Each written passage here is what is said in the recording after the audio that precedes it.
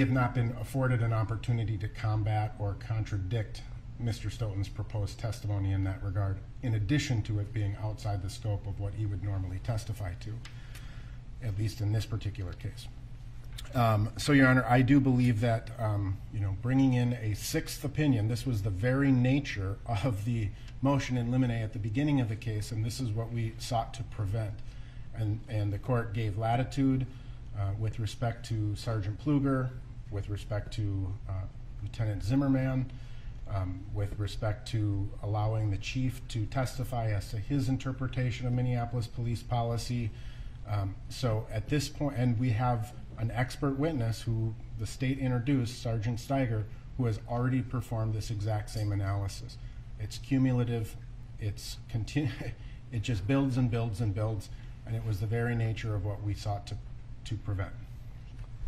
Who would like to speak for the state? I would. Mr. Swisher.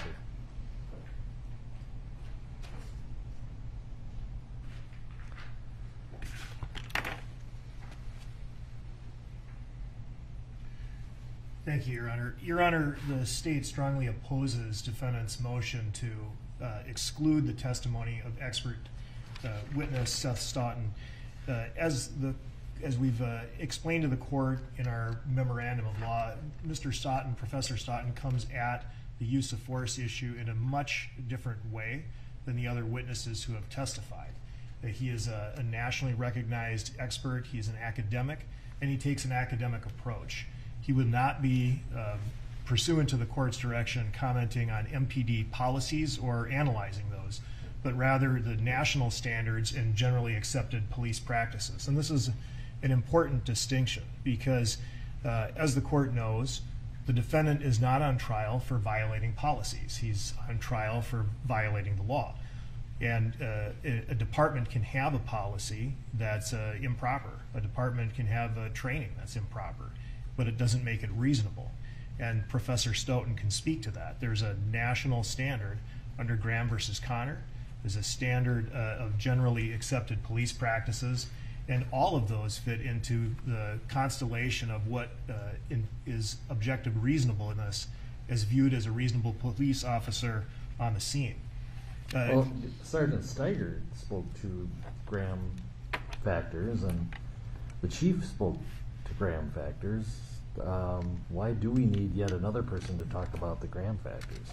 Your Honor, because he comes from a completely different perspective. And I think it's important to first focus on, you know, when we're looking at exclusion, it'd be under Minnesota Rule uh, 403, cumulative evidence that would be unduly cumulative, right? That'd be unfairly cumulative, unnecessarily so. So you have to look at the importance of the relevant evidence here the use of force or authorized use of force is a complete defense to all of the charges in this case. And so it is uh, primary, it's at front and center.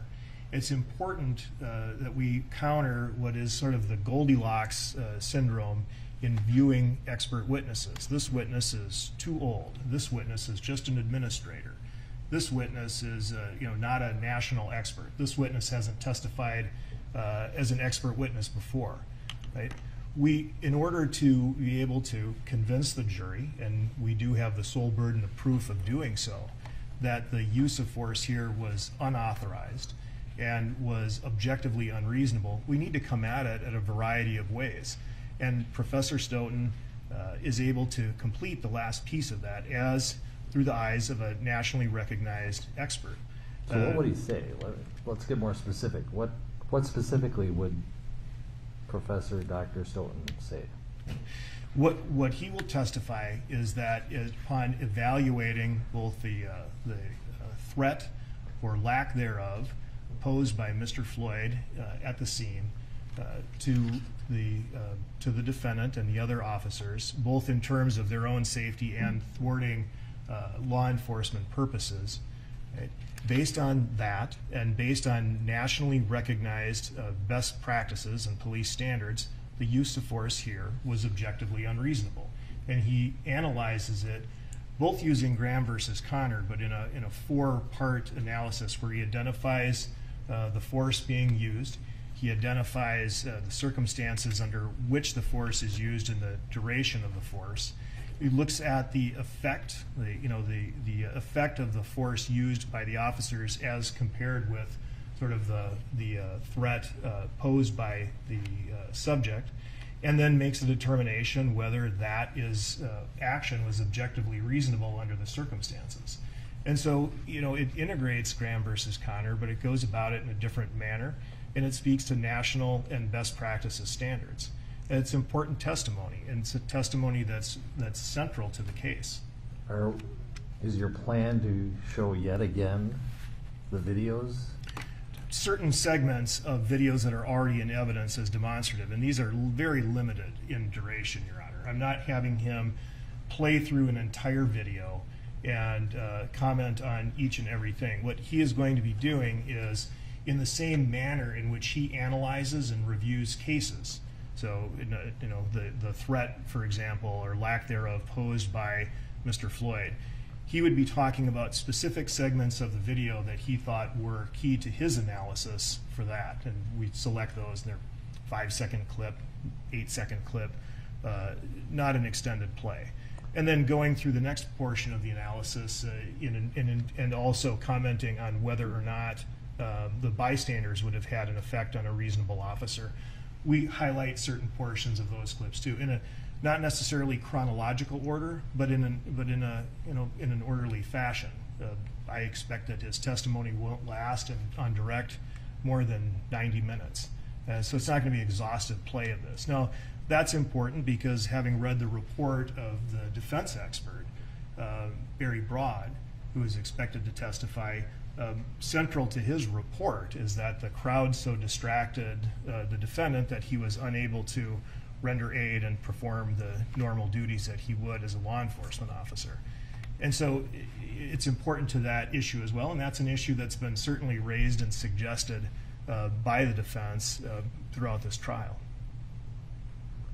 All right. Well, the court's concern was pretty clear before, is that in motions in limine, said we're not gonna call every cop and ask him, what would you have done differently? And basically, I think the state has almost done that. Uh, We now have opinions from the chief, the inspector, who was in charge of training, the lieutenant who was in charge of training, Lieutenant Zimmerman, because of his seniority and that he was the responding lieutenant on the scene, the sergeant, uh, I think the state has made its own bed here by deciding to ask all those people what their opinion was as opposed to sticking with their experts. Uh, so I think the defense has a legitimate concern, and I have a concern that uh, this is becoming cumulative. Um, as far as use of force, since it is more from an academic point of view and national standards, I'll allow you to call Dr. Stoughton to talk about national standards and how the use of force here violated them. Uh, I'm not going to allow you to do the um, the crowd effect on his opinion. That's it's it's really pushing the extremes of his expertise. He's the use of force expert. Uh, he can mention that he didn't think the crowd in this case was, but he's not going to get into uh, was a factor. He's aware of it. He didn't think it was a factor, and he can give an opinion as to whether or not the defendant violated national standards. But I don't want him getting into separate opinions about generally the existence of crowds and uh, he can talk about he's aware in this case about the crowd effect and that does not change his opinion but we're not getting into small crowds large crowds. This is how you would deal with large crowds. I don't want to get into that again. To the extent the defense i'm probably giving more than the state deserves by allowing you to talk about national standards and his opinion in this case whether they were violated. And he can talk about how the crowd he took the crowd into effect but i don't want him talking about like some of the experts did about small crowds large crowds all that This specific crowd. exactly I will uh, limit it to his, uh, this specific, uh, this specific crowd, this specific event. He's, we're going to be looking at the specific uh, events here, uh, not hypotheticals, just the timeline, his examples, and then his opinions. Right Uh, Your Honor, as to the uh, uh, phenomena of auditory pareidolia, uh, as the uh, supplemental uh, report that we gave to the defense, this is raised by the questioning of both expert Jody Stiger and of lead investigator James Reyerson, in which the defense introduced, it would exhibit 1007, I believe, and asked witnesses to opine based on what he first suggested uh, that Mr. Floyd said. And uh, Professor Stoughton, because he reviews so many, you know, body-worn camera cases and has an expertise in that, and has uh, you know, lectured uh, on this topic before of the phenomenon of suggestibility or auditory uh, auditory pareidolia, he would be able to provide not only uh, testimony about the suggestibility and why a witness may have answered a question in a particular way. He would be able to provide an example of this. We have a demonstrative of that particular segment, slowed down, supplemented with a transcript, uh, and uh, it would suggest he said something completely different. Ultimately, Professor Stoughton would indicate that when he listened to the portion um, several times without suggestion, he was unable to discern what precisely was said. Mr. Nelson, you want to respond to that part, since I don't think we talked much about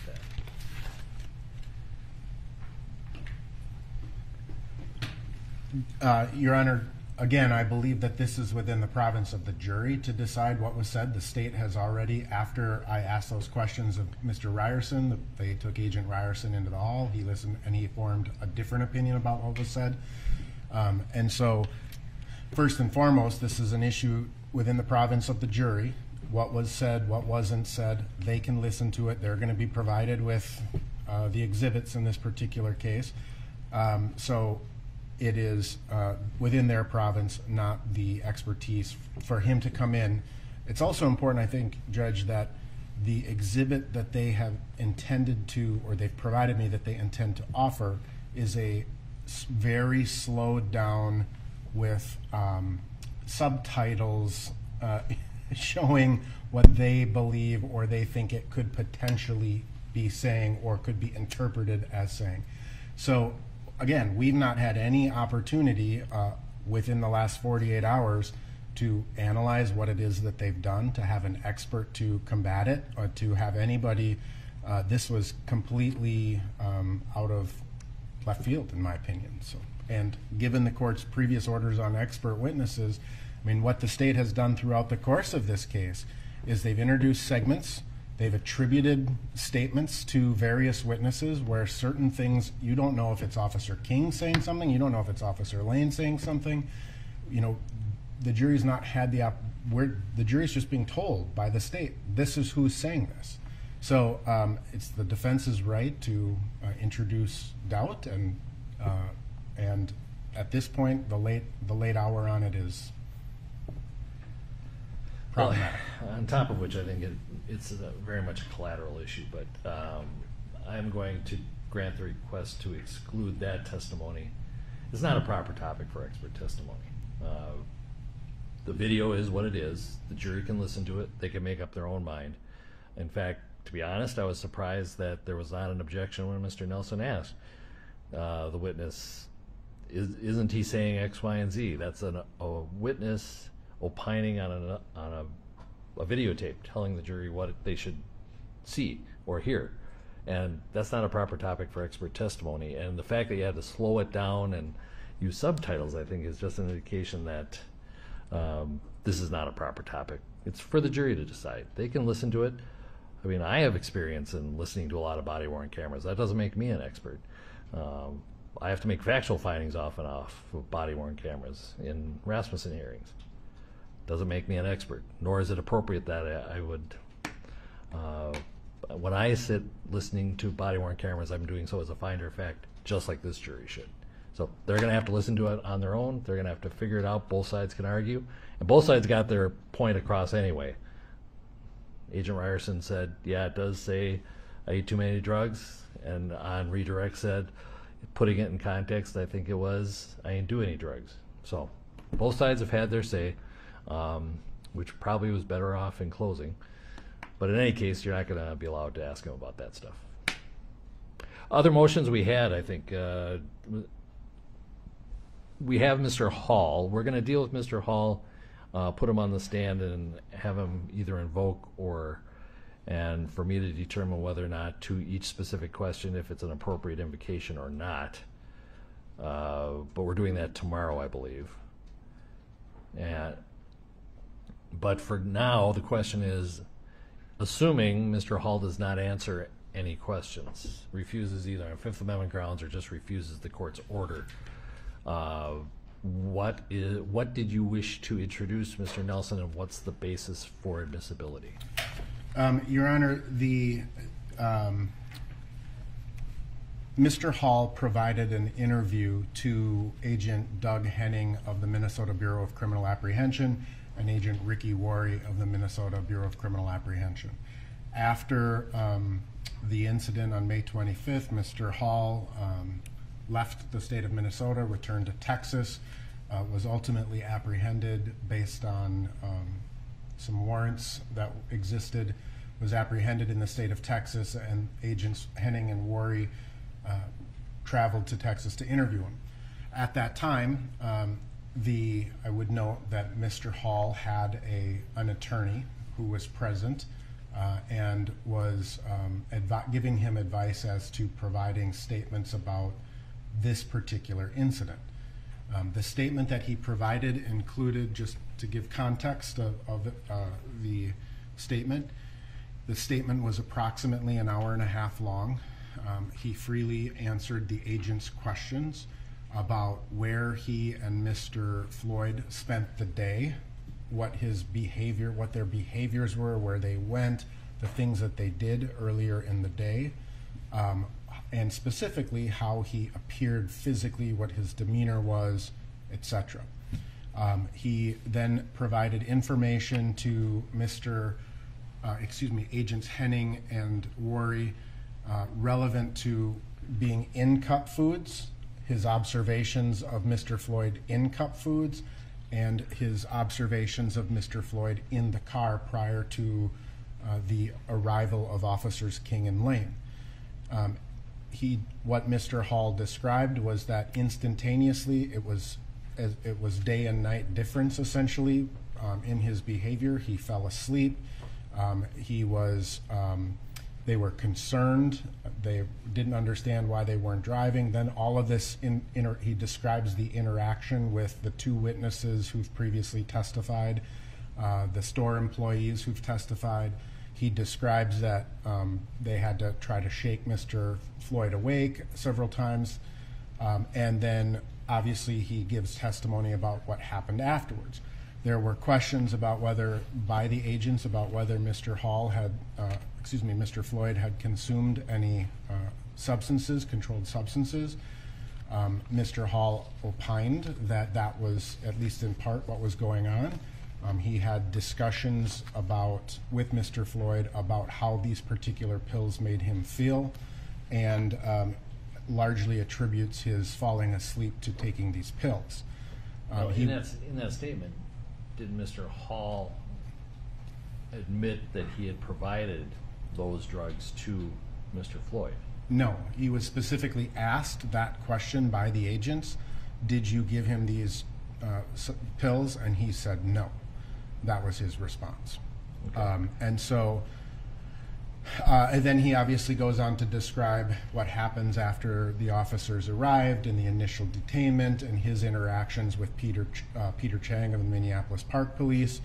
And so he paints a picture of what was happening before the incident, immediately preceding the incident, and as the incident was occurring. And so, and what reactions were happening.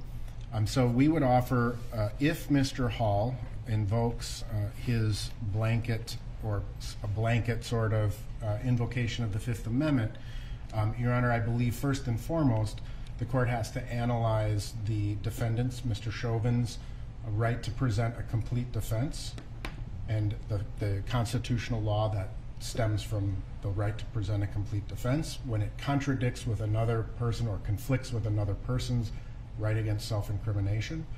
Um, I also believe that Mr. Chauvin has a right to confront any witnesses that would be uh, uh, available to him, and including trying to build his defense through those types of witnesses.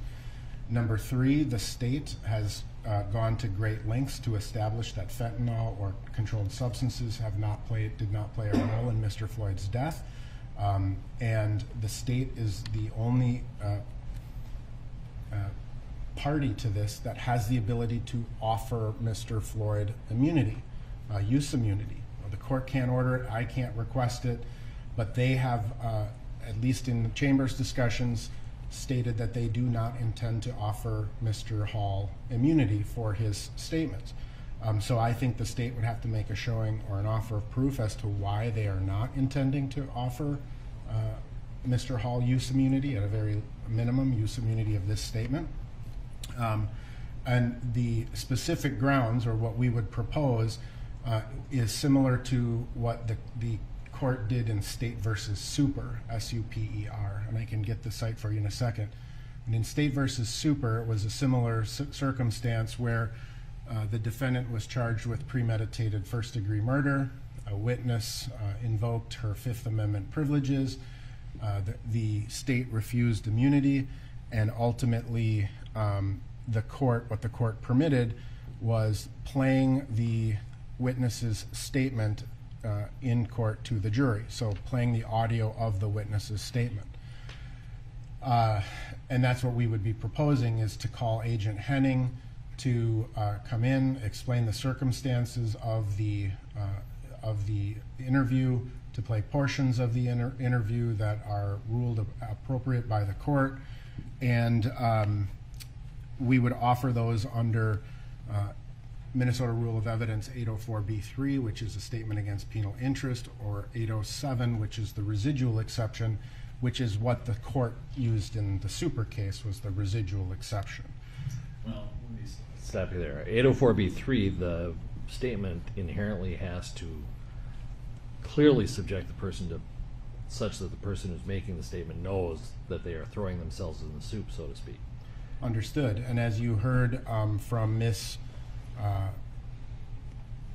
Cousins, I believe, uh, Adrienne Cousins, Mr. Hall's lawyer here, um, the third degree homicide charge is uh, a potential charge that Mr. Hall could face if he specifically uh, provided exchange, bartered, or had any knowledge of what was of what was going on. You, the court has now also seen the evidence of Mr. Hall throwing uh, throwing what appears to be some package uh, off to his side while the police were dealing with Mr. Floyd. So if you look at the circumstances of this statement, I mean the it would certainly be if he were to be charged, it would certainly be a statement about what was happening in that car and circumstantially, and at, at from a bare minimum, it would be impeachment if he were to get up and testify that he uh, didn't provide Mr. Floyd with the controlled substances. So, I mean, according to Mr. Hall's uh, public defender, even acknowledging his presence or that that was him in the video or that was him with Mr. Floyd on that date, um, certainly, uh, certainly uh, could potentially tend to incriminate him. That's, I mean, they say everything about this case, uh, about his testimony, could incriminate him. Well, But- are you saying that the, the testimony that would be, that he could legitimately refuse to answer on Fifth Amendment grounds, and the evidence that's admissible under 804B3 are the same, Yes. the yes, same universe? Okay. because ult- I mean, ultimately, Judge, this this um, you if you look at the the sum total when Mr. Hall made this statement, right, which was June 2nd of 2020, so within a week, uh, he was located and apprehended and interviewed. He was counseled by a competent attorney who um, gave gave the blessing to speak about what happened to Mr. Floyd on that day. But if you go back out and you look at there were pills found in the car, there's a video of him throwing something. There are a- above and beyond above and beyond just the third degree controlled substance crimes. They do ask him questions about giving false identification. He gave two different. He gave Officer Lane uh, the uh, an actual driver's license or ID card with someone's name on it. He then gave Peter Chang a secondary name, so he can be incriminating himself. Did he admit all that in the statement? He did. Okay. He, um, he had warrants uh, for his arrest that were in place at that time, issued by the state of Minnesota. And he explains in that statement that, that he has had problems with the warrants, which is why he took off out of town. Um, that's ultimately why he was apprehended as well. So he had um, he had multiple layers of. He acknowledges uh, in the statement having a counterfeit twenty bill twenty dollar bill in his possession. So in the course of this statement, he makes several incriminating statements outside of this particular incident. As it pertains to whether he provided Mr. Floyd with the drugs, he denies it, right? I mean, he says, I didn't do it. And, you know, if, if that is his position, based on how this, the, the questions that the state has presented, they intend to impeach him if he were to testify in this case with that statement. I mean, so they're using some of the very things that he claimed in his statement to either impeach him or to attack his credibility. Uh, so certainly, I, I think that the state has taken the position that that Mr. Hall's testimony or his statement was not credible to these investigators. Um, they have the ability to, again, offer him use immunity, um, and if they're if if that is uh, uh, their position that the controlled substance had played no part in this case. So, you know, when we look at again, a defendant has a right to present a complete defense, and so when we start from that analysis, that would include in, uh, investigation of facts that are exculpatory or that are consistent with his defense. And that's what this is. We look at the residual exception in, in terms of uh, the 807, in terms of the trustworthiness of this statement. There are several aspects of this statement that are corroborated by Ms. Shawanda Hill. So, particularly when describing um, Mr. Floyd's reaction in the car, she also describes uh, that um, Mr. Floyd fell asleep in the car and was they had a very difficult time waking him up. So much so that she called her daughter to come and pick her up. She makes statements about um, Mr. Floyd taking Percocets. So there is, above and beyond that, Mr. Hall was counseled by his attorney about this case and giving this statement. So Well, let- And let me just, and maybe this is an argumentative question, uh, well, I don't mean it to be. So you're saying that his lawyer, who was advising him at the time of his statement, advised his client to give a statement that was so far uh, contrary to his penal interests that uh, it's admissible under 804B3? Well, I mean, to that end, the lawyer was a Texas lawyer and may not have been a, familiar with Minnesota's third degree homicide statute. Fair enough. All right, who from the state would like to answer? Mr. Frank?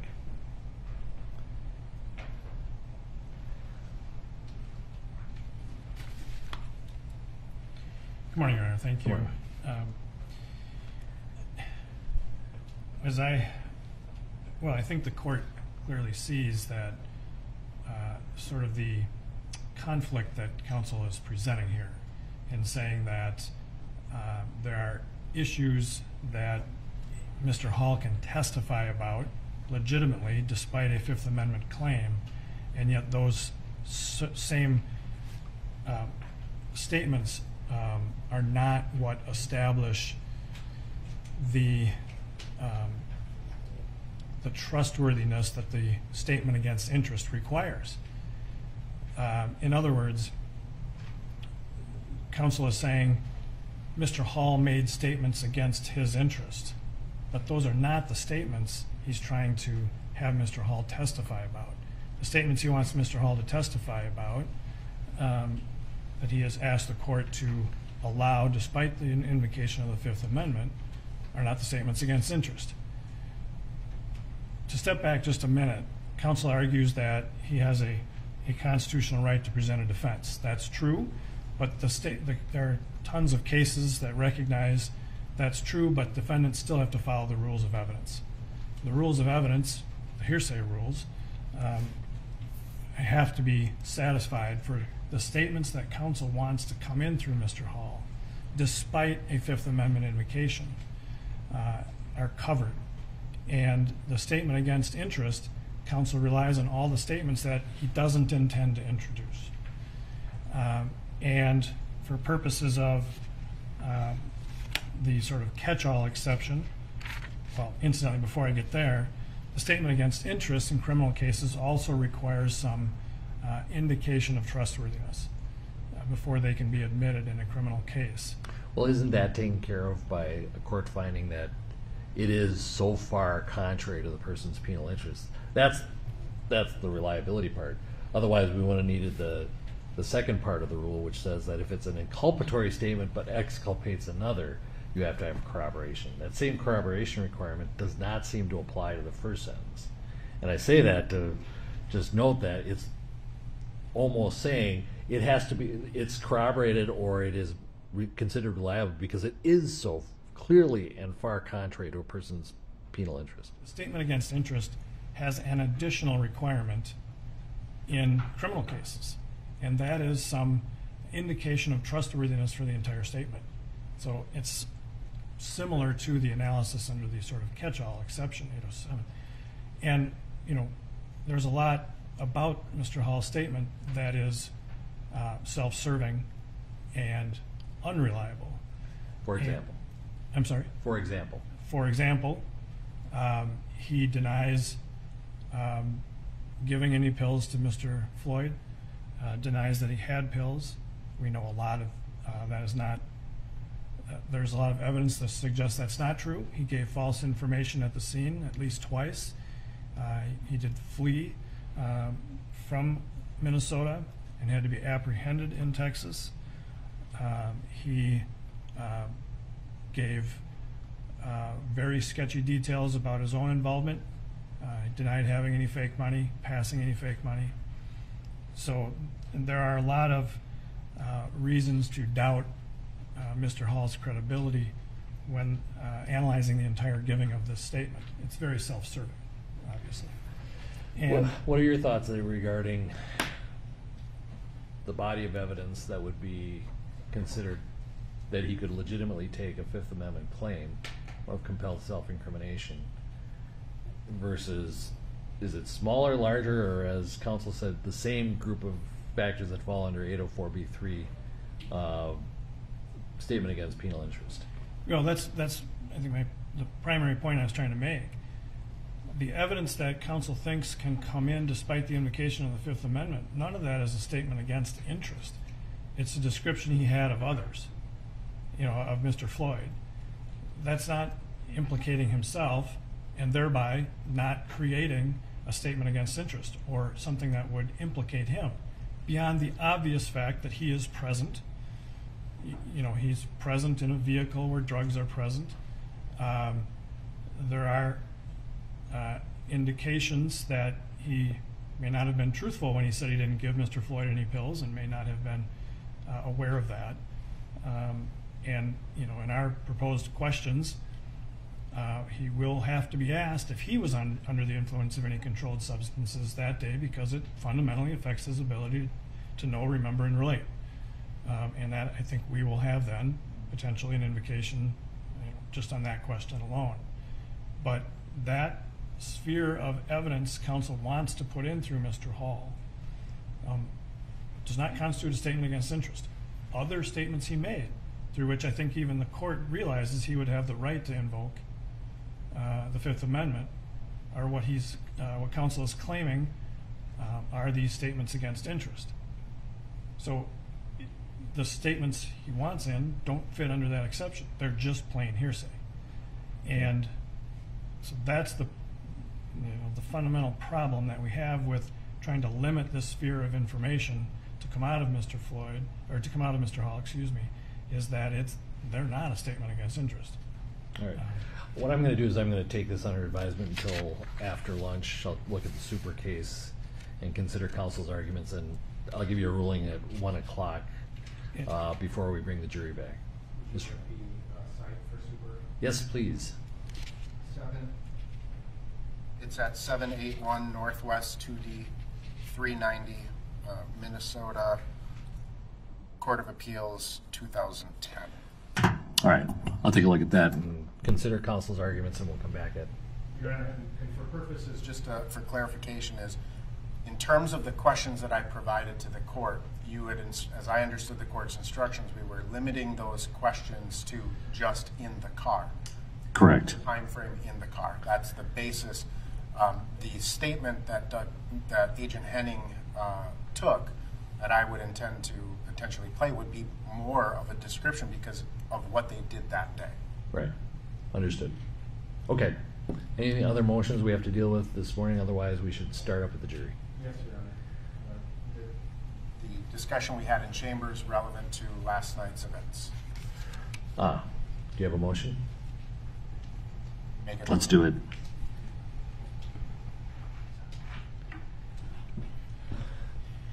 Uh, Yes, Your Honor, at this time, I am uh, requesting, again, sequestration of the jury in view of uh, the incidents of last night.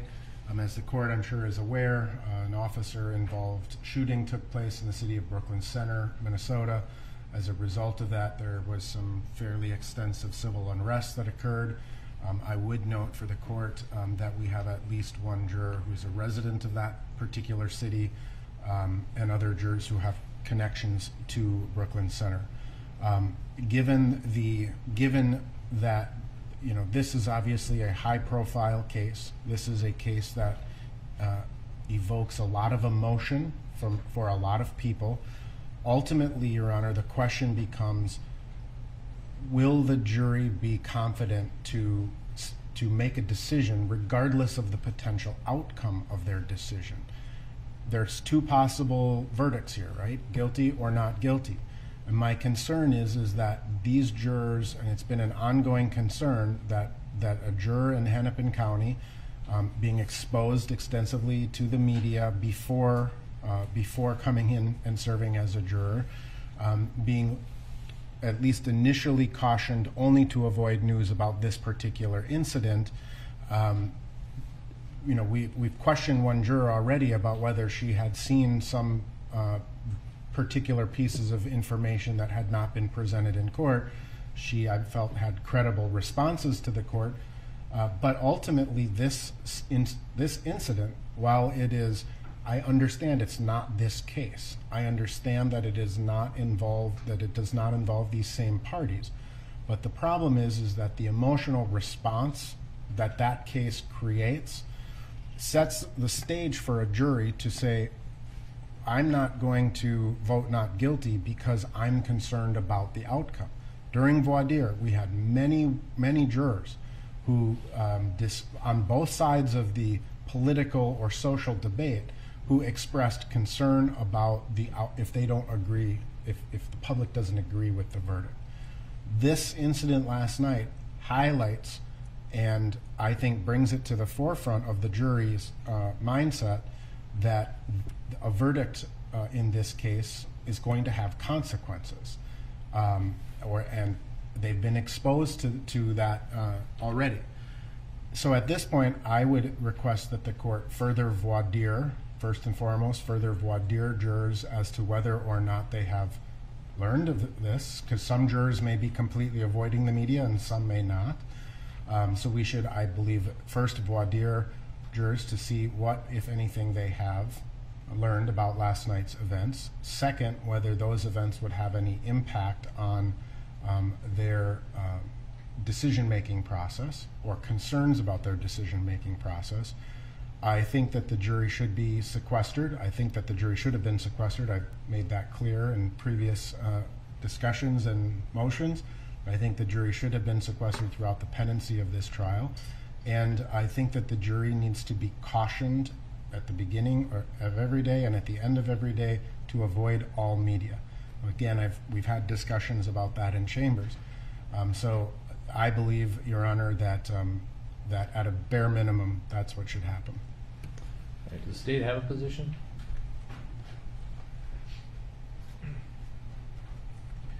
Yes, Your Honor, thank you. The state opposes the motion for sequestration. I don't believe that sequestration would be a, a remedy that would be appropriate or frankly effective in this matter. Um, as counsel pointed out, this is a, it's a different case. Uh, it's a different department. It is an officer-involved shooting. It is something that happened uh, nearby. we really don't know uh, what the facts of the case are at this particular point as those things are unfolding. But uh, world events happen, things continue to happen in the state, um, despite the fact that we're all here in trial. Um, that's just what happens. And we can't have every single world event that might uh, affect somebody's uh, attitude or emotional state or anything be the grounds to come back and re voir dire all the jurors. Um, the court, uh, you know, in our voir dire process, we asked the jurors, uh, you know, specifically the issue that uh, Mr. Nelson is concerned about, whether they would be so concerned about the outcome of a verdict that they wouldn't be unable to be fair and impartial and render either a guilty or not guilty verdict. And all of the jurors who were sworn and impaneled um, said that they would be able to do that. And the court will further instruct them that they are to do that. They're, they're to render their verdict without regard uh, to the result. And the law presumes that jurors follow the court's instructions. And we should presume that they meant what they said when they said it, that they could set aside these external issues and decide the case based solely on the evidence. So I think it would be inappropriate to voir dire uh, jurors now about events that, while uh, related and being on the same topic of the case, do not involve this case.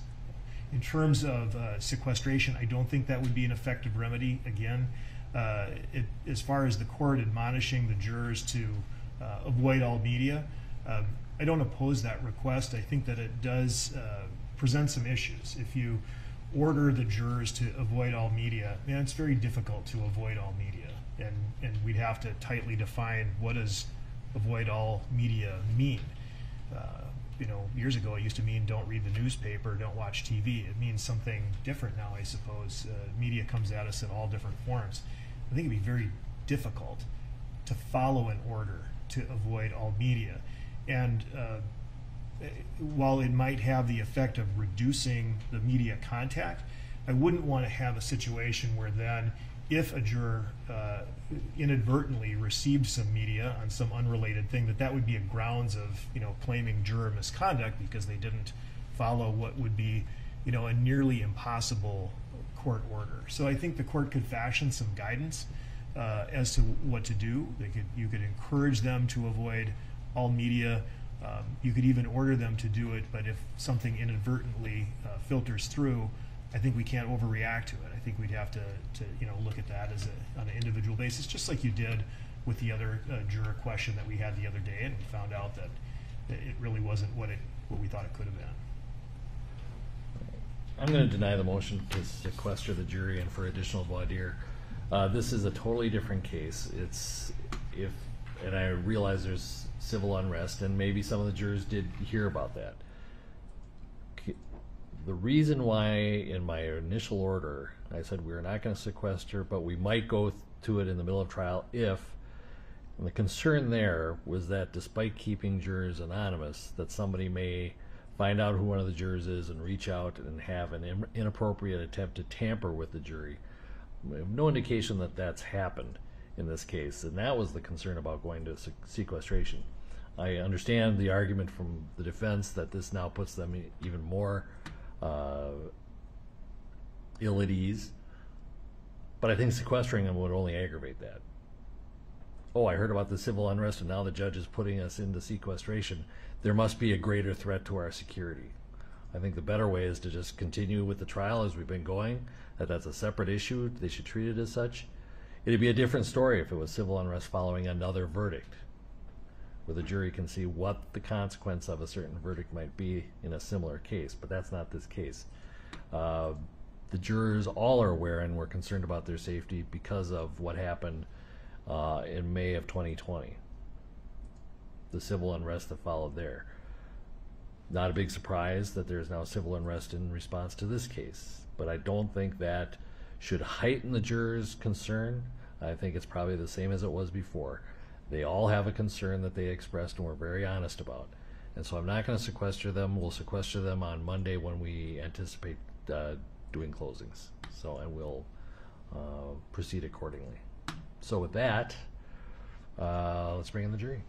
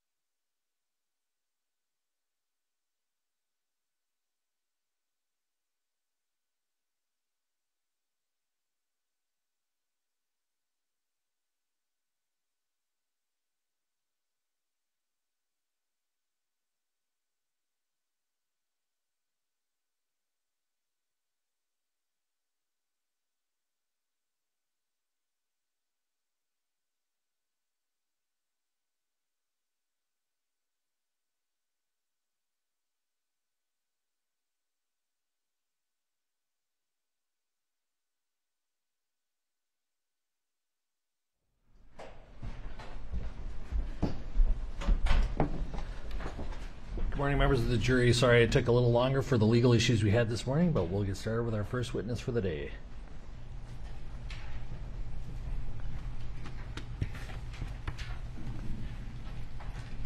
Good morning, Your Honor, uh, Counsel, uh, ladies and gentlemen. Uh, The state will call Dr. Jonathan Rich.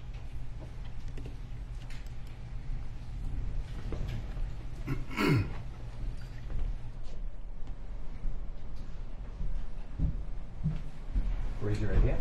You swear or affirm under penalty of perjury that the testimony you're about to give will be the truth and nothing but the truth. I affirm. Thank you. And doctor, if you wouldn't mind, we'd appreciate it if you could take your mask off. Thank you. And I think the microphone should be in about the right place, but let's test it out by having us, or having you give us your full name, spelling each of your names. My name is Jonathan Rich, J O N A T H A N R I C H. Mr. Blackwell. Thank you, Your Honor. Sure.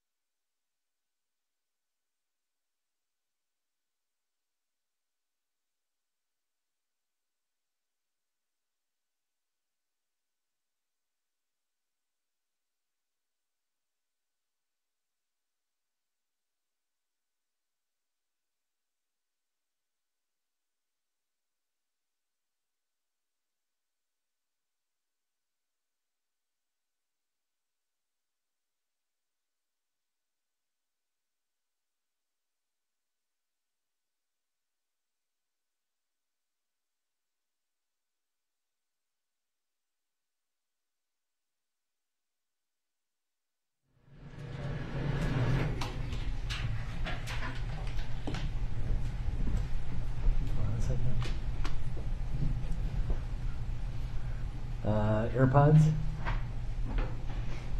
Thank you. Mr. Blackwell. Thank you, Your Honor. Dr. Rich, you're a medical doctor. You have to answer yes, sir. Yes, sir. Would you tell us where you're currently employed? sure. Um, I am a cardiologist at Northwestern Memorial Hospital in Chicago, Illinois, where I also am an associate professor of medicine at Northwestern University. Dr. Rich, what have you come to talk to the jury about today? I'm here as an expert cardiology um, specialist to provide my opinion as to how Mr. George Floyd died. Have you ever testified in a court of law before? This is my first time. Would you bl- briefly summarize for us your educational background? Sure. So I attended the University of Illinois in Urbana-Champaign uh, for my undergraduate studies, where I majored in biology and uh, performed uh, my pre-medical coursework. Where did you go to medical school? I went to the Albert Einstein College of Medicine in New York. And uh, do you know what a residency is? Yes, I do know what a residency is. Uh, would you tell the ladies and gentlemen of the jury what a residency is? Sure. So after uh, completing medical school, um, I went on to do uh, training in internal medicine, and that training is referred to as a residency.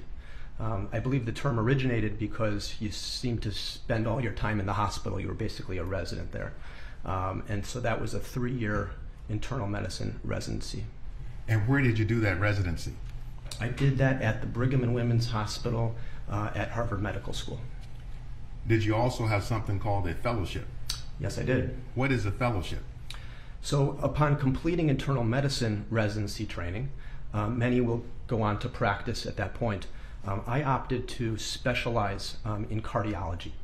And so, when you take on an additional specialty, that form of training is referred to as a fellowship. And so, did you do a fellowship? Yes. And where did you do your fellowship? So, I did my fellowship at the University of Chicago. And were you what's known as a chief fellow? Yes, I was the chief fellow. What is a chief fellow? So every fellowship program has about, on average, um, 18 uh, cardiology fellows, six in each class. And so I was uh, bestowed the honor to be the chief fellow, which is basically being the, the captain of the group. Did you have any additional training then after your fellowship? Yes, I did. What was that? So after completing cardiology fellowship, I decided that I wanted to um, sub-specialize further um, in um, a field of advanced heart disease that focuses on heart failure and heart transplantation. Are you board certified? Yes, I am board certified in both cardiovascular diseases and in advanced heart failure and transplant medicine. Transplant cardiology? That's correct. What, what is transplant cardiology as a field? So, thankfully, most people are not going to need a heart transplant, but on occasion, uh, patients' hearts will worsen over time and get to the point where they're tremendously weak um, and can't function on their own anymore. The medicine isn't working. And so, the field of transplant cardiology is one in which we try to see if we can um, find a suitable match for that individual um, to get them a heart transplant, uh, essentially to restore their life. Are you trained in basic and advanced cardiac, cardiac life support? Yes, I am. Um, and I renew that training uh, every two years as part of my job. Let's uh, talk a bit about your employment background. Uh, after you finished your uh, fellowship, where did you go to work? Right. So after completing the heart failure and transplant fellowship, I took my first position at the University of Chicago uh, as a cardiovascular specialist in heart failure. And were you employed there until May of 2013? That is correct. And where did you go to work after that? So since May of 2013, I have been at Northwestern University, as I mentioned earlier, as one of the um, heart failure and transplant cardiologists. Do you hold uh, any leadership positions at Northwestern? Uh, yes, I do.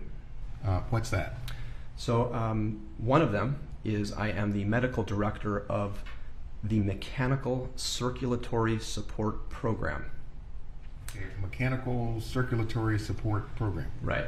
Now, what is that? Yeah, I'll keep it brief. But basically, we talked about heart transplant for a minute. So patients whose hearts become very weak and perhaps they're not a good suitable match for a transplant or uh, they just don't have time to wait for a transplant, uh, we can implant mechanical heart pumps that combine with their weakened heart can restore blood flow to their body to improve their quality of life and allow them to live longer.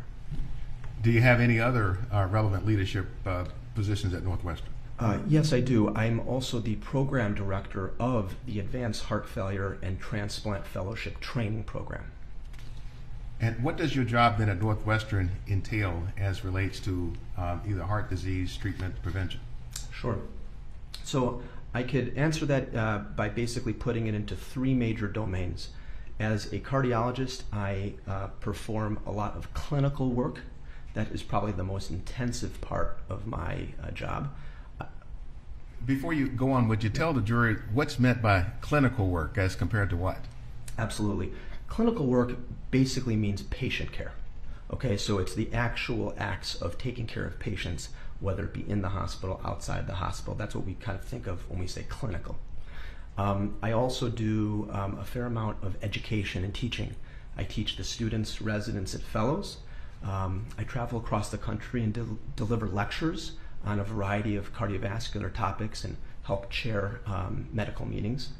And then the third part of my um, job as a cardiologist is I conduct uh, clinical research um, and have been doing so in a variety of cardiovascular diseases for uh, nearly 20 years. Do you spend most of your time, though, providing clinical care to patients? Yes, that is for sure the most intense uh, aspect of my job. And what does your clinical practice then entail in terms of taking care of patients? Sure. So, um, my clinical practice has three components.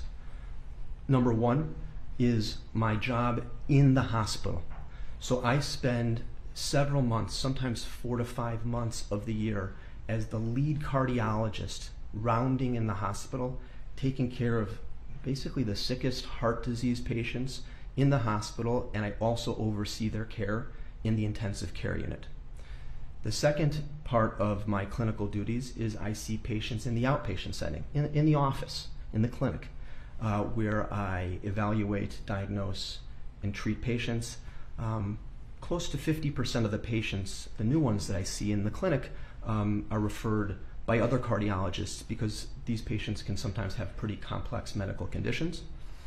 And then um, the third part of my clinical work um, is I perform procedures uh, in a procedural suite we call the cath lab, um, where I measure pressures inside the heart and inside the lungs. And sometimes I will also take small biopsy samples of the inner lining of the heart uh, for diagnostic purposes. Given that you uh, deal with a number of patients who could be really sick, uh, do you ever have patients that will pass away? So I work with a tremendous team um, at Northwestern, and my colleagues save countless lives. But unfortunately, uh, many patients do die. Do you ever have any involvement in determining the cause of death? Oh yes, I do. Could you explain? Sure. Um, one of the most important parts of my job, in fact, is to determine what's wrong with the patient including if they do actually die, how did they die? And so there are a number of ways in which I participate in that role of figuring out what happened to a patient, how did they die?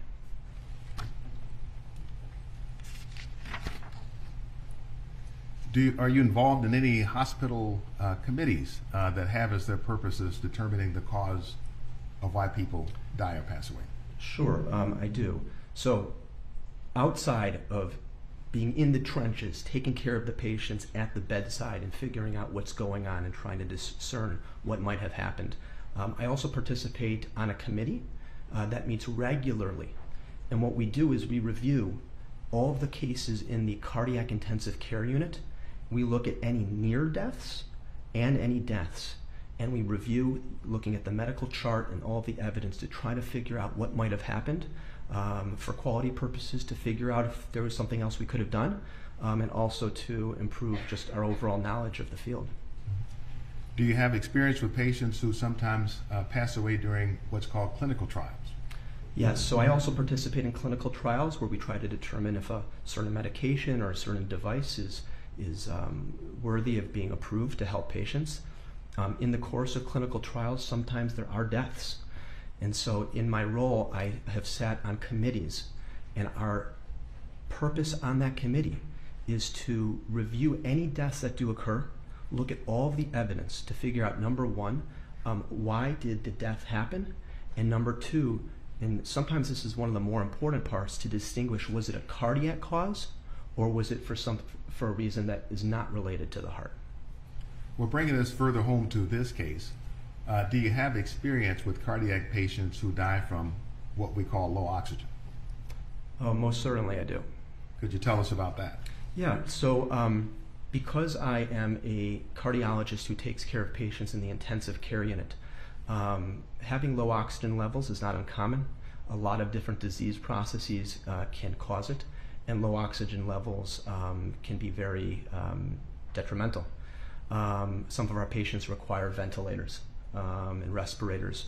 Uh, and so, in the course of caring for these patients, sometimes they succumb, they succumb to their illness because their body is not able to get enough oxygen. Do, do you ever have to determine cause of death in the heart transplant context? Yes. So, um, in the field of heart transplantation, what happens is when you get a phone call that um, somebody has died and they uh, want to be an organ donor.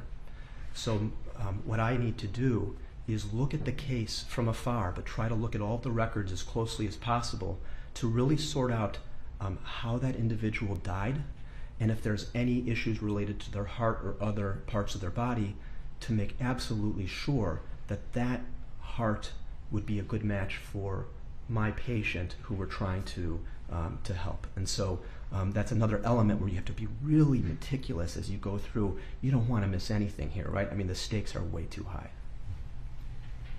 We've heard from a couple of pathologists uh, in the trial. Uh, does your job uh, require you to work with pathologists? Oh, yes, it does. In what way?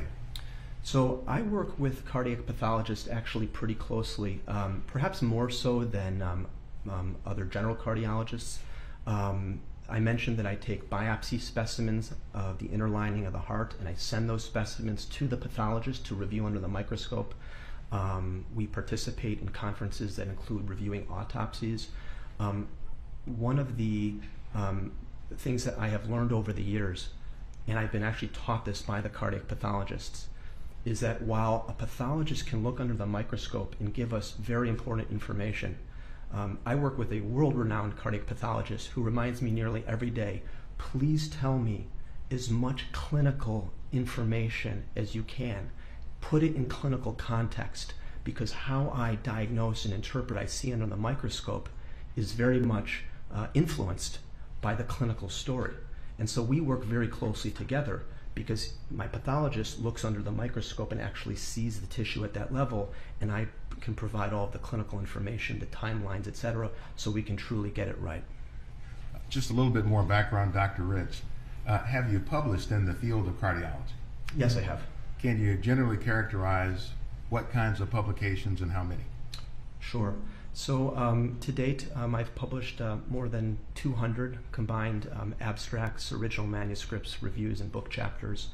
Um, and the topics have uh, been pretty wide ranging in the field of cardiology, uh, from coronary artery disease, uh, hypertension, which is high blood pressure, uh, congestive heart failure, and another disease actually called pulmonary hypertension. And, what is pulmonary hypertension? Uh, pulmonary hypertension is high pressures that are specific to the blood vessels in the lungs. All right, so when the blood flows from the heart to the lungs, if the pressure is high in those blood vessels, we refer to that as pulmonary hypertension. Doctor, would you generally uh, describe for the jurors what is cardiology as a science? Sure. So, cardiology is the study of the heart at the most basic level. It's the study of how the heart functions, um, what happens when the heart develops disease, um, pretty much everything heart related and how it interacts with the rest of the body in order to sustain life. How do you go about assessing a patient with a cardiology issue? Sure. So, um, when you assess any patient, with or without a cardiology issue, but in, a, in, the, in this context, a cardiology issue, um, you typically begin by meeting the individual in the office, taking a history, doing a detailed physical examination, reviewing all of the medical records and the charts, looking at past procedures uh, and tests that they may have had, um, sometimes speaking to other colleagues uh, who you are caring for that patient with together, um, and then sometimes ordering your own tests for evaluation and diagnostic purposes. Are some of your patients referred then from other cardiologists? Yes, so um, because um, of my specialty in advanced heart disease, um, uh, close to half the patients who are um, I'm seeing in the office as new patients have been referred to me by other cardiologists, um, typically in the community or in the region, um, and I will assist them in, in, consultation to figure out what's going on and what we need to do uh, to help that individual. Uh, in the ICU, do you take care of patients who have problems beyond the heart? Yes, so you know it's interesting. Um, as a cardiologist, I think part of the important reasons why they require of us to do that internal medicine residency training is because no organs work in isolation. And so my patients who have heart disease who also require the intensive care unit, they will usually have issues with many other organs their lungs, their kidneys, sometimes their brain, um, their liver. And so you really have to be adept and um, have a really good understanding of not just the heart, but all of the organs of the body and really how they interact. Dr. Rich, let's talk about your role uh, in this litigation. Um, how did you come to be involved in this case?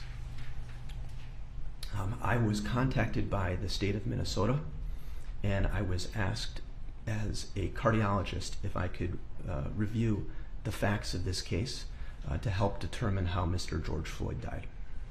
Have you been uh, compensated by the state for the bulk of the work you've done on this case? No, up, un- up until my time here now at trial, um, I have not received compensation. And why not? Um, well, um, probably for a couple of reasons. Mostly, I felt that my uh, job as a cardiologist could really help inform the facts of this case. Every year, I take on a number of professional activities uh, without compensation. I actually think it's a duty of our field. And so in this case, I felt I can make a meaningful contribution to the medical field. So for your, uh, the compensation for your time while you're here at trial, uh, are you being compensated at twelve hundred dollars per day? Yeah, it's $1,200 a day while I'm missing work back at home. So let's talk about then uh, your opinion or opinions in this case. Uh, before we do, could you tell us what work you did? What did you review before forming opinions in the case? Sure.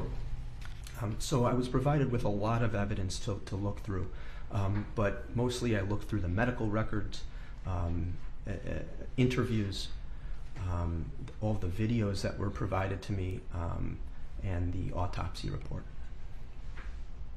Did you review some journal articles as well? Yeah, as I was um, formulating my opinion and creating um, my expert report, um, I also um, looked up journal articles and embedded them into my report for references. Uh, have you formed uh, any opinions in this case to a reasonable degree of medical certainty as to the cause of Mr. Floyd's death? Yes, I have. Would you tell us your opinion or opinions? Sure. Um, in this case, Mr. George George Floyd died from a cardiopulmonary arrest.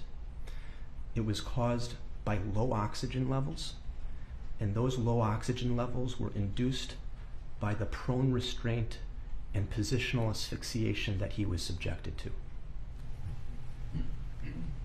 Well, let's discuss your um, opinion, Dr. Rich, and let's start it with just a general discussion of the circulatory system in the heart.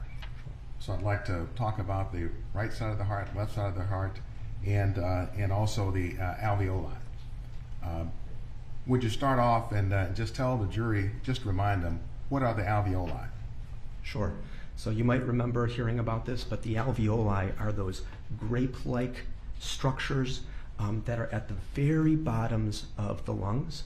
The alveoli is where the actual gas exchange occurs, meaning that is where, when we take a breath in, oxygen gets across the lungs and into the bloodstream, and then the carbon dioxide that needs to leave the body crosses that same barrier into those alveoli.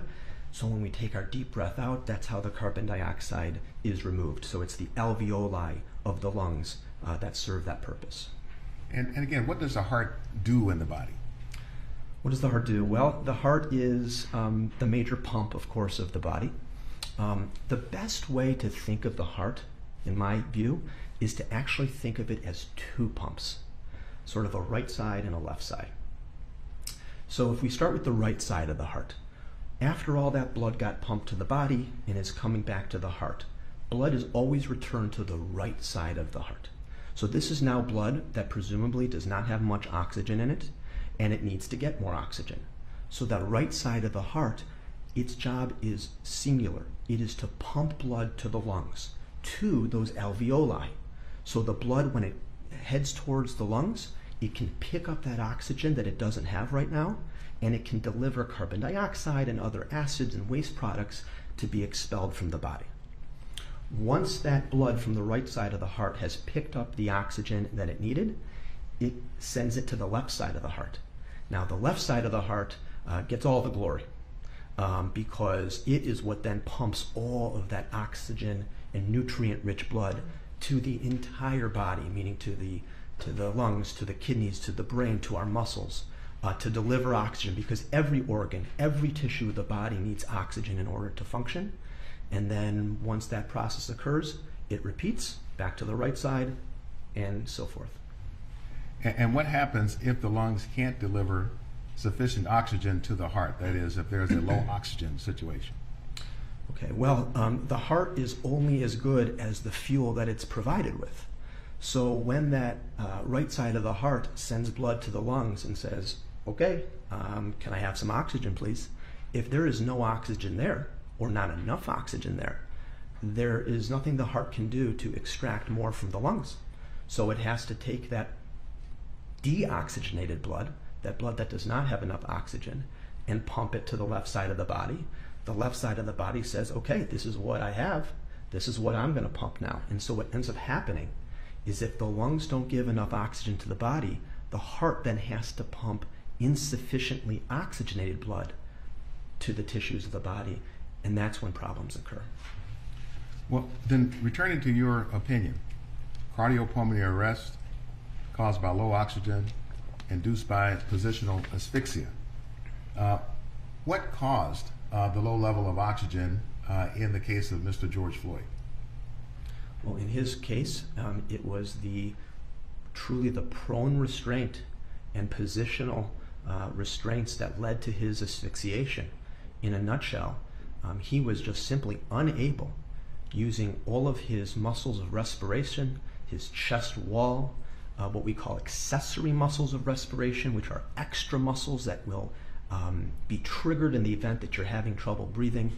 Um, he was trying to get in enough oxygen, and because he was unable to, because of the position that he was subjected to, um, as we just discussed, the heart thus didn't have enough oxygen either, which then means the entire body is deprived of oxygen. So, low oxygen induced by positional asphyxia. Did you consider other possible causes for Mr. Floyd's death? Sure.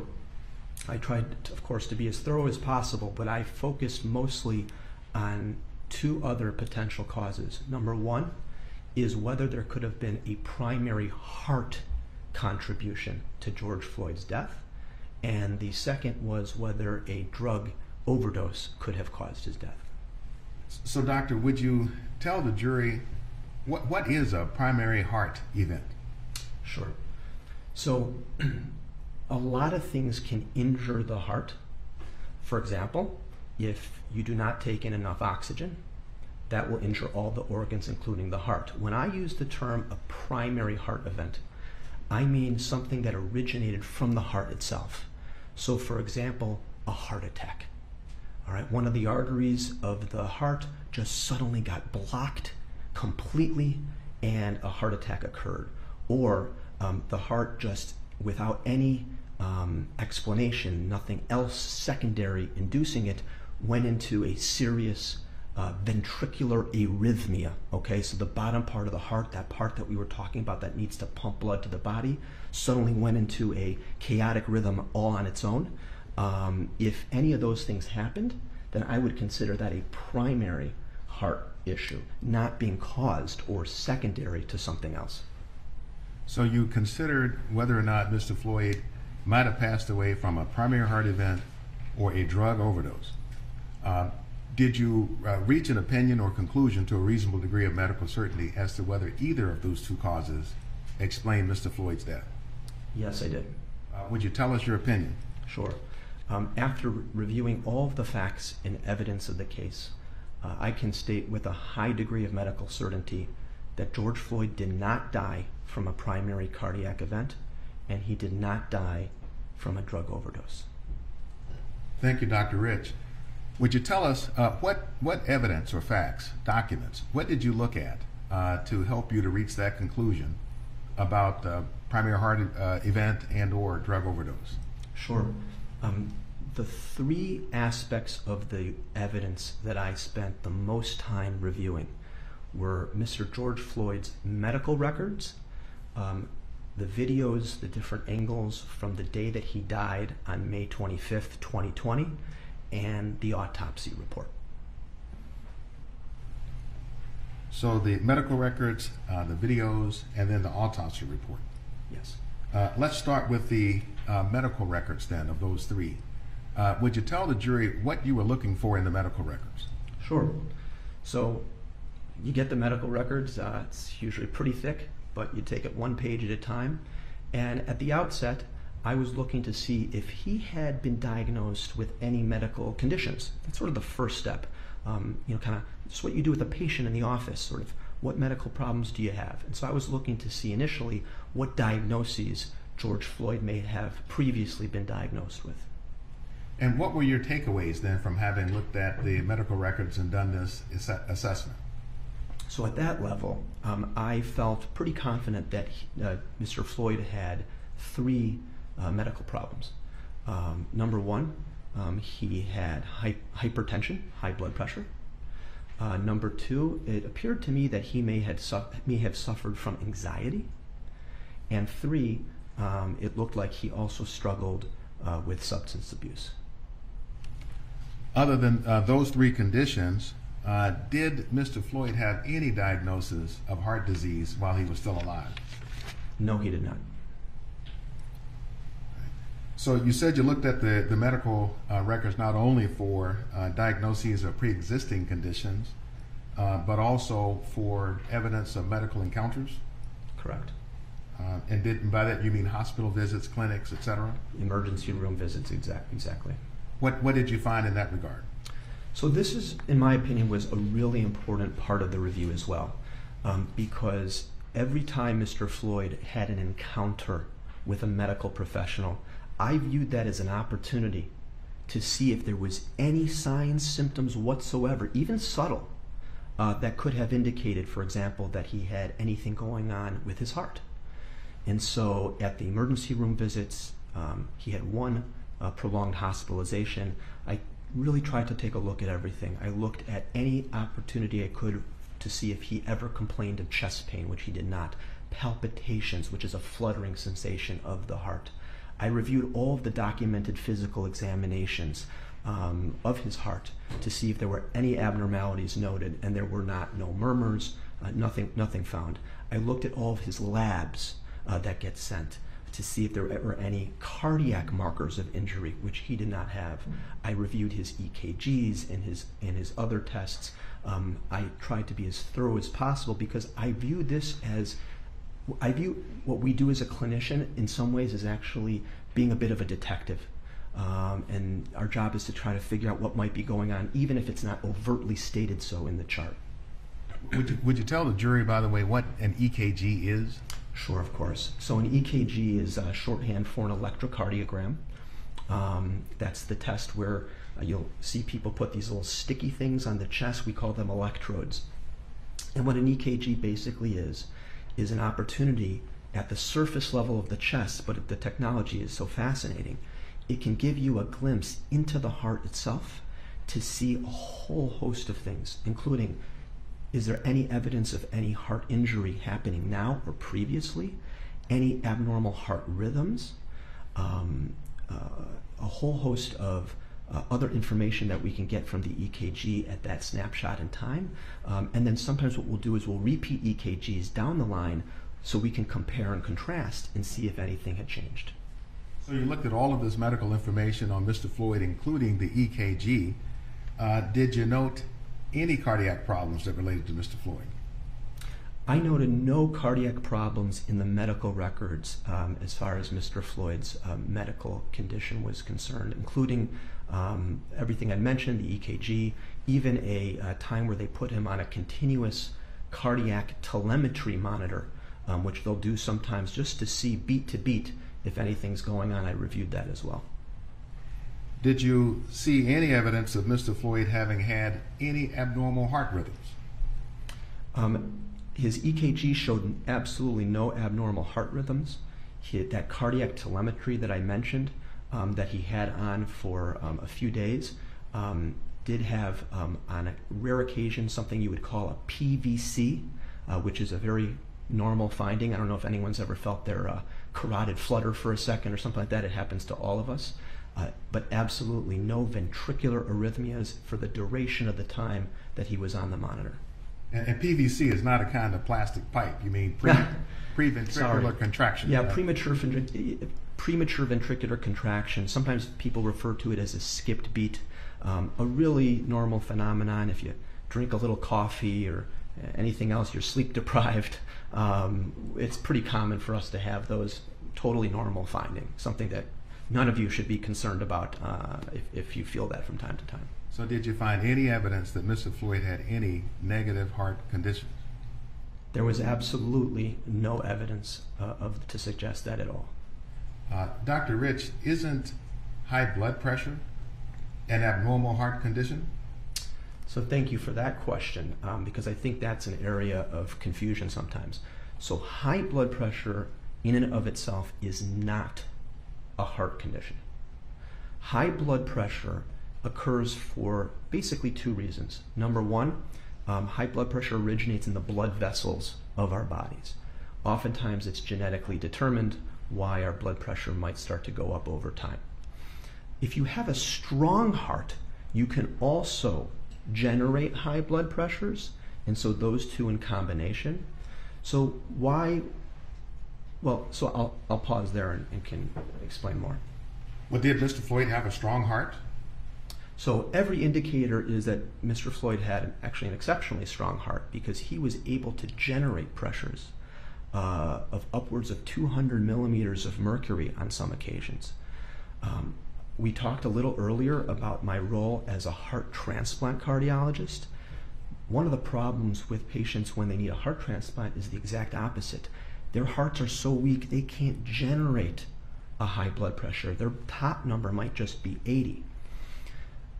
The reason why high blood pressure, though, is important, and it is important to treat high blood pressure, is because over time, if high blood pressure goes untreated 10, 20, 30 years, the impact of that high pressure on the heart can eventually start to become a bit of a problem. So, the way I explain it to my patients who come into the office and I talk to them about treating their high blood pressure is I say, remember, the heart is a muscle. So if you go to the gym and you pick up a couple of dumbbells and you start to lift the weights, initially it feels fine. In fact, you probably get a little stronger. Your heart, uh, excuse me, your muscle will likely get even a little thicker, a little bigger, which is exactly what it's supposed to do. And initially, that might actually be a really good thing. But if I came back, you know, 10 years later and said, how's it going? You'd say, man, this is getting pretty tough. Um, and then the muscle can start to tire out. So we do want to treat high blood pressure. Um, I can't emphasize that enough. High blood pressure should be treated, uh, but high blood pressure in and of itself um, is not a uh, heart condition. So we, we've talked about your review of the medical records. Uh, you told us that you also looked at video footage in forming your opinions. Uh, would you tell us what you were looking for in the video footage that you examined? Sure. So my approach to the video um, initially was sort of similar to my approach with the medical records, uh, meaning I wanted to just do some cursory inspection, observation, basic stuff. Um, what did Mr. Floyd look like? Um, was Mr. Floyd talking? And if he was talking, was he talking clearly, uh, coherently, uh, answering questions appropriately?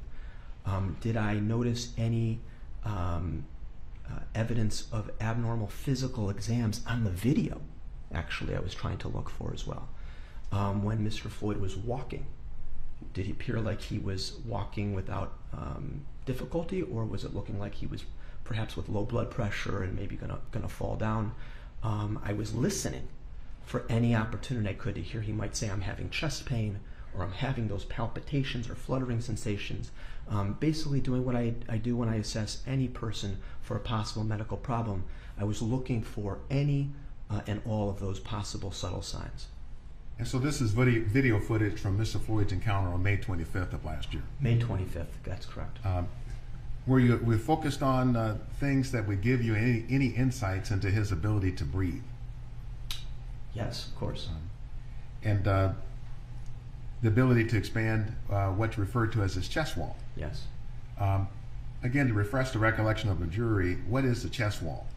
Yeah, so the chest wall, which I'm trying to sort of show you with my hands here, um, basically makes up the bones uh, and the muscles of the entire rib cage. Um, and it might have been explained um, previously uh, to you, um, but the, um, the chest wall and the muscles and how they interact, along with the diaphragm muscle inside, are the um, key structures that determine if someone is able to take in enough air and able to get enough out. Uh, so if there is, the, for example, the lungs can be working okay, but if the chest wall is diseased, if the muscles associated with the chest wall aren't able to contract and move and do their job, enough oxygen can't get in that way either. So, so doctor, in our uh, COVID world, um, do you make clinical assessments of your patients in your work life uh, by video? Yes, actually, that is um, that is one of the transformations that we have uh, needed to adapt to this past year. Um, we're getting back to now seeing most of our patients in person, uh, but during the course of this pandemic, uh, to minimize exposures, we've set a lot of the we've set up a lot of these tele video visits with patients and what I came to appreciate is that while there's no substitute to actually putting your hands on a patient. Uh, that's still preferable, in my opinion, to really examine them closely. Um, you can get a lot of information off of a video assessment, even physical examination, by looking at. I have them turn their neck to the side and I can see their neck veins, which is an indicator of pressures. I can see their legs to look if there's any indication of swelling, which might be congestive heart failure. Of course, I could just see the patient. I can see how they're breathing. I can hear how they're talking, if they seem breathless or short of breath. So we actually have uh, found out that we can do a lot via video um, assessments. Uh, were you able to then see Mr. Floyd uh, at the period of time after he was first approached by the police on May 25th, 2020? Yes. Um, what were your observations about Mr. Floyd from that initial encounter with the police? Um, so, from his initial encounter, um, um, remembering particularly when he was asked to get out of his car, um, he uh, appeared fearful, um, but was speaking, uh, I thought, clearly, um, answering questions appropriately. Didn't see any acute, what we would call acute distress. I saw no indicators at that time that he was uh, suffering from low oxygen, for example, or from any active medical problem. Um, and as I said, I was really trying to keep a close eye on some of the subtleties of his uh, appearance and, uh, and speech uh, and, and so forth. Were you able to observe at the point that he was being asked to get into the squad car? Yes, I was. Um, what were your observations with respect to that period of time? Yeah, so I watched him walk to the squad car, um, and then I um, was observing uh, intera- an interaction where they were asking him to get into the um, back seat of the car. Um, I heard him talking about how he was uh, claustrophobic. Um, um, there were times when he was being, I'm not sure if it was pushed into the car or how it was, and it had even made indicators at that time that he, he couldn't breathe. But all of my observations at that point were still that up until the point that he was kind of getting pushed or pulled through the car and ultimately onto the pavement, um, up until that point, I also saw no evidence that there was anything active going on um, from a cardiac standpoint. Um, and that was really important for me to, to conclude. And, and what sort of active thing uh, might you have been looking for related to the heart over that period of time? Yeah, so for example, let's say that he was having um, an arrhythmia, an abnormal heart rhythm, um, especially if it was originating from the heart. Oftentimes, what will happen is you'll have the heart rhythm that goes abnormal, and you'll go from being like totally fine, like hopefully we all are here today, to instantly dizzy or even passing out. I didn't see any indicators that that was happening. I didn't hear him complaining of dizziness or again, you know, fluttering of the, of the chest. Um, I couldn't see any swelling in his body. Again, I didn't want to take anything from grant for granted that even from the initial encounter up until that point, what if something developed from point A to point B? And so again, up until that point, I saw no indicators of low blood pressure uh, um, or anything else abnormal with the heart. Then, then turning then to the restraint on the ground that you were referring to, uh, what were your observations then as a cardiologist from your having viewed uh, Mr. Floyd's restraint on the ground by Mr. Chauvin? Sure. So, my observations were that he was um, um, restrained uh, in a life threatening manner. Um, specifically, my observations was that he was um, on the ground in the prone position, uh, handcuffed, hands behind the back, um, a knee on the back of his neck, a knee on the back of his upper torso or shoulder, uh, hands pushing his handcuffed hands further up into his chest. I observed um, a knee compressing his, uh, I thought it was his buttocks or upper thighs, uh, and then at various points, uh, his lower limbs, his lower extremities, uh, being uh, pinned down to the ground. so that my initial um, observation was what is the position first and foremost that he is being subjected to. And did you see at some point in you watching the video that Mr. Floyd uh, went into cardiopulmonary arrest? Eventually, yes, I did. Uh, do you know what Mr. Floyd's heart rhythm was uh, when he was taken from the scene? Well, so in the course of the restraint, um, I was looking to see if his deterioration occurred rapidly, like I was just talking about. For example, a primary cardiac event, the most common arrhythmia is what we call ventricular fibrillation, or VF for short, VFib. When that happens, the individual will look relatively okay, meaning they're alert, they're talking, and then they will immediately become unconscious. On the other hand, if the cause of the cardiopulmonary arrest was from something else, for example, low oxygen levels, you will typically see that deterioration happening much more gradually and slowly.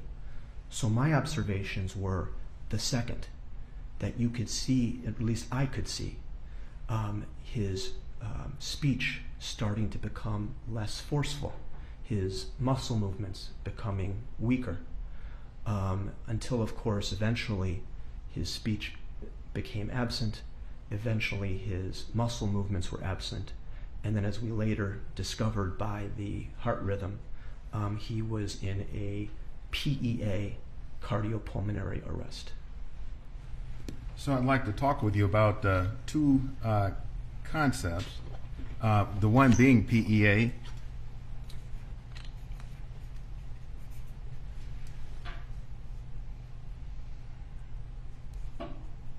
Which is pulseless electrical activity. And the other one being a, a thing called asystole. Alright.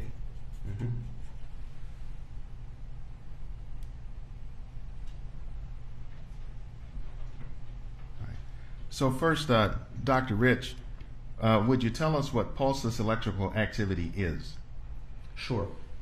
So, pulseless electrical activity, uh, or for short PEA, is a chaotic heart rhythm um, that you can see on the EKG or on the cardiac monitor, um, but there is an absence of a pulse. And so it doesn't meet criteria for this asystole that I think we'll talk about in a minute, or for ventricular fibrillation. Ventricular fibrillation, if I'll just use my fingers, is basically the heart rhythm looking like this. Okay, it's this little subtle fluttering, but basically nothing else going on.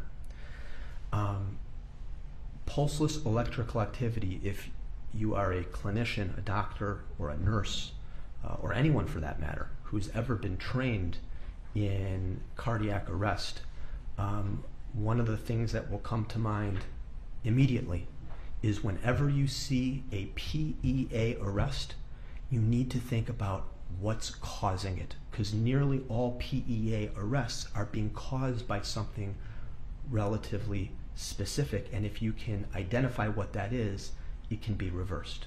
And what is the most common cause of PEA? So you might have heard of others talking about the H's and the T's. So one of those H's, the most common cause for a PEA, cardiopulmonary arrest, is hypoxia, uh, not enough oxygen levels, Low oxygen? low oxygen.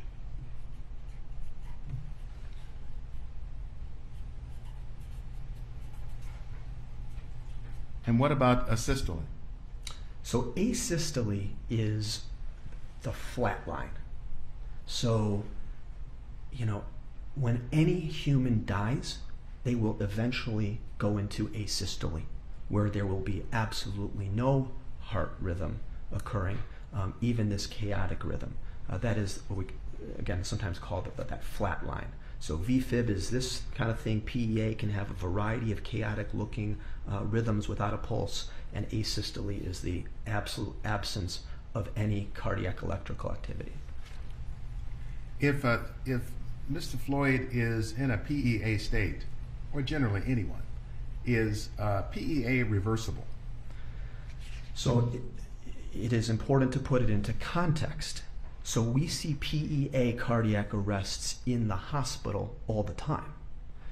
Um, whenever you see a PEA cardiac arrest, uh, you rush to it, of course, and you begin the protocol. And that protocol is the H's and the T's. And so you give oxygen if you don't think they have enough oxygen. I mean, that's the most critical thing to do. Uh, depending on the other H's, for example, hypovolemia or hemorrhage. If you think they're bleeding out from a trauma, you would rush and give them blood. And we're doing these things, of course, simultaneously because time is of the essence. So we resuscitate patients with cardiopulmonary arrest from PEA not infrequently. Unfortunately, PEA can also be a devastating cardiac arrest, and despite all of our best abilities, sometimes it's not reversible.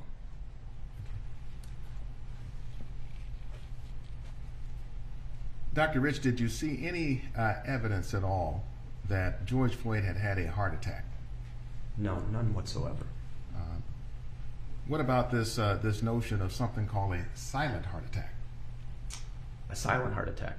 Well, so a silent heart attack, you know, um, a silent heart attack is sometimes referred if it looks like someone might have a, had a heart attack, but there were no clinical signs to suggest it. it. It's a relatively uncommon finding. It tends to happen in patients who have diabetes, because when you have diabetes, one of the problems with diabetes is um, you lose some sensation in the nerve endings. And so typically when you're having a heart attack, you'll see people clutch their chest. Oh my God, I'm having chest pressure, chest pain. Sometimes diabetics won't have that, and it's possible that they can have a silent heart attack. But there was no evidence that Mr. Floyd had any type of heart attack, a silent heart attack or a non silent heart attack. And so you talked about this a little bit uh, about uh, the uh, notion of a cardiac arrhythmia, uh, the fluttering of the heart. Uh, I think you referred to as either the VFs or the VTs, Yeah. ventricular fibrillation or ventricular tachycardia. Right.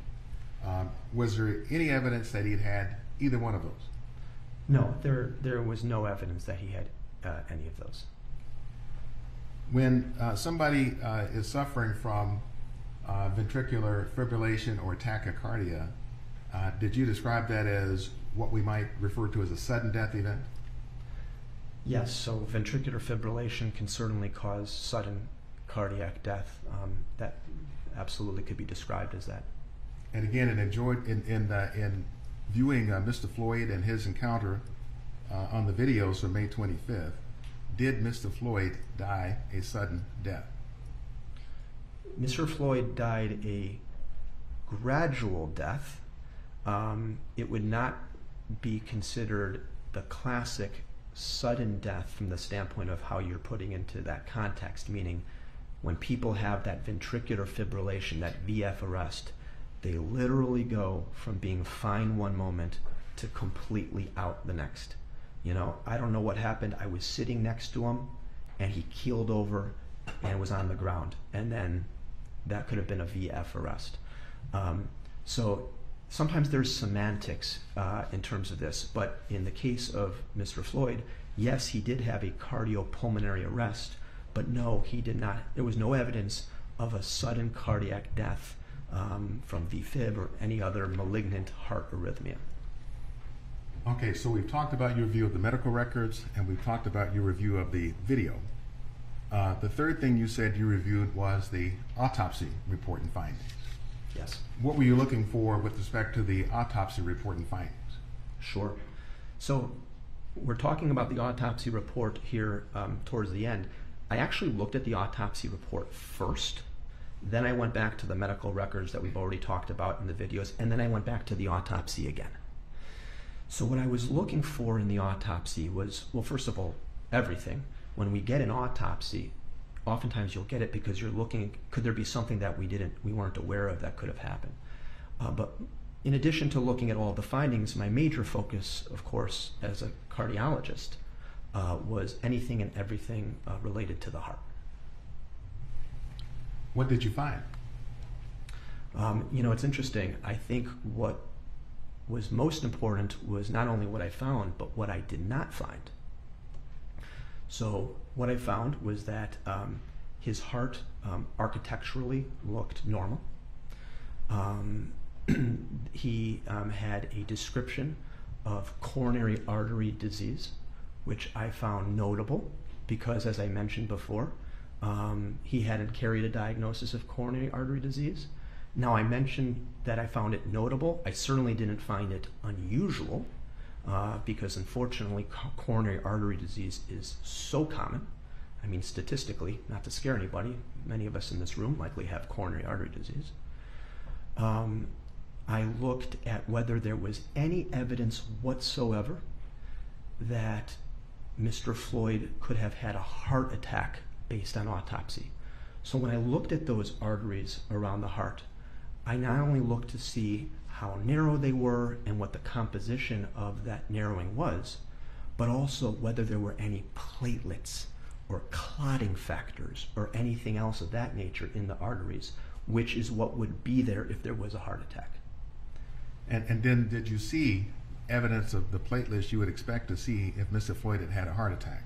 No, there were no description of any of the platelets or clotting factors or anything that would block off an artery. None of the arteries were totally, the word we'll often use is occluded, totally blocked off, which is what happens in a heart attack. Yeah, I want to ask you about some of your uh, specific findings in this regard, but, but first, uh, for the jury, would you just tell them whether you excluded coronary artery disease as a cause for Mr. Floyd's death? Yes, um, I have excluded that with a high degree of medical certainty. Uh, now, you talked about looking for evidence of platelets from the autopsy report and that you would expect it to have seen those if he uh, had died from a heart attack, and you didn't see them. Right. Uh, what else did you see? Well, so what I also saw was I looked at the heart muscle itself. So not only did the heart muscle itself not show any evidence of any injury at all, which you would see, like what if he, you mentioned the silent heart attack. What about a few years ago somehow he had a mini heart attack? You would see evidence of that on the, in the heart. You would see uh, scar tissue, etc. So not only did I not see any evidence of a heart attack, um, the pathologist did a very good job, in my opinion, actually, of describing what's called the endocardium. the endocardium is the innermost lining of the heart, and that is the most susceptible part of the heart to cardiac injury. Even the, the smallest of heart attacks will always originate on that endocardium, the inner lining. And the endocardium was not only described as normal, it was described as smooth and glistening, a completely normal finding, no evidence at all of even small microscopic injury. Were you able, by uh, your look, looking at the autopsy report on the heart, to tell whether there's any evidence as to whether Mr. Floyd had ever had a heart attack, even going back into the past? Yeah, no, no evidence whatsoever of a previous heart attack. Uh, doctor, what is ischemia? So ischemia is a um, reduction in blood flow um, to any organ of the body. Um, that could be the heart, it could be the kidney. Um, that can lead to um, um, in basically insufficient delivery of oxygen for a short period of time. and if ischemia continues to occur uh, for long enough, that can sometimes cause some irritability in that organ. But it's important to distinguish ischemia from uh, infarct. Infarct is actually what we mean when we say a heart attack. Uh, excuse me, a heart attack. When a marathon runner goes on a run, their muscles will get temporarily ischemic. When we lift muscles in the gym, and you know they talk about feeling the burn, that means you are feeling ischemia. You're feeling lactic acid buildup, and it's that's what ischemia is. Any evidence of ischemia? Not on the autopsy, no. Uh, let's talk about the uh, the blood vessels, the the arteries, and the uh, plaque uh, that was in the arteries. Uh, were you able then to eliminate the occlusions, the blockage in the arteries, as a contributing cause to Mr. Floyd's death? Yes, I'd like to um, clarify. I saw no occlusions, meaning I saw no complete blockages. There were narrowings. There were narrowings in more than one blood vessel. Um, importantly, the main coronary artery, it's called the left main coronary artery, um, there was no description of any narrowings or disease in the left main coronary artery. Why is that significant? Well, because that is the very first pathway that blood travels down to then branch off into the into multiple other arteries. And so, um, left main disease, as we sometimes call it in cardiology, um, is uh, among all of the vessels uh, probably the highest risk blood vessel uh, if it were to get blocked off. So how would you uh, characterize the, the nature of the uh, then plaque uh, within the artery? Was it uh, soft? Was it fractured? How would you characterize it? I would characterize it the way that the medical examiner characterized it. Um, um, I'm not an expert at characterizing um, plaque at a microscopic detail, but what I, I did appreciate was um, the description of what seemed to be not only relatively conventional looking um, artery narrowings, plaque buildup that we all will eventually get in our arteries, but also in one of the arteries, it was described that there was an element of calcium. And um, I only mention that because that also indicates that this coronary artery disease didn't just kind of develop right away. It was probably a slow, gradual buildup of the narrowings, and that actually is a very clinically relevant finding in the field of cardiology. Doctor, did you make any assessments around the size of Mr. Floyd's heart? Yes, I did. Would you tell the jury about that? Sure. So, um, when looking at the size of his heart, not just the size, but I, uh, the thickness of the heart, um, it was described as being mildly thick or mildly enlarged. Now, depending on which criteria you, you use, um, one criteria would agree with that, that it was mildly uh, thick or enlarged. Others would suggest that it was in the normal range. I do believe that it was likely mildly thick and mildly enlarged. It, it is an expected finding uh, in somebody that has high blood pressure. So even though there are some scoring systems that might say it wasn't even enlarged at all, in my view as a cardiologist, I do believe there was just the smallest uh, element of increased heart thickness. And as I mentioned before, that's important because that's exactly what the heart is supposed to do when there's high blood pressure. That is a normal response. The muscle's getting stronger, it's allowing the heart to work and work well. Now, if that goes on for, like I said before, 20 years, we can have problems. But early on, having a mildly thickened heart is not only a normal finding in someone with high blood pressure, it um, may actually be beneficial in the short term. Doctor, putting all this together, uh, did you see any evidence at all that the primary cause of Mr. Floyd's death originated in his heart? No, I did not.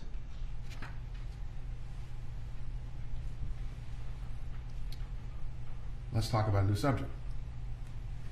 Uh, whether or not Mr. Floyd suffered from a drug overdose and died from a drug overdose. Okay. That was something that you also considered as a cause. Yes, sir. Um, were you or are you familiar with Mr. Floyd's toxicology results? Yes, I am. What uh, or which substances did you consider in evaluating uh, Mr. Floyd's toxicology history? Uh, when I looked at the uh, toxicology reports, I focused mostly on the finding of fentanyl as well as the finding of methamphetamines. What role, uh, if any, uh, do you feel that the fentanyl played um, in the cause of Mr. Floyd's death? As far as I can tell from reviewing all of the facts of the case, I see no evidence at all to suggest that a fentanyl overdose caused Mr. Floyd's death. As a as cardiologist, uh, do you occasionally have to care for patients who struggle with opioids or opioid addiction? Absolutely. Um, so here you, you found that the fentanyl, uh, in your opinion, played no role in Mr. Floyd's death. Uh, would you tell us why it is you hold that opinion? How do you reach that conclusion? Well, I think I would break it down to just two major uh, reasonings. Number one, um, it appeared to me that uh, Mr. Floyd, who was an acknowledged um, frequent chronic user of substances, particularly opiates, um, likely developed a high degree of tolerance. Um, there's even one emergency room visit that I had reviewed where he came in and he told the emergency room team that you know he was tearful and says I'm having trouble with substance abuse. I just took, I think he said I took eight Percocets within two hours. Um, he had no side effects from that at all. They observed him for a couple hours and they discharged him. Um, and just so looking through it, looked like he had built up a high tolerance just in general to opiates. Uh, but the second, and just as important, maybe more important, was I didn't see any of the signs of an opiate overdose um, when I reviewed uh, the, the videos. And, and when you then are referring to the signs of an opiate overdose, uh, would you tell the jurors or describe for them what are those signs and what didn't you see? Sure. So, in my experience in the intensive care unit, taking care of patients who come in with an opiate overdose, um, first of all, they are usually extremely lethargic, oftentimes uh, nearly unarousable. And then you try to wake them up and they're falling right back asleep. They're not talking to you. If they are talking to you, they're often having slurred speech. Um, uh, they, um, if they're standing up, which they wouldn't be if they had a fentanyl intoxication and overdose, um, they would have to imagine get pretty dizzy pretty quickly. Um, I kind of saw all the opposite with Mr. Floyd. I saw that he was alert, um, he was awake, uh, he was conversant, he was walking, um, and yet, according to the toxicology report, he had this degree of fentanyl in his system. So, just looking at the clinical uh, story, I didn't see any um, signs or symptoms of fentanyl overdose. Let's turn to methamphetamine then. Uh, what role do you feel that methamphetamine, methamphetamine played uh, in Mr. Floyd's cause of death? I I feel it played no substantive role at all. And why is that? Well, th- th- all considering it was very uh, relatively low level of methamphetamine um, in his system. And so when you look at the context of the case and you see a relatively low level of methamphetamine in the context of everything else, um, I felt very confident that that low degree of methamphetamine was not what was triggering this profound cardiopulmonary arrest and ultimately PEA um, arrest. So, Dr. Rich, then, taking into account um, all of the evidence that you reviewed, uh, do you have an opinion to a reasonable degree of medical certainty as to whether Mr. Floyd's death was preventable? Uh, yes, I do. Would you tell us what that opinion is? Yes, I believe that Mr. George Floyd's death was absolutely preventable. Were there uh, critical points in time during during his subdual and restraint on the ground uh, when you feel measures could have or should have been taken that would have preserved his life? Uh, yes, I do. I think there were several junctures actually. Would you tell us about those? Sure.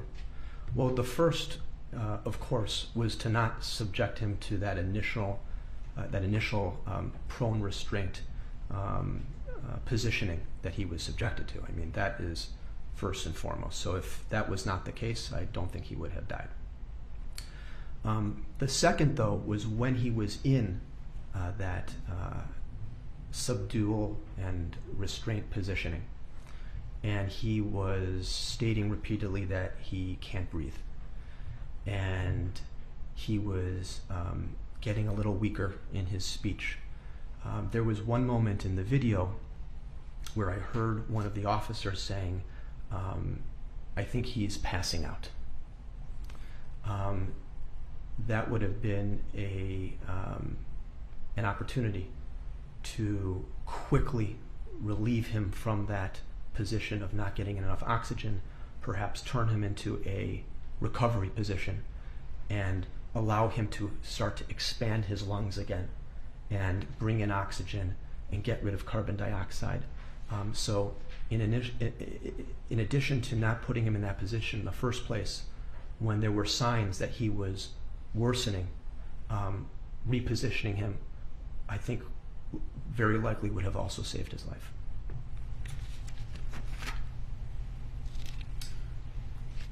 Was there a point in time, uh, Dr. Rich, uh, when uh, Mr. Floyd was checked for a pulse when he was in the subdual and the restraint of uh, Mr. Chauvin? Yes, yes, there was. At the time that uh, he was checked for a pulse and he no longer had one, uh, in your opinion as a cardiologist, was there anything Mr. Chauvin could have done at that point in time that would likely have saved Mr. Floyd's life? Well, at the time that uh, Mr. Floyd is uh, determined to have not had a pulse, uh, what is your opinion, to a reasonable degree of medical certainty, as to what Mr. Chauvin may have done that would have potentially saved his life? Overruled. You can give an opinion. Well, just prior to that point, um, I heard one of the officers actually ask, uh, actually on two occasions, um, if Mr. Floyd should be turned on to his side. Uh, and the response was, no, just leave him. And once the officer announced that he did not have a pulse uh, anymore, I think he actually said he does not have one, was the exact words. At that point, the immediate response would then be to not only relieve him of the restraint, but at that point, now you've got to start CPR. You've got to start immediate chest compressions because we know that if you can get to a patient right away, even when they've lost their pulse, even when they've gone into a cardiopulmonary arrest, there is a significant opportunity to save a life. But for every minute that transpires that you are not performing the basic life support and CPR measures, the literature would suggest an approximately 10 to 15% less chance of survival. It is why we pour so many resources these days into a community education and training for bystander CPR because it's so effective and it works if the person can be tended to quickly enough. Then, from your review of the, the, the video, where you could see Mr. Floyd and Mr. Chauvin there on the ground, uh, if, if Mr. Chauvin knew CPR, uh, did you see any reason from your observation that he could not have supplied CPR? Not within the opinion, uh, medical opinion, so that is sustained. I'm sorry, Your Honor. Sustained. Um, all right. It's not a medical opinion, counsel.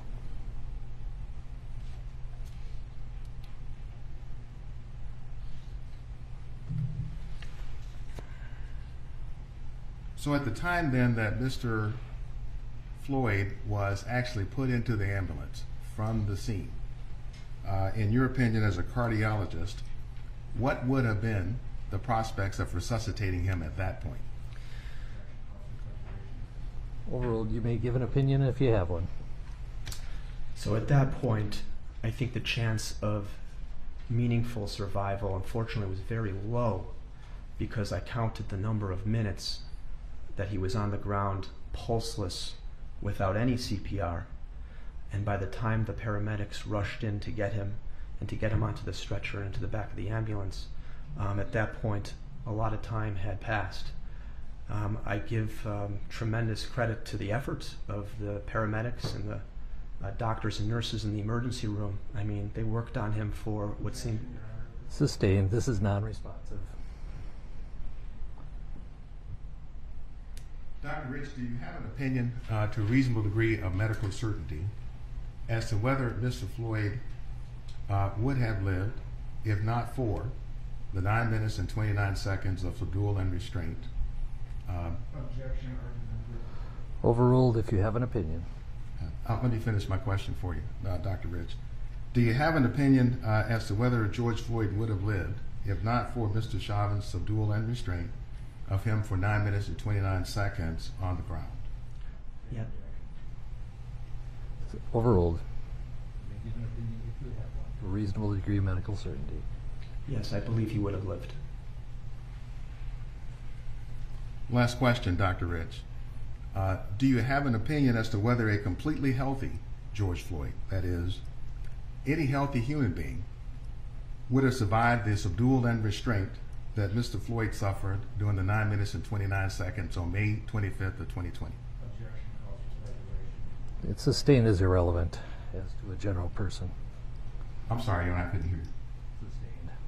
Uh, my question for you, Dr. Rich, is would any person, a healthy person, have survived the circumstances or conditions that George Floyd underwent during the 9 minutes and 29 seconds on May 25th of last year? Same objection. Sustained. No further questions, Dr. Rich. Members of the jury, let's take our 20-minute mid-morning recess. Uh, let's come back at 11:25. Thank you.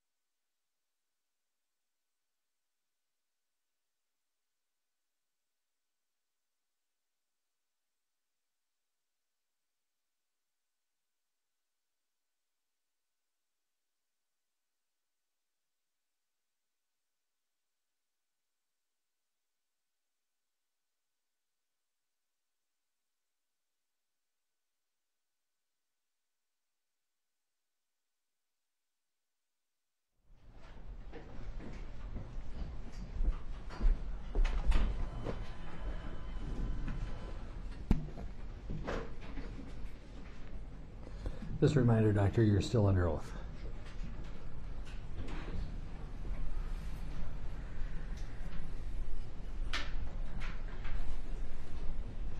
Morning, Doctor. Good morning.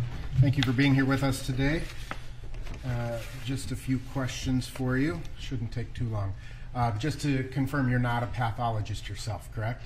I'm a cardiologist. The vast majority of the patients that you treat are in a clinical, clinical setting, correct? Correct. Meaning they're alive generally when they see you? Yeah. All right. Um, Can we agree that it is a, a pretty common occurrence um, that people die who have uh, arteries that are 90% blocked? No, sir. Well, everyone dies eventually, but not from the 90% blockage. People die every day who have a 90% blockage. People die every day from heart attacks. Well, there's a difference between a heart attack and heart failure, right? Heart attack and heart failure, you are correct, are completely different uh, terms. Okay. So, um, people who have a 90% blockage may have a cardiac event and may die. As a hypothetical, Yes. hypothetically, there are undoubtedly people who have died from coronary events with 90% blockages or without blockages. Okay. And people uh, may not experience pain, right, as a result of a, an arrhythmia? Correct.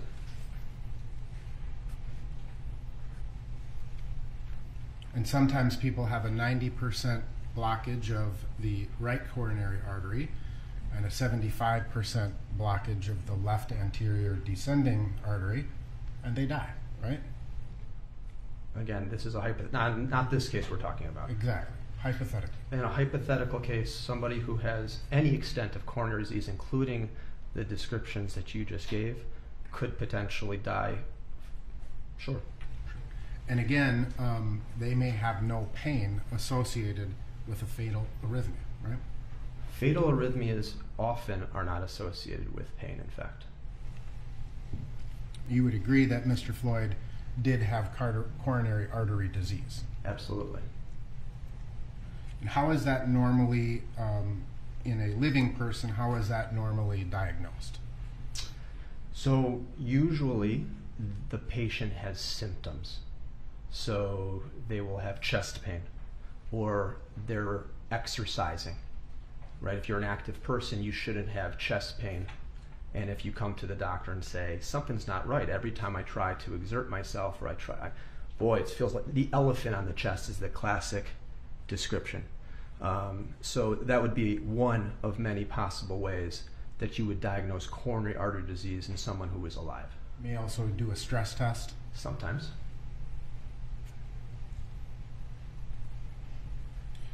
A blocked right coronary artery that can contribute to a fatal arrhythmia. Any um, anyone can have a fatal arrhythmia with or without coronary artery disease. And so, if a blood vessel is blocked and blood is not getting through that vessel, what happens? Well, it depends, but I'd like to answer that for you. So, in the case of Mr. Floyd, what has most likely happened, based on our understanding of coronary physiology, is precisely because he had a narrowing of up to 90% and it had calcium in it. We know that that developed gradually. And the heart is fascinating in what it does. It develops what's called coronary collaterals, which means the body makes additional blood vessels so that if there's one artery that's narrow, it recruits and builds many more blood vessels to supply blood to the heart. It's actually why you are more likely to die from a heart attack if you started with a lesser narrowed artery and it, the plaque ruptured and blocked the vessel than if you started with a more severe narrowing because of all these unbelievable coronary collaterals and adaptive responses that the heart does when that happens. What is a safe dose of methamphetamine? Prescribed? Illicit. I would never consider any illicit drug to be off the street that's not prescribed by a physician to be safe. And methamphetamine is a vasoconstrictor, correct? It often can act as a vasoconstrictor. That means it constricts the blood vessels more, correct? Yeah, that's what, correct, that's what vasoconstriction means, narrows them down more.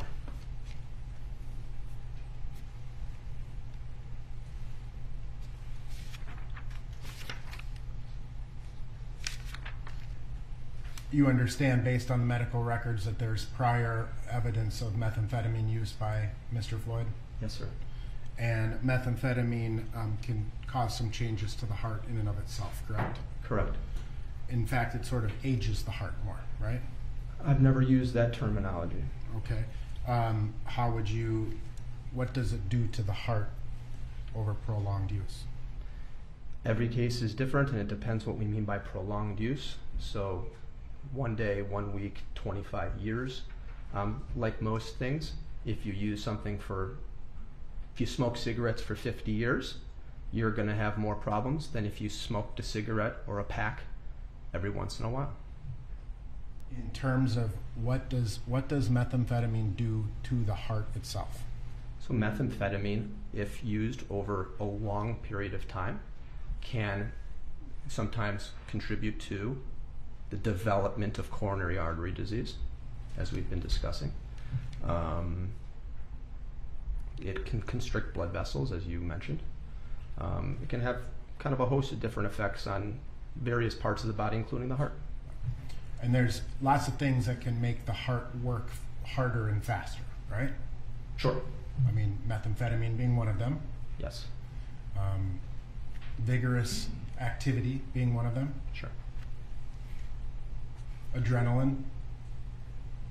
Yeah, I mean, we all right now have a lot of adrenaline flowing through our system. Adrenaline is needed for life, for sure. Increases in adrenaline can cause the heart to, to work hard, harder and faster. Um, yeah, I mean, so adrenaline, which is the lay term for catecholamines, um, that's the purpose of adrenaline, is to get it to pump more blood.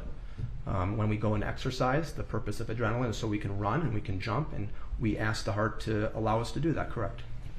And um, have you, in your practice, worked with someone who has a paraganglioma? Um, I have had a couple of patients who've had what we call phe- pheochromocytomas, which is a type of paraganglioma, yes. In the in the hip area, generally. No, generally it's actually uh, near the adrenal gland, um, which is sort of just near the kidneys. Um, but these paragangliomas can sometimes pop up in different places. And how are they typically identified? Well, so it depends. If it was clinically pertinent, um, that's how I diagnosed the ones that I've had. Um, the classic findings are the person who's saying, I'm always having headaches. What is with these headaches? I'm always sweating. Why am I always sweating? Um, and you start to say, huh, I wonder if something is releasing um, a hormone that can be contributing to that. Um, other times, like in my opinion, the case here with Mr. Floyd, you'll pick them up incidentally, uh, say at, at an autopsy. Uh, they're also often identified because a person it, it contributes to high blood pressure. It can, that is right. You uh, have agreed that you've reviewed the medical records of Mr. Floyd, correct? Correct. And he has a pretty significant history of extremely elevated blood pressures, right? Yes. I think uh, the one you referenced that the top number was over 200 Yeah. On, on, on more than one occasion. on more than one occasion. And the lower number of the blood pressure was likewise elevated, right? Yes.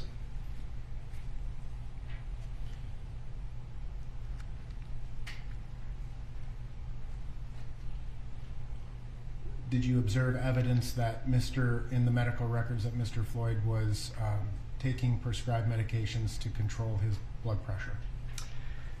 I saw in the records during an emergency room visit that he was prescribed high blood pressure medication. What I could not see is whether he was taking them or not, but it did look like at one point there was um, a prescription given to him. I think one of them was for amlodipine, which is a calcium channel blocker, and one of them was for um, uh, think either hydrochlorothiazide or chlorthalidone. And you'd agree that the records that you had for Mr. Floyd were relatively limited, agreed? I mean, they don't, they weren't his entire life medical records. Uh, I don't know when he started to see medical professionals. So, I don't, for all I know, the first instance in the records that I saw was the first time he started to see um, medical professionals. I'm not sure. So how many years of past medical records did you review? I believe three or so. I think the beginning of 2018 is when I think they started.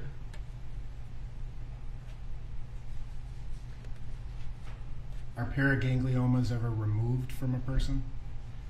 Um, paragangliomas, if they are causing those symptoms that I mentioned, the pulsatile headaches, the sweating, etc., uh, a surgeon uh, would sometimes remove them.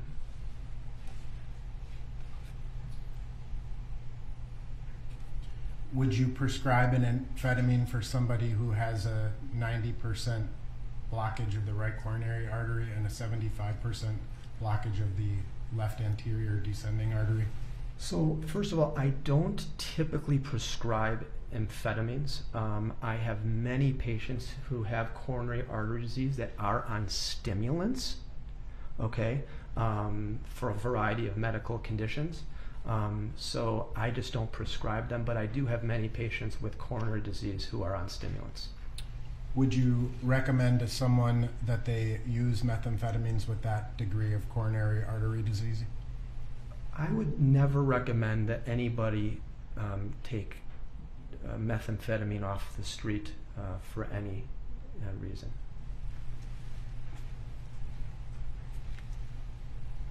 you aware of the research showing um, that deaths uh, where both methamphetamine and fentanyl are found, it occurs at a much higher incidence? Can you repeat that question, please? Sure. Are you aware that the research has demonstrated that deaths of those who are use methamphetamine and fentanyl have been notably higher than met, methamphetamine, excuse me, meth or fentanyl alone? The Objection. combination. Objection, Your Honor, for lack of foundation, uh, assuming facts. Uh, as to assuming facts, that is overruled. Is assuming, uh, is it the scope of his foundation? Since the state did ask him for toxicology opinions. Sure, but the reference to medical articles, uh, none of which anyone has seen, is simply counsel's reference, Your Honor. Overruled. You may answer if you know. Okay. Um, I, I am not um, familiar with the breadth of the literature uh, looking at all of the different combination of drugs and which combination worsens or improves survival. You testified um, that Mr. Floyd, uh, based on your review of the video, did start complaining of shortness of breath prior to being placed in the prone complaint, prone, prone position, right? Yes, I heard uh, on more than one occasion he, he, he say the words, uh, I can't breathe. And if um, Mr. Floyd had simply gotten in the back seat of the squad car, do you think that he would have survived? Objection, Your Honor. It's not calling for medical testimony. You may give it a me- if you have a medical opinion as to that. Overruled to that extent. So, had he not been restrained in the way in which he was, I think he would have survived that day. I think he would have gone home or wherever he was going to go had he not been subjected to the prone and positional restraint that he was. So, in other words, if he had gotten in the squad car, he'd be alive. Um, I think my answer remains the same. Anything other than that scenario that he was subjected to, I have no reason to think from a medical perspective that he would not have survived that day, correct? And in terms of the prone position, you would agree that the prone position is not, in and of itself, inherently dangerous. In an ordinary individual, if we were to take away everything else that was going on and we and someone was just simply lying in their in the prone position, while there are many patients who that would be inherently dangerous, the average individual, I would agree with you, probably just lying flat in that situation generally wouldn't be dangerous. Even in the ICU, there are circumstances where people have serious medical conditions where they're maintained in the prone position. Agreed? In the ICU, when patients are put into the prone position, it is when it is a desperate attempt to save someone's life where their lungs have actually developed what we call acute respiratory distress syndrome or ARDS. They have a ventilator in to make sure that the amount of air that they get, no matter their positioning, will always be enough. And so it's a funny thing to think about putting someone in the prone positioning in the ICU on a respirator, but because of respiratory physiology, sometimes that will actually help open up certain segments of the lungs that are needed for oxygenation. But it's really important to keep in mind that they are on a respirator every single time to open up those lung airways, and they're usually on sedation as well to keep them comfortable. And my last question, doctor, is after someone someone's heart stops, is it possible that they continue to respire?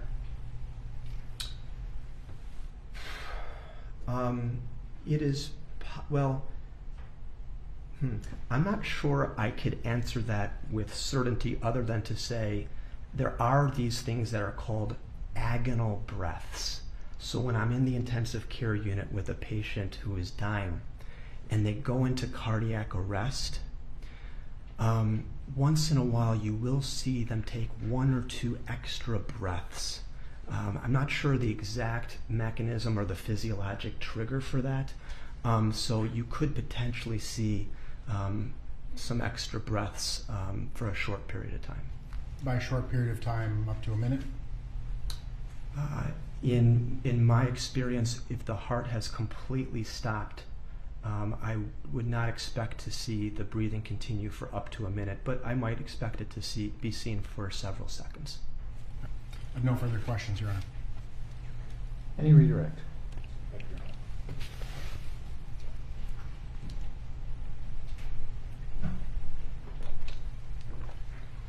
Dr. Rich, uh, you were asked uh, several questions that, uh, that had to do, or at least had as a premise, the blockage of Mr. Floyd's arteries. Is blockage a proper medical term to you as a cardiologist to describe the narrowing in Mr. Floyd's arteries? So when we try to use terminology that is not medical terminology, right, to explain these phenomena, um, the term blockage um, I tend to use when the blood vessel is completely blocked. It, it- there's a blockage. Um, I will usually describe if I have a patient like Mr. Floyd um, who has coronary artery disease like this, I will usually use the term narrowings because the blood is still getting through. In fact, the blood may be getting through just fine. Um, there is no level of narrowing, in fact. Even a totally blocked artery, this is what's fascinating, that develops over time, the territory of blood that that blood vessel was supposed to supply can still be getting enough blood because of those collateral vessels that develop. So I would use the term with Mr. Floyd as narrowings. You were asked questions again about paragangliomas. Uh, and uh, I think you told us that those are usually uh, preceded by headaches of some kind. Classically correct. One of the symptoms is headaches. Yes, that is right. Uh, Again, did you hear amongst the various complaints Mr. Floyd may have had about pain, did you hear any of them being a headache? No, in fact, when I saw that there was a paraganglioma described as an incidental finding in the autopsy report, I actually, when I went to the medical records, I used that Control F button to put in headache and make sure that I never found headache, in addition to scrolling through all the records. I didn't find headaches at any point. Uh, when you referenced para- paraganglioma being an incidental finding on the autopsy, uh, would you tell the jury what's meant by incidental? Ah, sure. So all of us have things in our bodies that aren't causing any medical problems, um, but if they're discovered, let's say someone gets a CAT scan for one reason, they might find that there's a cyst on the kidney or the liver. Sometimes we'll even pick up uh, benign tumors. So we refer to those as incidental findings. It, in fact, in the case of uh, paraganglioma, The name we would actually call it is an incidentaloma um, because we don't think it has clinical relevance, but it was found and described in the imaging, or in this case, the autopsy. Are, you familiar with any of the data as to how many people in the United States have ever died as a paraganglioma as the principal primary reason for death? To be honest, I don't know the exact numbers. I just know that they are very low.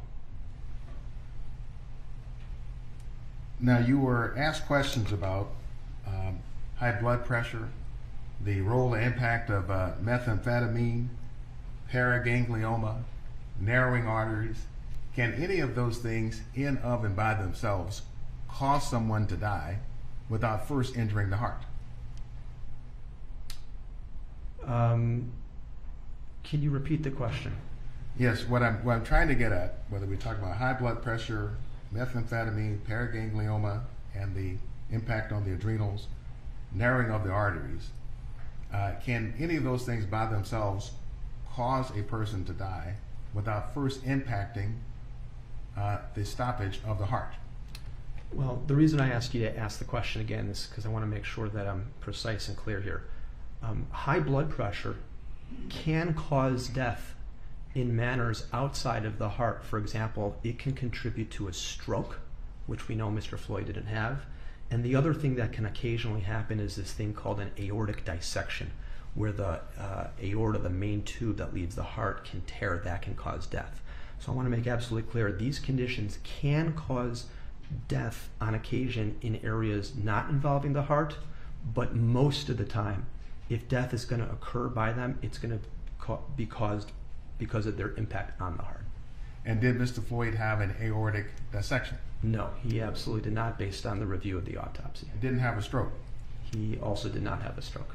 So again, just to be clear for the jury, with all the discussion about the narrowing of arteries, meth, etc., uh, was there any damage at all observed to Mr. Floyd's heart muscle? Based on my review of all of the evidence, the EKGs, the autopsy report, I found absolutely no evidence at all of heart damage in Mr. Floyd's heart. Thank you, Dr. Rich. Any recross?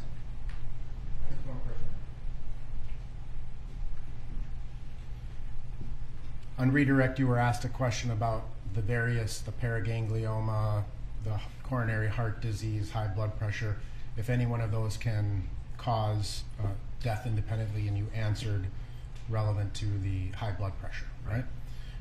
But you would agree that when you combine a lot of fact, you would agree that the body is, a lot of things are happening at the same time, right? Yeah.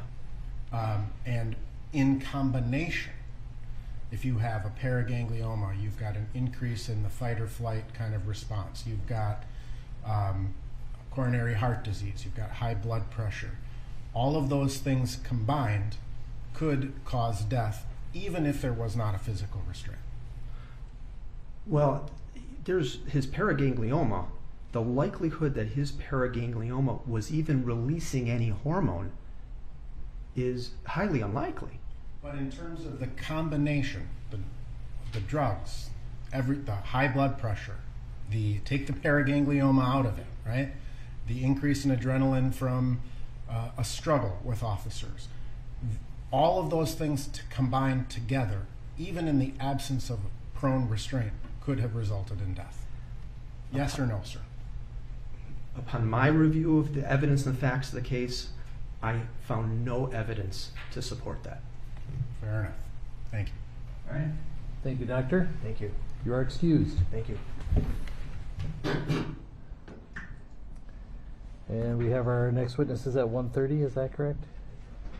All right, we have two witnesses for this afternoon, uh, members of the jury, and uh, counsel and I have to finish up some legal issues at 1, so we're going to break until 1:30. Have a good lunch.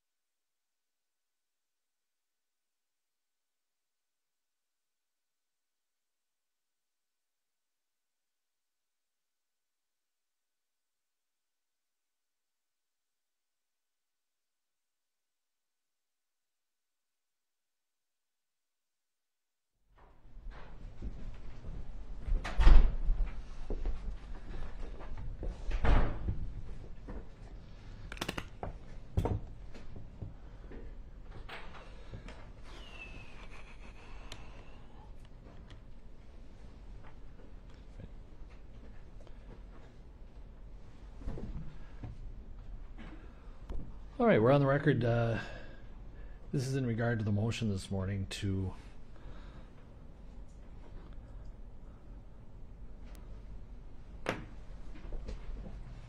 either allow or deny admission of Mr. Hall's question and answer statement given on an earlier occasion. I've had a chance to review the transcript of that as well as case law. First of all, denying the defense motion to have the prosecution give an offer of proof or an explanation for why they are not uh, granting immunity. I think even as the super case cited by the defense notes, immunity, the grant of immunity is strictly an executive branch function. It's not really subject to judicial review. And so regardless of what the state's reason was for refusing to give immunity to Mr. Hall, it's not reviewable by this court. So the request that the state provide a reason for uh, not granting use immunity is denied. With regard to the statement given by Mr. Hall, and this assumes that he is not going to be answering any questions even if I order him to do so. I'm going to find that none of the statements in the question and answer statement are admissible. Uh, first of all, in Johnson versus Fabian, that noted the basic standard for a Fifth Amendment claim and how broad it is, and it tends to be much broader than 804b3. Under the Fifth Amendment, uh, answers that would in them- themselves support a conviction or that would furnish a link in the chain of evidence needed to prosecute the claimant are incriminating for purposes of the privilege. And in fact, in discussing that, that was from Johnson versus Fabian, which is 735 Northwest 2nd, 295, which was cited by the state. They also note that the privilege allows an individual to refuse to answer official questions put to him in any other proceeding, civil or criminal, formal or informal, where the answers might incriminate him in future criminal proceedings. That standard is obviously uh, fairly broad. And so, if it might incriminate the defendant or provide a link to other evidence that might incriminate, the invocation of the Fifth Amendment privilege is appropriate.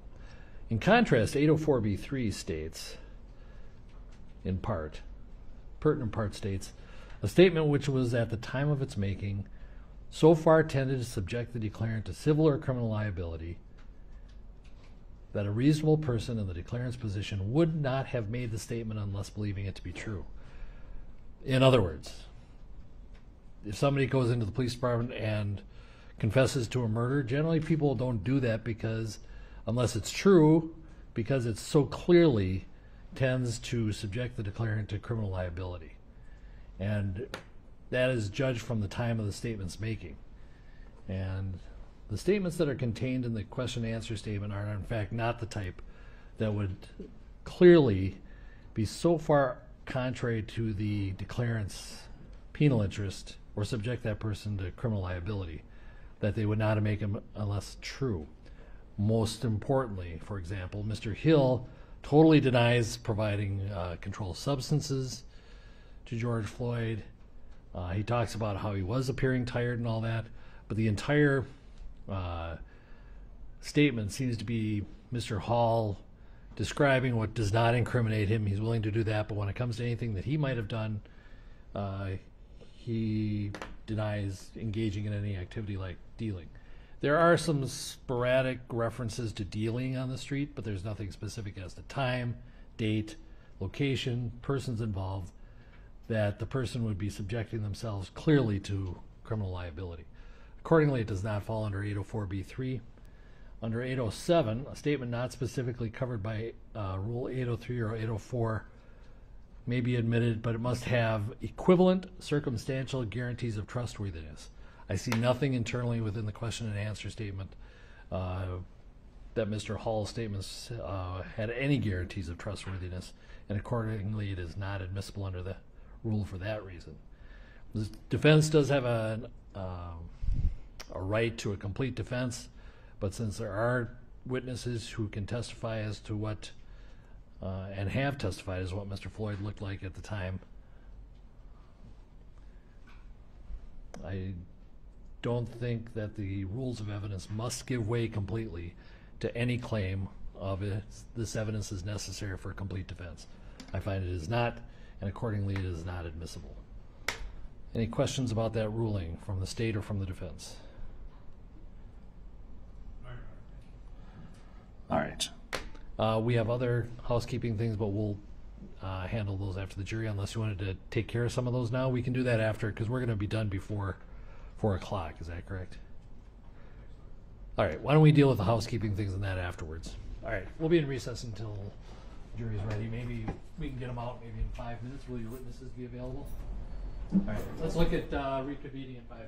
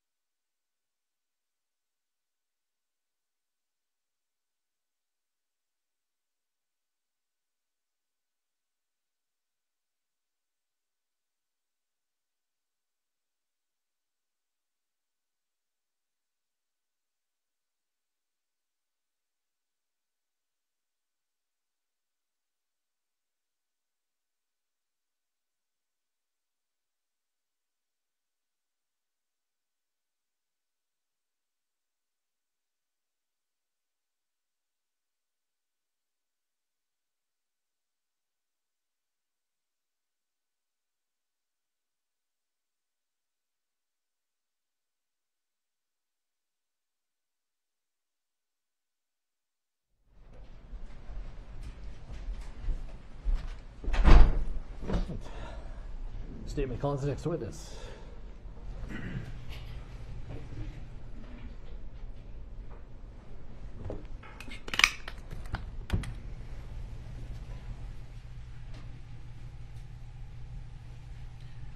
Thank you, Your Honor. The state calls Philonise Floyd.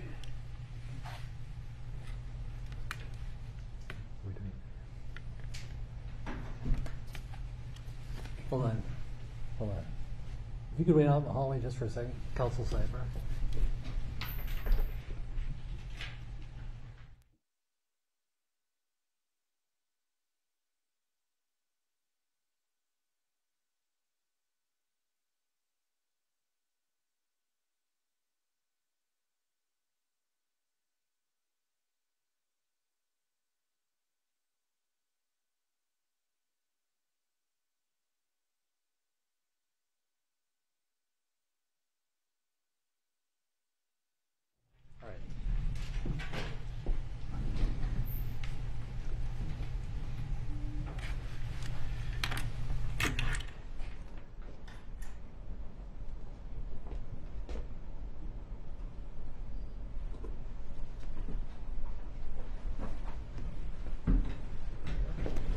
Please. Do you swear or affirm under penalty of perjury that the testimony you're about to give will be the truth and nothing but the truth?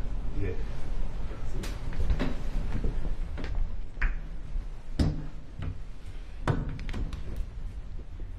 And sir, if you would feel comfortable doing so, if you could remove your mask, that'd be great.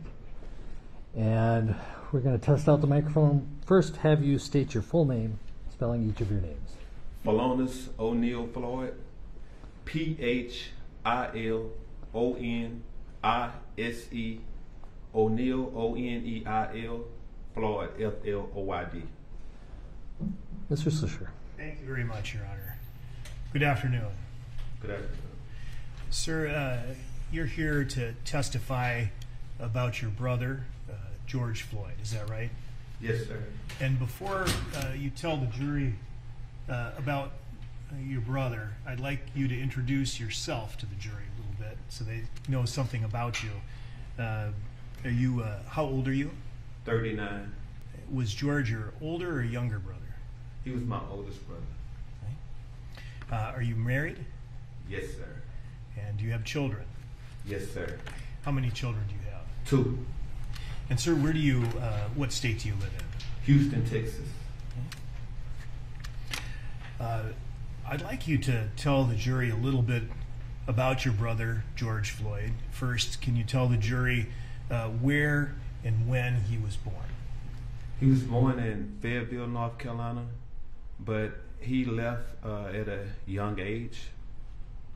Um, he we um, moved like uh, to Houston, Texas, and um, I have two other sisters that are older than us. It's Zsa Zsa Floyd, LaTonya Floyd, then became George Floyd, and I'm next Philonise Floyd, and my other brother Rodney Floyd, who's my mom's baby boy. All right. And uh, was he born on October 14, 1973? Yes, sir. And you said that he, uh, the family left uh, Fayetteville uh, shortly after he was born. Is that right? Yes, sir. And you all grew up in Houston together. We all grew up in Houston. Uh, who were George's parents? Uh, Larcenia Floyd, Larcenia Jones Floyd, and his father was George Perry Floyd Sr. Right. And did Larcenia, is that your mother? That's my mother, but uh, they called her Miss Sissy. Miss Sissy. Yes, sir. Who called her Miss Sissy? Uh, everybody called her Miss Sissy. Uh, we just called her mom, uh, but everybody around the neighborhood called her Miss Sissy. Any anybody that knew her called her that, and that was that. They had to be like 50 years of age, but everybody younger than that called her mom. That was George's age. Everybody called her mom because she was a mom to so many people in the community. What community uh, was that? That was in Third Ward, and I grew up in the Cuney Home Housing Authority projects. Uh, it was low income poverty, so uh, we stayed with each other all the time. Me and me and George, we grew up together playing video games a lot. Uh, his favorite game was on Nintendo. We played Double Dribble, and we played Tecmo Bowl. and I finally beat him in a game, and I was just so happy just thinking about about that. And he reset the game and would say, "Come on, let's play again," and I'd be like, "No, I gotta go do our chores now. Let me do my chores." But George also he used to make the best banana mayonnaise sandwiches and he used to make syrup sandwiches because George couldn't cook, he couldn't boil water. So, and also if you well, if you all were there in our house, you'll see George had lines on the wall because he will always measure with his height, trying to see how tall he is because he wanted to be taller all the time because he loved sports. So he always wanted to be the best. And I'm going to interrupt you for a, for a moment. I appreciate you sharing that with us. Uh, I'd like to show the witness uh, what's been marked for identification as Exhibit 284. Uh, do you recognize uh, the picture in 284? yes, sir. Is that a picture of your mother and George when he was younger? Yes, sir. I'm going to offer Exhibit 284. Any objection? Two eighty-four is received. Permission to publish. Sir, would you please describe uh, this photo and what you know about it? That's that's my mother. She's no longer with us right now, but that's that's my oldest brother, George. And I miss both of them. They are. I was married. In May twenty fourth, I got married, and my brother was killed May twenty fifth, and my mom died on May thirtieth. It's like a, a bittersweet month because I'm supposed to be happy when that month comes. Sir, I'm going to uh, ask you some questions about uh, your mom's passing a little bit. If you need a moment, I take a minute and just let me know when you're ready.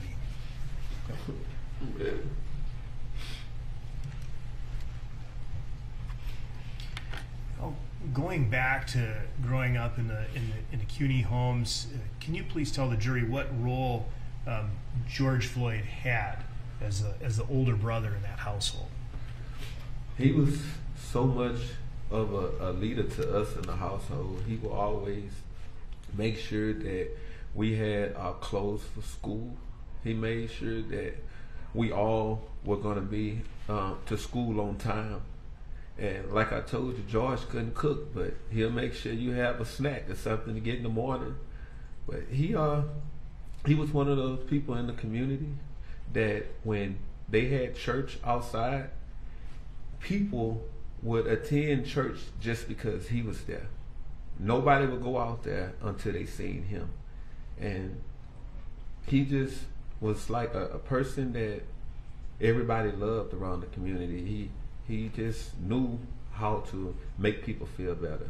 And sir, you indicated, uh, well, first you aware of where uh, George Floyd went to school. He went to school at uh, Blackshear Elementary, and from Blackshear it was Ryan Middle School, and from Ryan it was Jack Yates High School, where he excelled in sports and basketball and football. He was he had uh, received a scholarship to attend South Florida College, and from there he played basketball there, and he transferred to Texas A&M Kingsville, where he played football. Now, uh, I'd like to show the witness uh, Exhibit 285 for identification. Sir, do you recognize what's shown in Exhibit 285? Yes, sir. Is that a picture of your brother when he was at the Jack Yates High School in Houston? Yes, sir. Offer Exhibit 285 Any objection? Two eighty-five is received. and permission to publish. Approximately how old uh, would George Floyd have been when this picture was taken? It's like it looked like like 18 or 17 at that time. And you talked about um, uh, basketball and playing basketball. Uh, if I can show Exhibit 287 to the witness. 87, 287. Thank you. All right, showing you what's been marked for identification as Exhibit 287. Uh, do you recognize this photo? Yes, sir. Is there a picture of your brother in this photo? Yeah, uh, he's number five, uh, South Florida, all the way in the left-hand corner. All right, I'm going to offer Exhibit 287 Any objection? Two eighty-seven is received. and permission to publish. All right, you indicated that your brother was number five. On the, is that on the far Yes, left? yes, sir. And uh, w- w- South Florida uh, was at a community college. South Florida was a community college. Um, I'm, I'm looking at it. I noticed a whole bunch of the ball players because I met a lot of them coming up. Did, uh, did George Floyd uh, maintain uh, his uh, level of fitness and love of basketball throughout his life? Yes, sir. He he loved the workout. He loved playing basketball. Um, people, he loved teaching people the game of basketball. Uh, that's to me where I really learned how to play from him because he guided a lot of guys on the court and showed them what they need to do hmm to be better. And when he would talk about playing basketball, would he use any particular term or phrase? Oh, he um, said, "Hey, man, let's go hooping," and we will always say, "Come on, let's go." Um, we always went hooping, and um, you have to you have to hoop every day because if you don't go and shoot a whole bunch of shots, like fifty to hundred shots a day, um, my brother will always say you'll never be able to compete. Hooping was big because Magic, you had to watch the stars. We watched Michael, we watched Magic, we watched everybody hoop every day. And uh, if you could take that down, you indicated that um, George Floyd was also interested in, in football or had a passion for football. Is that right? Yes, sir. Would he play catch with you? He would play catch with us. It's funny how I always thought that my brother couldn't throw, but he never intended to throw the ball to me. He will always throw it at an angle where I have to go chase it and jump for it or dive for it. And I came up to him one day. I said, "Man," I said, "I see why you play tight end and stuff because you can't throw it all." And he was like, "I don't want to throw the ball to you because if I throw it to you, you'll never understand. You have to go get the ball."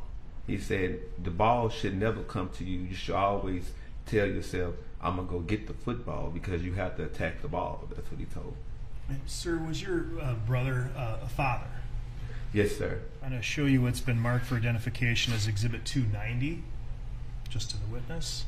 Uh, do you recognize what's shown in Exhibit 290? Yes, sir. Is that a picture of your brother with his daughter? Yes, sir. Offer Exhibit 290 Any objection? Two ninety is received. and permission to publish. Uh, and what's uh, his daughter's name? Gianna, And how old is she now? seven.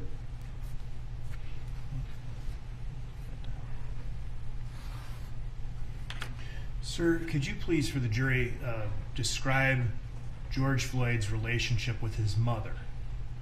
Oh, it was it was one of a kind. Um, George, he would always be up on our mom. He was a big mama's boy. Um, I cry a lot, but George, he loved his mom. He will always just be up on her, and you know every mother loves all of her kids, but it was so unique how they were with each other. He would lay just lay up on her in the fetus position like he was still in a womb. Um, I would see him every day, and I'd say, period. I'd say period because we called him Perry instead of George. And he would always say, hold on, let me kiss mama before I come over there.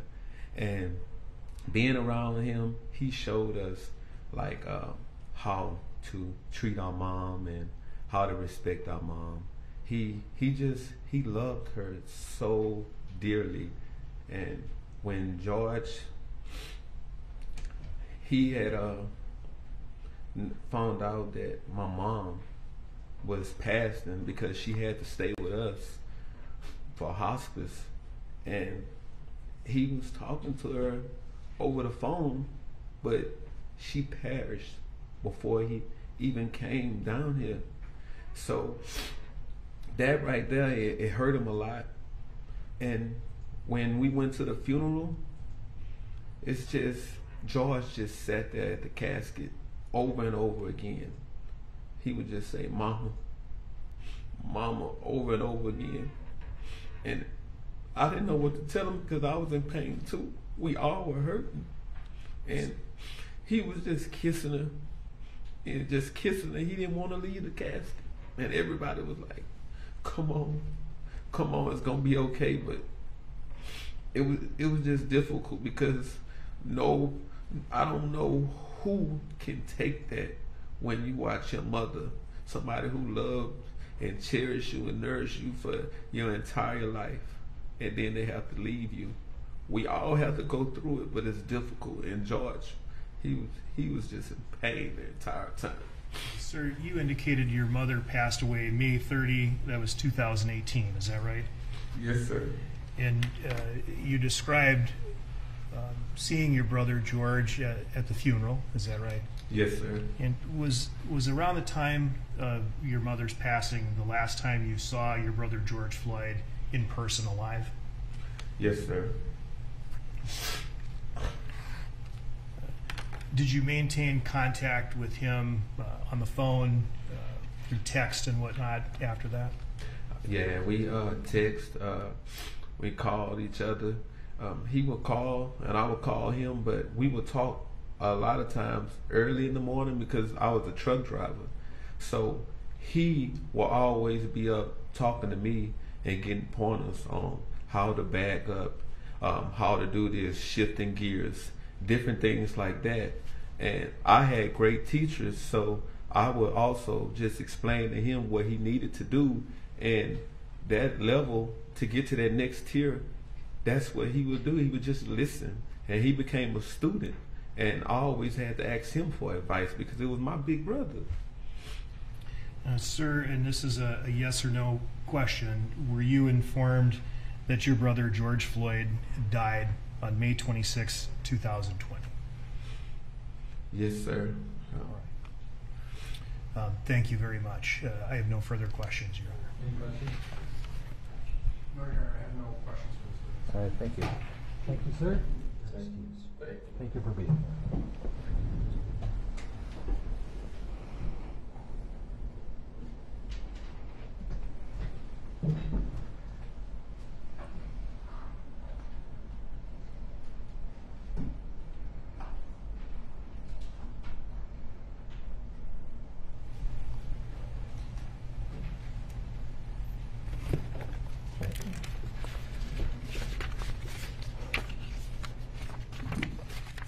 And the next witness, please.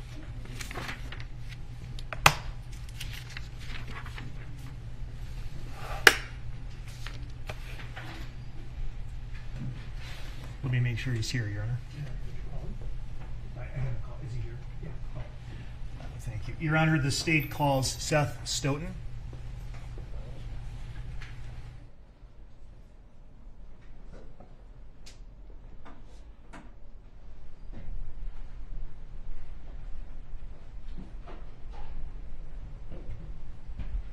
Raise your right hand, please. Do you swear or affirm under penalty of perjury that the testimony you're about to give will be the truth and nothing but the truth? I do. Proceed, please. Thank you.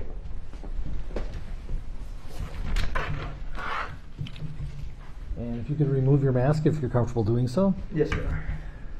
And let's begin by having you state your full name, spelling each of your names. My name is Seth Wayne Stoughton, S E T H W A N E S T O U G H T O N. Mr. Schleicher. Thank you, Your Honor. Good afternoon. Good afternoon. Uh, Sir, how are you employed? I am an associate professor at the University of South Carolina School of Law and an affiliate professor in the Department of Criminology and Criminal Justice. Uh, How long have you been a law professor? I've been there for seven years now, almost seven years, and uh, two years prior to that in a teaching fellowship preparing to be a law professor. Okay. And do you te- teach academic courses uh, at the South Carolina Law School? I do. What courses do you teach? I teach criminal law, criminal procedure, a regulation of vice seminar, and police law and policy. Uh, do you also conduct any scholarly research? I do, yes. What uh, scholarly research do you conduct? I study the regulation of policing and multiple aspects of the regulation of policing. Now, I'd like you to please describe your educational background to the jury so they can understand how you uh, come to be a law professor at the University of South Carolina. First, where did you receive your undergraduate education? Florida State University in Tallahassee. And what was your degree? English with a focus in literature. And uh, before we get into your uh, law career, uh, did you take a, have you always been in academia? No, I have not. What was your prior career before being, becoming involved in academia? I interrupted my undergraduate education to take a job as a police officer with the Tallahassee Police Department, and then later as an investigator with the Florida Department of Education's Office of Inspector General. I'd like you to please describe for the jury uh, your experience as an officer with the Tallahassee Police Department. First, um, what year did you join the department? I applied to the department in 2000 and was employed in early 2001. Can you describe for the jury the, the training process that you went through to become a police officer in the state of Florida? Sure. So Florida has a academy requirement. I went to a regional police academy, which means not an academy run by my particular agency, but instead an academy that trains officers from a number of agencies in North Florida. After finishing the approximately five, five and a half months or so of academy training, I went through additional uh, pre service training at my agency, about a month of classroom training and additional um, sort of lecture style training and hands on training, and then went through uh, four, four months, three and a half months of a field training program. And after you completed your field training, you received assignment, an assignment as a law enforcement officer in Tallahassee. Yes, I did. I'd like you to please describe for the jury at kind of a high level the different assignments you had as a police officer with that department. I was there full time for just under five years. The entire time I was there, I worked on patrol. That was our uniformed capacity officers who were responding to calls for service or uh, pulling over vehicles and the like.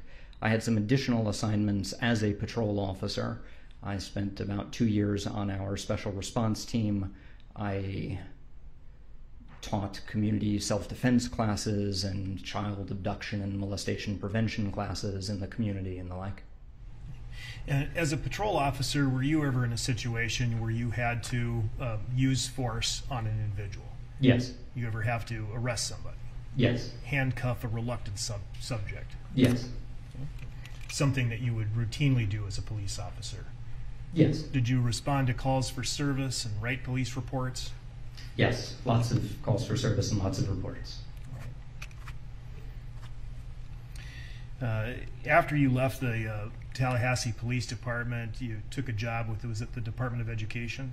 Yes, Florida's Department of Education as an investigator in their Inspector General's office. Please describe your general duties there. So, as an investigator, I was charged with investigating waste, fraud, and abuse within and affecting the Department of Education. The investigations were both administrative, for example, sexual harassment allegations within the Department of Education, and also criminal, uh, private school tuition voucher fraud primarily, although there were some other uh, non tuition voucher fraud criminal cases that I was involved in. Um, when did you decide to go to law school and enter, uh, enter law school?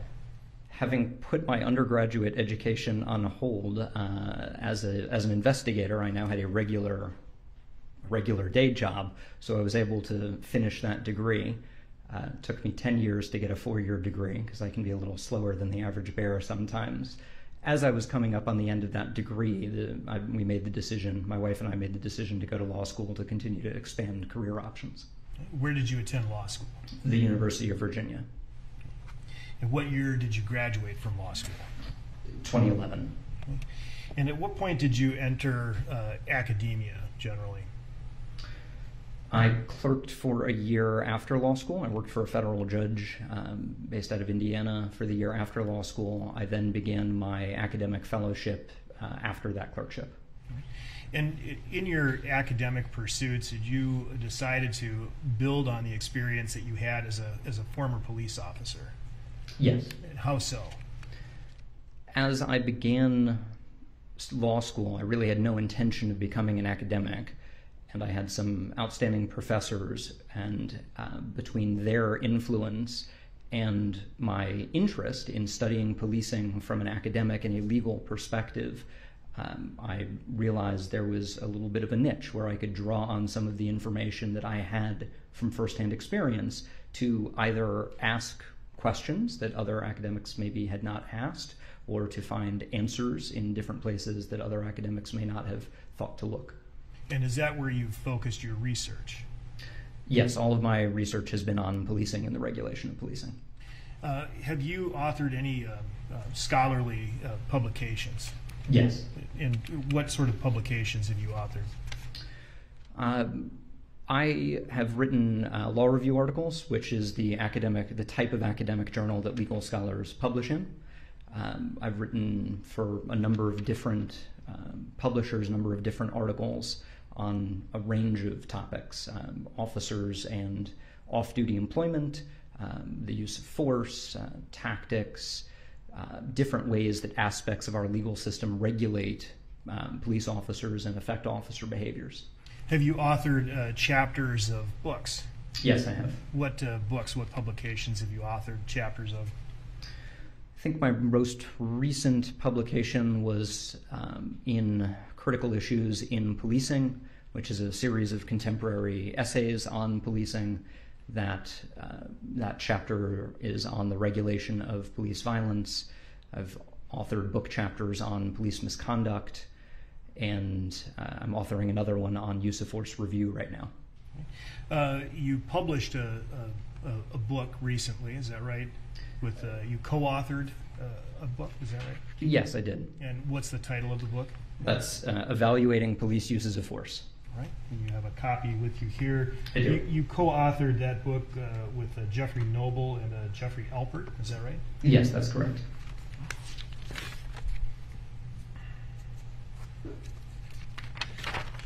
So, are you a member of any uh, professional organizations? I am, yes. What professional organizations uh, are you a member of?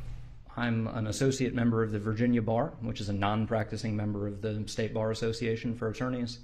I'm a member of the American Society of Evidence Based Policing, a member of the International Association of Chiefs of Police. I serve as an advisor to the American Law Institute's Principles of the Law on Policing. I'm a member, uh, or I believe technically a liaison, to the American Bar Association's working group on trust in the criminal justice system.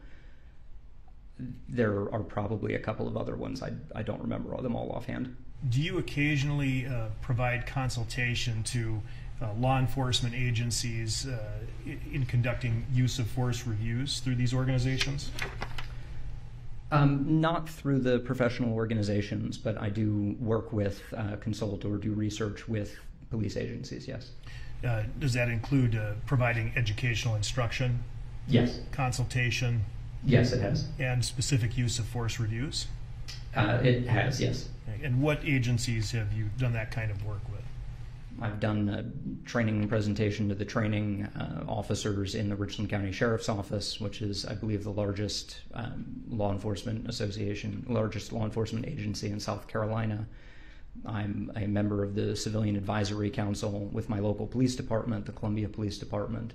So I sit in what are called command review boards, which can involve assessing use of force in that context. I've done presentations and training at the Federal Law Enforcement Training Center, which is not an agency per se, but um, the audience had representatives of a number of different um, state, local, and federal agencies. I've provided training and presentations to the Bureau of Alcohol, Tobacco, Firearms, and Explosives uh, senior staff, to the command staff of the Kansas City, Missouri Police Department.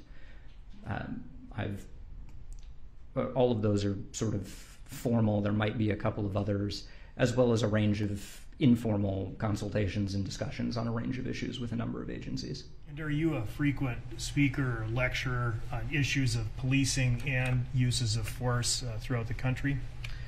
Uh, yes, although in the past year most of those have been presentations from my home via Zoom, but yes, they, they are based all over the place. What organizations do you present to? Oh, um, I've presented well over a hundred times at this point to organizations that include the American Judges Association, the Conference of Chief Justices, uh, judicial conferences in a number of states, prosecution or defense conferences in a number of states, uh, security conference in Mexico City, um, a prosecution and defense combined conference in Canada. Um, most recently, I've presented at several uh, law reviews and symposiums, one hosted by the University of, uh, no, I'm sorry, by Loyola University in Chicago. Uh, that was this past week by the Journal of Criminal Law and Criminology. That was the week before, I believe. Um, by the University of Wisconsin Platteville. Um, that was also in this past week. Have you previously uh, been retained as an expert witness? Yes, I have. How often have you been retained as an expert witness? I've been retained around 60 times at this point. Have you testified as an expert witness before uh, at a deposition? Uh, yes, I have. Approximately how many times? Uh, at deposition, I think over a dozen, pretty easily at this point, I believe. And in those depositions, have you testified as an expert witness in the area of use of force? Uh, yes, tactics, use of force, police procedure, yes. Have you testified uh, at a trial uh, before as an expert in use of force? Yes, I have. Uh, um, use of force, including uh, tactics and, and, use of force related issues, yes. What courts have you testified in? There was a federal court in North Carolina, a federal court in South Carolina, criminal court in Georgia. I think that's it for trial testimony. As, as you know, most of these, um, most cases don't actually make it to a trial. Yep.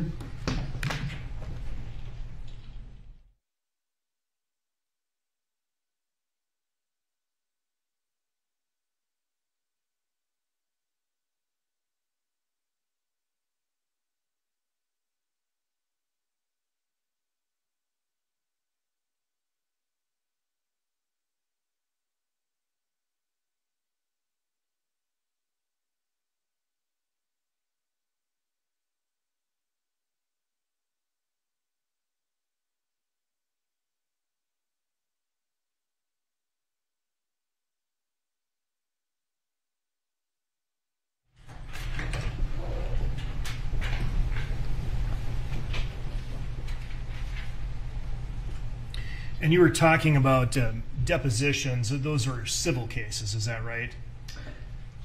Uh, yes, that's correct. All right. Now,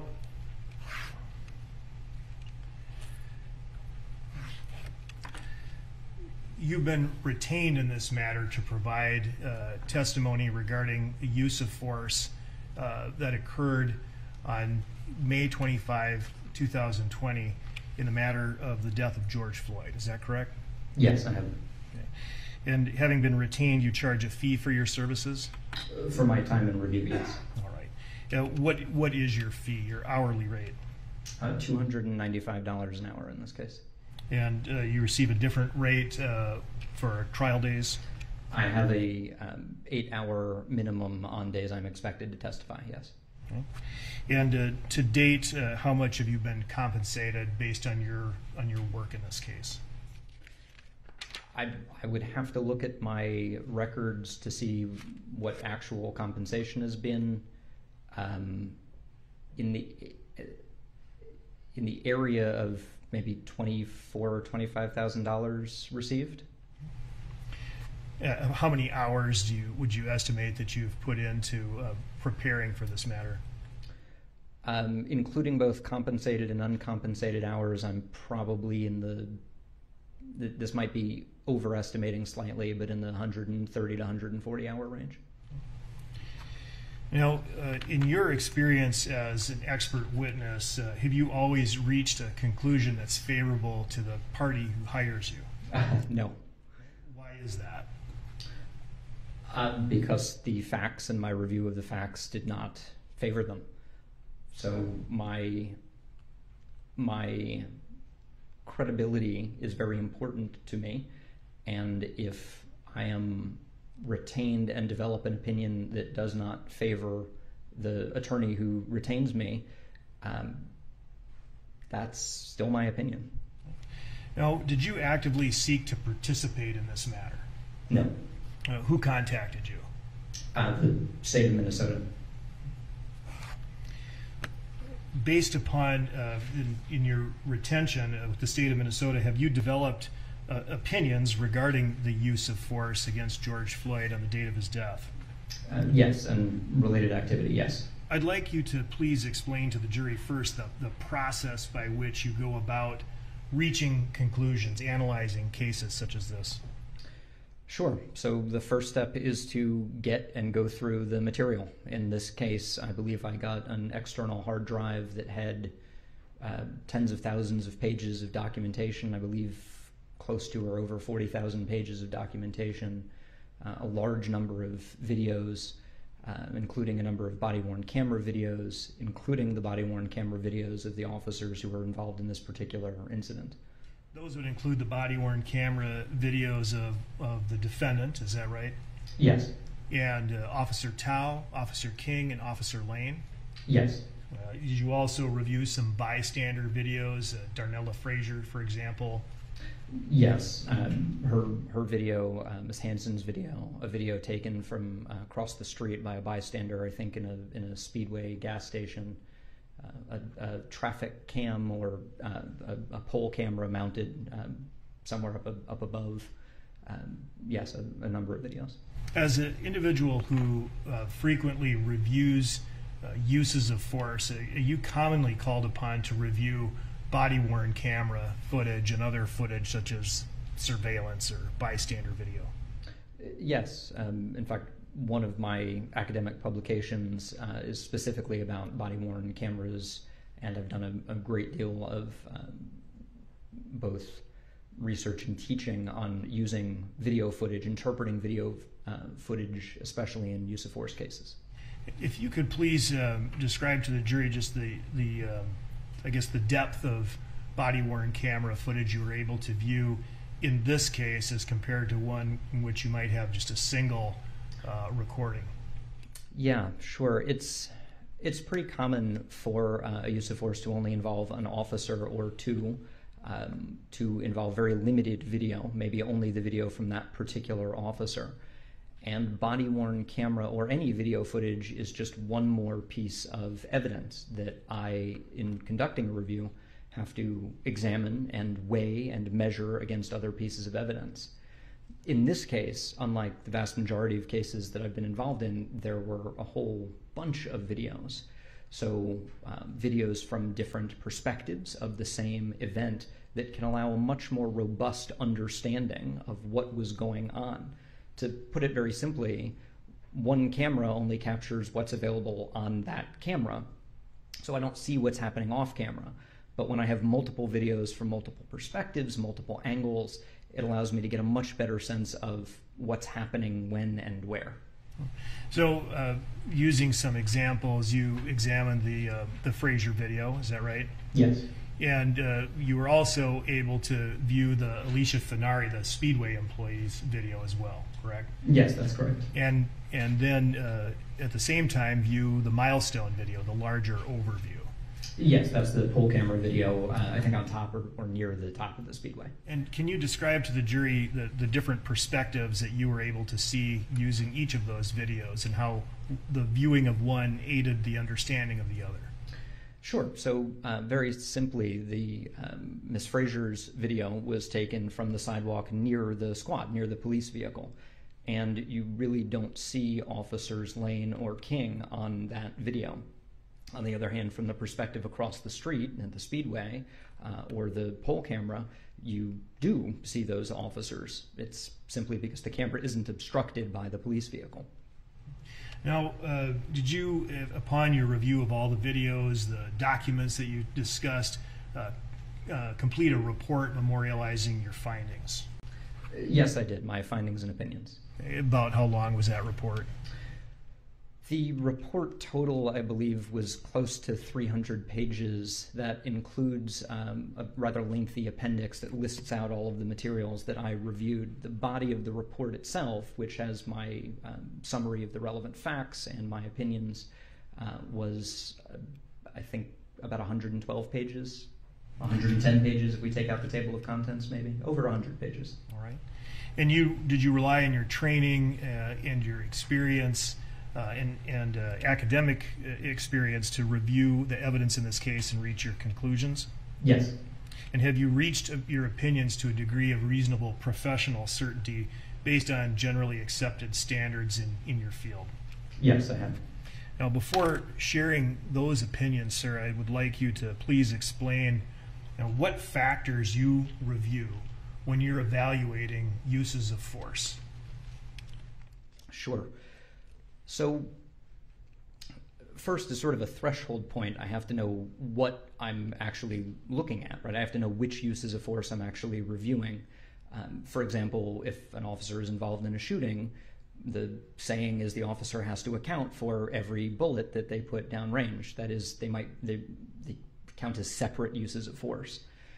After I identify what the uses of force are, then I apply essentially a four-step analytical framework. First, I identify what the relevant facts and circumstances are as viewed through the lens of a reasonable officer on the scene. Then I assess the threat, if any, presented by the individual's actions. Then I assess the foreseeable effects of the officer's use of force.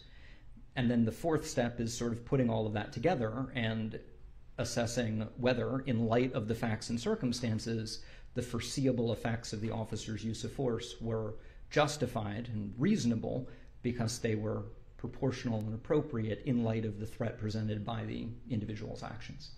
By what standard are you making this assessment? So the, the ultimate analytical question, that, that uh, step four, is applying generally accepted police practices, what we might call a national or professional standard for the way we expect and the way policing uh, expects officers to engage with individuals and use force. And what are these national standards based on? So, a combination of things. They're certainly influenced by constitutional law, for example, uh, by history and research in policing. Since the 1970s or so, there's been um, tactical research within policing that's helped inform uh, what we would now consider generally accepted practices, um, a great deal of evidence and experience as well. Uh, are there constitutional standards as well?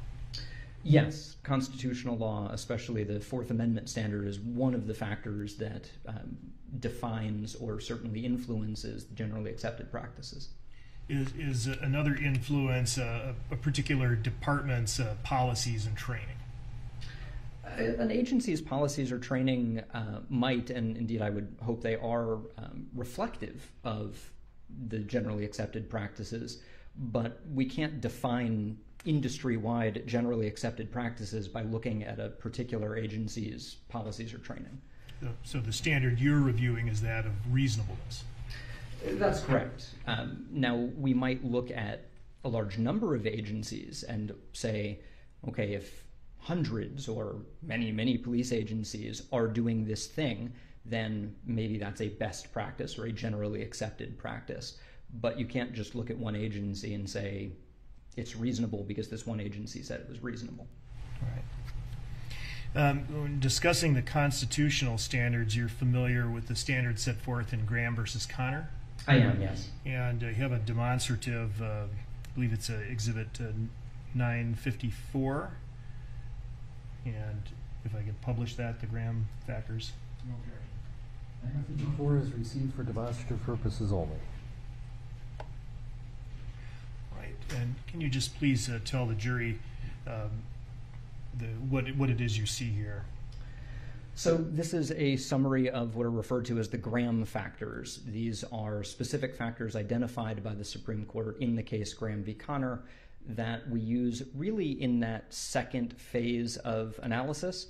The second step, remember, is uh, assessing the threat presented by the individual's actions.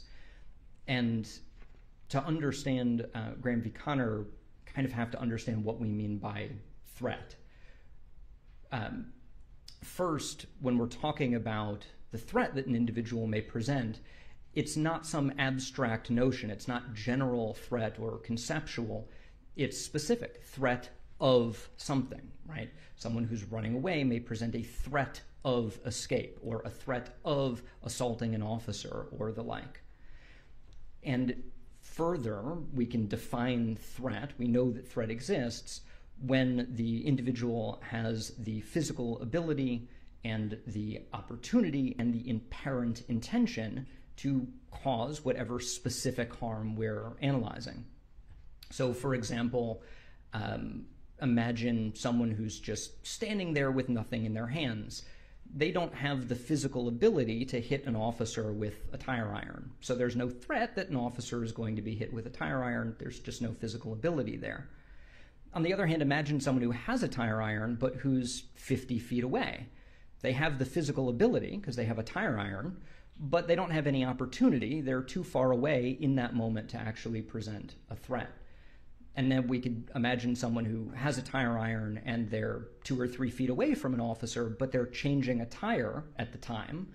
They have the ability and the opportunity, but there's nothing about that interaction as the officer is talking with them that suggests they have the apparent intention to cause that particular threat. So when you put all of those three things together ability, opportunity, and intention that's how we identify threat. The Graham Connor. Uh, I'd like you to contrast that with risk. Oh, sure. Um, so, threat, as I've defined it, can be contrasted with risk. Risk you can think of as a potential threat. That person with the tire iron who's 50 feet away, they don't present a threat. If they get close enough, they might have the opportunity now or the apparent intention to strike an officer with the tire iron, but they don't yet. So, risk is something that officers can use tactics and communication to help address. The goal is to prevent risk from becoming threat and really to prevent threat from becoming whatever that relevant harm is. Uh, but while threat can justify use of force, risk can't. An officer can't use force on someone who's holding a tire iron and two or three feet away while they're just changing a tire because there's no apparent intention, there's no threat there. The officer can do something like back away, build distance so they aren't two or three feet away, or interpose the vehicle between themselves and the individual they're interacting with, or use communications. They could uh, ask the individual to put the tire iron down, but they can't use force there because there's no threat. The, I'm sorry to interrupt you. Uh, this is what you get for having a law professor testify. and they're trying so hard to take notes, and court reporters trying to take things down. So I'm going to slow you down a little bit, if I may, Professor. Sure, sorry. No, no problem. Um, uh, then, in assessing other potential risk factors, would you agree that the relative size of a person is a risk factor? It's certainly a relevant consideration, yes. Um, but is it in and of itself a threat? Uh, no, certainly not. Um, someone who's physically large may have a greater physical ability to uh, inflict harm if they assault an officer, but that their size can't establish opportunity and can't establish intention. And uh, how about recent drug use? Is that a threat or a risk? Again, it's a relevant consideration, but it does not in and of itself establish a threat. Um, it doesn't establish physical ability by itself to do anything. It doesn't establish opportunity to do anything, nor does it establish apparent intention. So it's certainly a relevant consideration in the totality of the circumstances, but officers can't use force on someone just because they're on drugs. Now, I'd like to talk about, I'd like you to dis- discuss the uh, severity of the crime at issue. How is that relevant to the, uh, the Graham analysis? Sure. So as we're thinking about the, the concept of threat, the Graham factors really help us identify when there's a threat and how much of a threat. Uh, severity of the crime can be best understood as a proxy for dangerousness.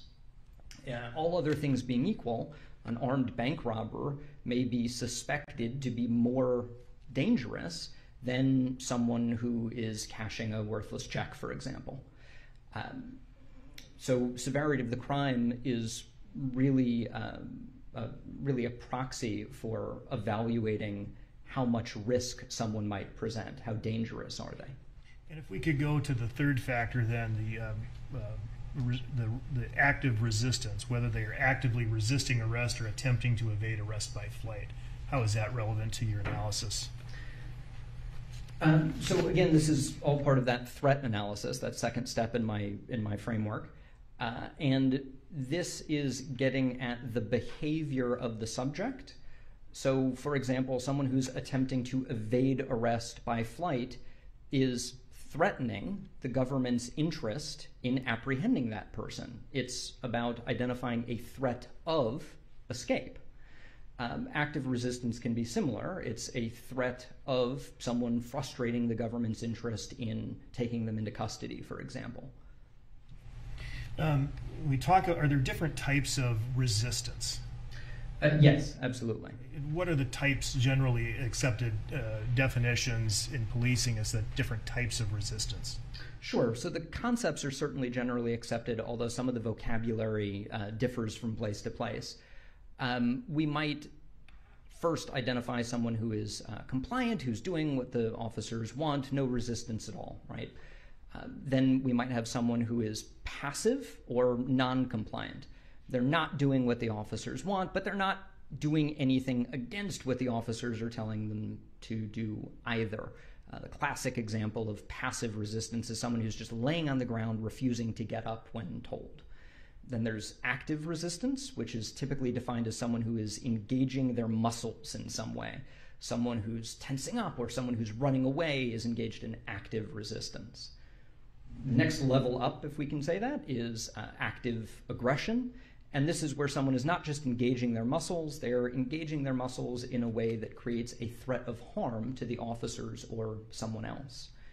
And finally, the ultimate expression of active aggression is when a subject presents an imminent threat, again, as that term is defined, of death or serious bodily injury to officers or others.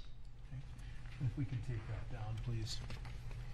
Now, I think we've gone through uh, in a little more detail the first two steps of your four-step process. Uh, talk about identifying facts that would have been apparent to a reasonable officer. You've discussed uh, identifying threats.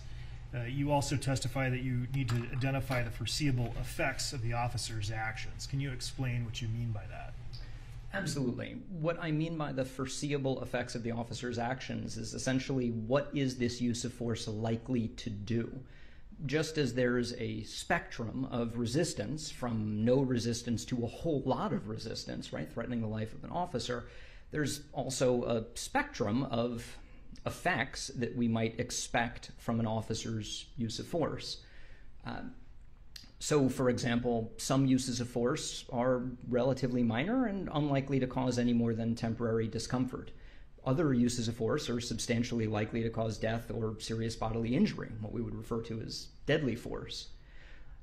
As you're analyzing use of force, it's very important to focus on the foreseeable effects of what the use of force uh, involved and not the actual effects, not what actually happened. And I can give you uh, an easy example. If an officer shoots at someone, that's a use of deadly force because it's foreseeable that discharging a firearm at someone is going to cause death or serious bodily injury. And that's true even if the officer misses entirely. Or if the bullet hits the person but causes a very superficial injury, let's say it just scrapes them, it's still a use of deadly force because of the foreseeable effects not the actual effects. And that concept of um, foreseeable effect is what's foreseeable really at the time force is being used. And uh, Professor Stoughton, uh, the fourth uh, factor that you testified about determining whether the officer's actions are appropriate, proportional, and reasonable. Can you please explain what you mean by appropriate, proportional, and reasonable?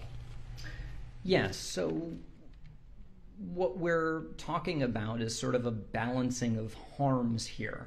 Uh, this also pulls from Graham v. Connor and the Fourth Amendment uh, standard, which talked about balancing the individual interest against the government interest. The idea is an officer cannot use more force than the situation justifies. That is, the foreseeable effects of the officer's use of force can't be disproportionate to the threat presented by the individual's actions. And sir, did you take all of these uh, factors into consideration in your performing your analysis in this case? Absolutely, yes. Uh, ask, uh, if you uh, assisted with the preparation of a demonstrative exhibit, demonstrative uh, 953. Yes, I did. And would the uh, use of that demonstrative exhibit assist you in explaining your analysis and testimony to the jury? Uh, yes, and especially how those factors apply. Right. Um, offer exhibit uh, 953 for demonstrative purposes. Any objection? Right 953 is received for demonstrative purposes only. And before we uh, publish that, uh, first I'd like to publish what's been received as Exhibit 17 and ask you, sir, if you identified in accordance with your process what particular force you evaluated. So if you'd publish Exhibit 17.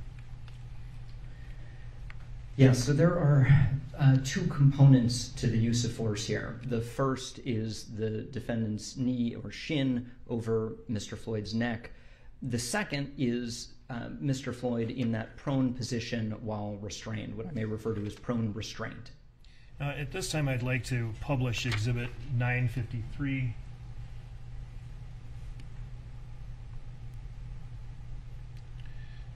Uh, One moment, Your Honor.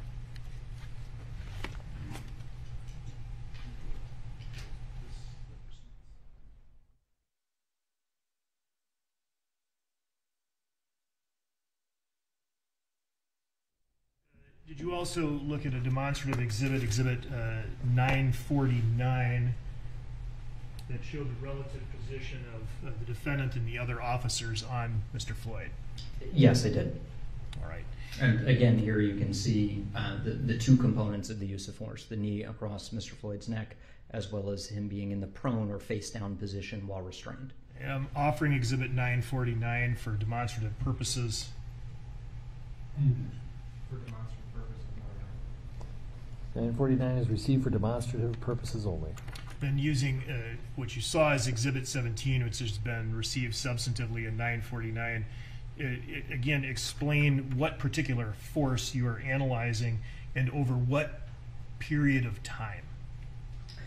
Uh, yeah, so again, um, both the, the prior image, the photograph, and this, um, um, this demonstrative uh, show the knee, uh, the defendant's knee across the back of Mr. Floyd's neck, and Mr. Floyd face down in that prone position while handcuffed.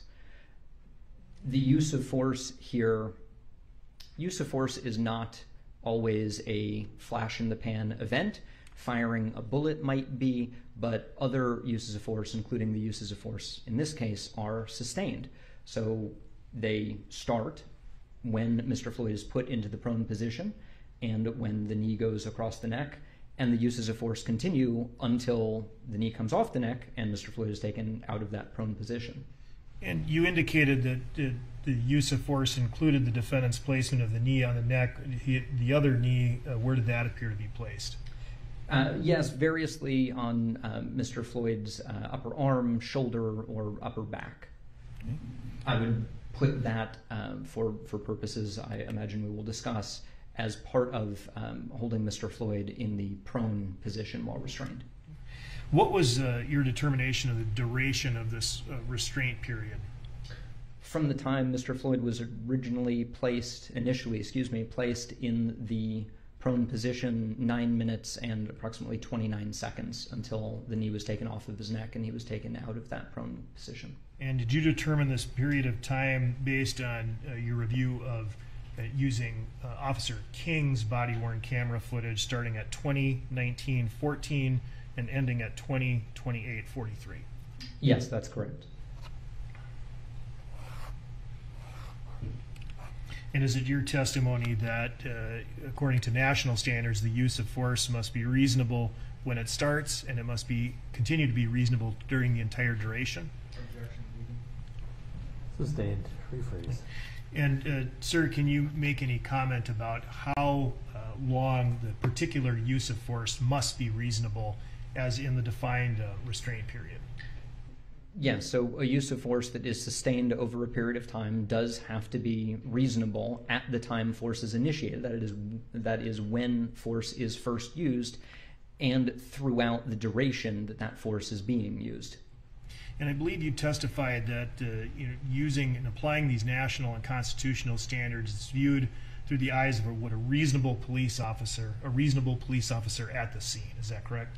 That's correct. That's part of the Graham v. Connor uh, framework, as well as certainly has been uh, adopted into generally accepted police practices. So then, using your four-step analysis to identify relevant facts and circumstances that would have been apparent to a reasonable officer on the scene, would you please summarize for the jury, based on your review, what information would have been available to a reasonable police officer in the defendant's position prior to his arrival at the scene uh, that day? Yes. So the, the reasonable officer on the scene standard is an objective one. We don't just adopt an officer's idiosyncratic subjective perspective.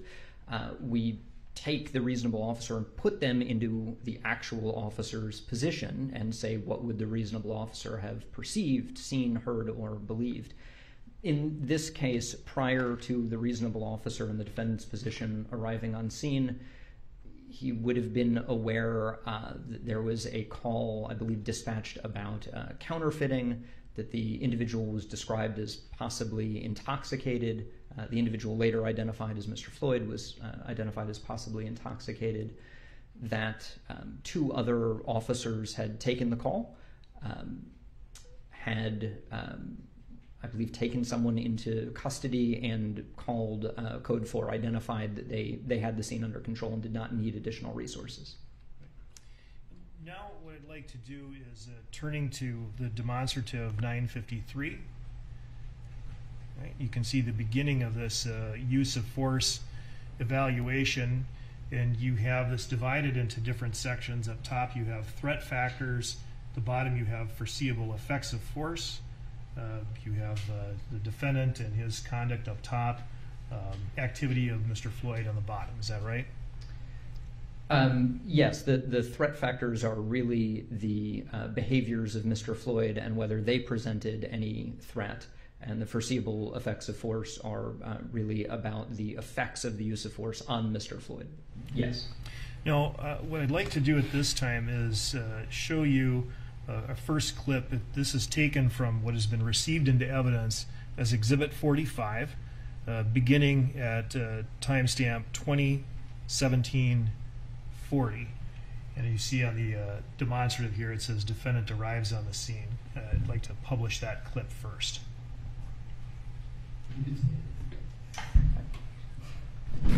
Just the chair.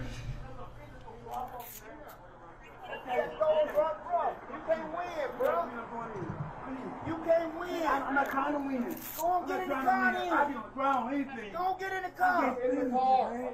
He know it. He know it too, Mr. Officer. Y'all hear me? Don't do me like that, man. Please. Okay, can I talk to you, please? So you get I in was- this car, we can talk. I am, Mr. I'm claustrophobic. I'm hearing you, but you're not working with me. God, I'm claustrophobic. Get in the man. car. man. Get in Can the you car. can you get me in the front? Please. No, you're not in the I'm claustrophobic, Mr. Get in the car. We're gonna Okay, man, okay. I'm not a bad guy, man. In the car. I'm not a bad guy. Ah, You ain't gonna win. Oh, God. All right. Now, sir, this is taken from the perspective of the defendant's body worn camera. Is that right? Yes, it is. What information would have been apparent to a reasonable officer based on the exchange we just observed?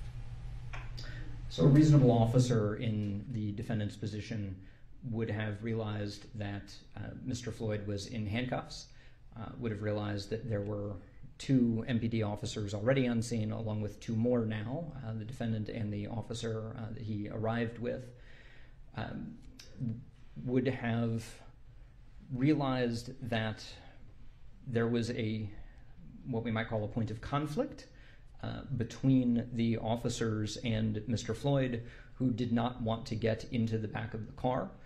One of the things that that signifies is generally that, um, excuse me, um, generally that the individual has been searched. Uh, typically, an officer is not going to load someone into a squad into the back of a car until after they've been searched.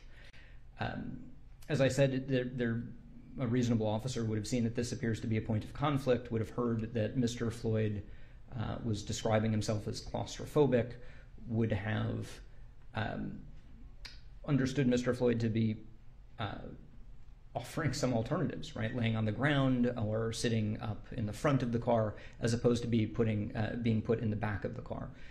In other words, the point of contention does not appear to be police custody, right? Mr. Floyd does not appear to be objecting to being kept in police custody, but instead to be objecting to being put in the back of a vehicle. Now, you're aware that the, uh, the officers attempted to place him in the back of the vehicle, and he was eventually um, taken back out of the back of the vehicle and into the street. Is that right? Uh, yes, there was some non-compliance initially, and then um, what we would describe as uh, that active resistance, what appears to be physical engagement of the muscles in a non-assaultive or non-aggressive way, uh, leading ultimately to officers' decision to take him out of the rear passenger side of the vehicle. And so, in your view, a reasonable officer would not have perceived this as active resistance, as an act of violence or active aggression, I should say. That's correct. This does not appear to be active aggression in the sense that uh, Mr. Floyd does not appear to have the intention to assault or attack the officers here. His efforts uh, appeared aimed at not being in the back seat of the car. Now, I'd like to publish uh, the second clip, uh, clip two, which is taken from Exhibit 43, which is Officer Kueng's body worn camera. And the footage begins at uh, timestamp 20 1901, and it, it's labeled Floyd placed prone. If you'd please publish that. For what? Please, man. I can't fucking breathe. Here, come on out. Look at you. Thank you. Thank you. Get him down the ground. Pause. All right. So uh, we're paused here at mark uh, 20 1908. Is that right? Yes. Now, at this point, can you please uh, describe what would have been apparent to a reasonable officer at the scene? So, um, as you heard, Mr. Floyd uh, has already said, uh, I can't breathe. And as officers pull him out of the back seat of the car, again, that point of contention from earlier, uh, you hear Mr. Floyd say, uh, Thank you. And he is also uh, appears to be handcuffed. Is that right? He is. He is handcuffed, and um, I believe, although not entirely clear from this freeze frame, I, I believe the, the video will show that he's on his knees at this point. If you'd resume playing clip, please. Yeah, on the ground. On the ground. Ah, my wrist. Ah.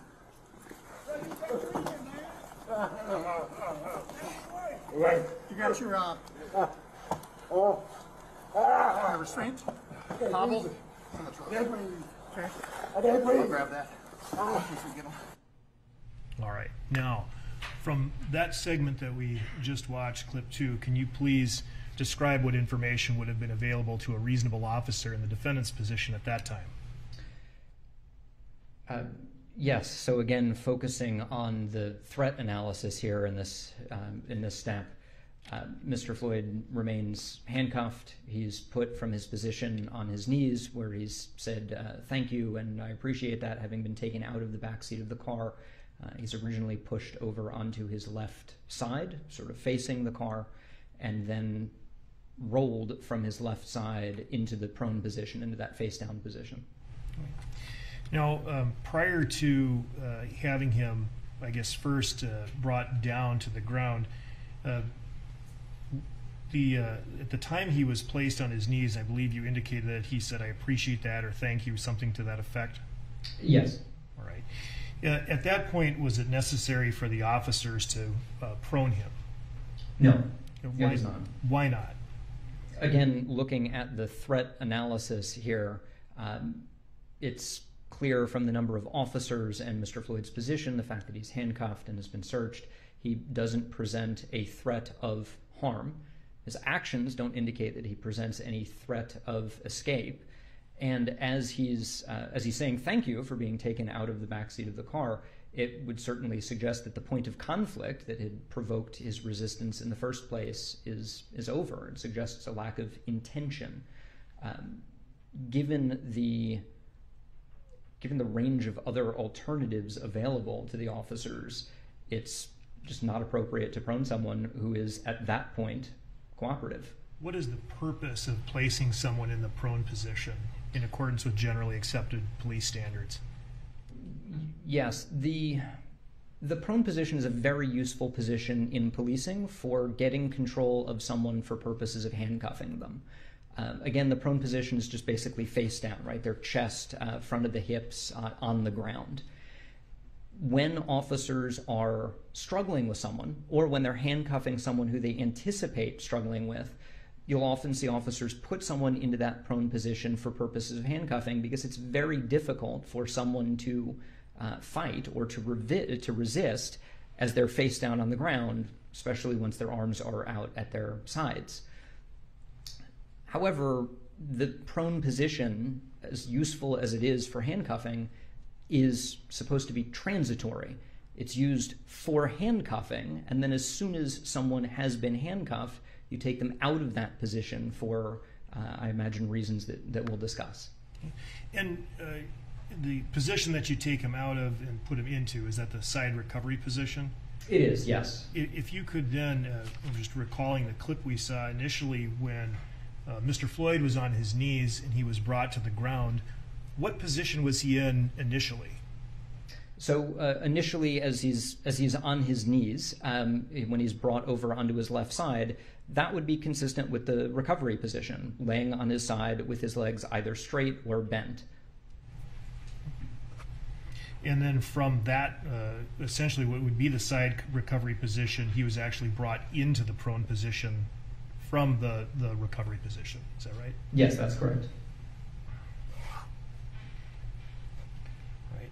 And, uh, and, and at this point, or shortly after this point, the, um, uh, the prone position, sorry, the prone restraint position begins. Is that right? Uh, yes, when he is put into that prone position, uh, that's that's where I would say that the prone restraint begins. He is restrained and prone. Now, uh,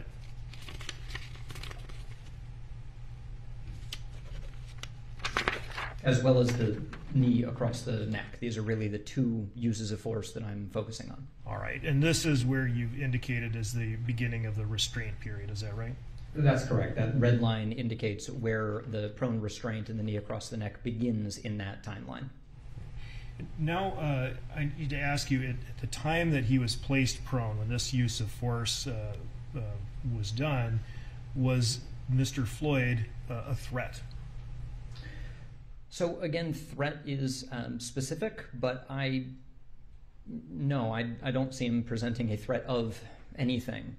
Um, he was not a threat of harm to the officers, um, even to the extent he had physical ability. He didn't have much in the way of opportunity to assault or harm the officers, and just as importantly, there's no specific and articulable facts that an officer, a reasonable officer in the defendant's position, could use to conclude that he had the intention of causing physical harm to the officers or others. It's very clear um, that although he had legs, so I suppose he had the physical ability to run away, he does not have the opportunity to do so. And again, there's no facts from which we could assess any intention to escape, so no threat of escape. And really, in light of the situation, there's not even a credible threat of uh, obstructing the investigation. With four officers in the immediate area and one more, I believe a park police officer, maybe half a block away uh, across the street, um, there are ample resources on scene to maintain control and custody of Mr. Floyd. Two officers can stand with him, and the other two can go about doing the uh, what was ultimately a forgery investigation. And if we could go to the next clip, please. Right, and uh, that clip is taken from what's been received as Exhibit 49, uh, which is the uh, body worn camera of Officer Thao. Is that right? Yes, it is. And it starts at 20, 21, 31. If we could publish that, please. I can't breathe, man. Please. Please let me stand. No. Please, man, I can't breathe. Can you please uh, explain to the jury what you heard and saw in this clip that's relevant to your analysis? Uh, yes, so there are there are a couple of things. First, of course, you hear Mr. Floyd saying that he can't breathe. Um, that will uh, come up as we talk about the foreseeable effects uh, of the of the use of force. You'll also hear the officers discussing and ultimately concluding uh, that they aren't going to use the, the hobble restraint. Did they discuss why they wouldn't use the hobble restraint? Um, you hear, uh, yes, you hear one of the officers say because uh, something, something like if we use the hobble, a, a sergeant's going to have to come. Now, uh, can you please uh, tell the jury what the, you know, generally how a hobble restraint system works and what it's for? Yes, a hobble. Um, a hobble is used to limit the motion of someone's legs. So if they're kicking or flailing around with the legs, uh, especially someone who's in, for example, the back seat of a police car who may be kicking out the windows or something like that, and essentially the hobble uh, goes around the ankles and binds the ankles together, and then is connected to uh, a, a belt piece. Um, sort of a, a component around the midsection to slightly bend the individual's legs. Um, historically, uh, the, the legs used to be bent up behind someone. Think of laying on your stomach and then kicking your, your feet up, uh, up towards your butt. Uh, the way hobbles are generally used now is the feet aren't behind the individual, they're just brought up. So the knees are kept in front of the body and brought up a little bit. Again, the point is just to make it um, much more difficult, if not impossible, for the individual to kick. And what would a reasonable police officer on the scene use to determine whether a hobble restraint is appropriate? So, hobbles are generally appropriate when officers cannot effectively restrain someone using only handcuffs. When they have someone who is continuing to kick or flail or flop around uncontrollably. Uh, is the absence or presence or the need to, to summon a supervisor an appropriate reason to either use or not use a hobble? No, if the situation justifies a hobble, then um, officers should use the hobble, regardless of the fact that that means a supervisor will have to respond. If the situation does not justify a hobble, then they shouldn't use a hobble, regardless of the requirement to um, summon a supervisor. And would you agree that a hobble is just sort of a brand name for a form of MRT or maximal restraint technique? Uh, yeah, so hobble, uh, four point restraint, maximal restraint. Um, there are specific brands like the RIPP hobble. Uh, but yeah, these, these are all essentially the same concept that we're talking about. And uh, was the application of force by the officers without the hobble essentially a maximal restraint technique, but without the use of that tool? To the extent that the hobble would effectively immobilize someone and keep them from kicking, then what you see here is officers controlling Mr. Floyd's upper body, middle body, and lower body, which would keep him from kicking. So, although not a perfect parallel, I would certainly describe it as a behavioral analog of the, a maximal restraint or, or a hobble like technique. And when uh, an individual is placed in the maximal restraint, uh, the hobble, are they supposed to be placed in the side recovery position? Absolutely. Just like handcuffing, as soon as an individual is restrained, handcuffs or hobble, get the person off of their stomach, out of the prone restraint, and into a side recovery position.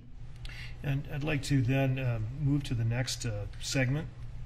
If, if I may, on, on Let's, let, we, we can move to the next segment here. Uh, We're looking at the next clip, which is uh, Exhibit 47, beginning uh, at 2023-47. If you would publish that, please. Roll them on the side.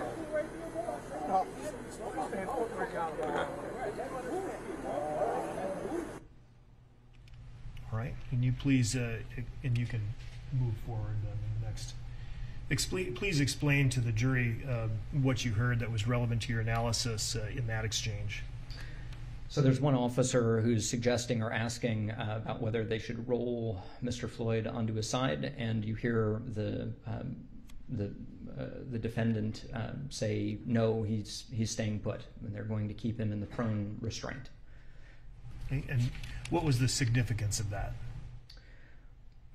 It would indicate to a reasonable officer that at least one person there did not feel that Mr. Floyd presented the level of threat that required them to keep him in that prone restraint position.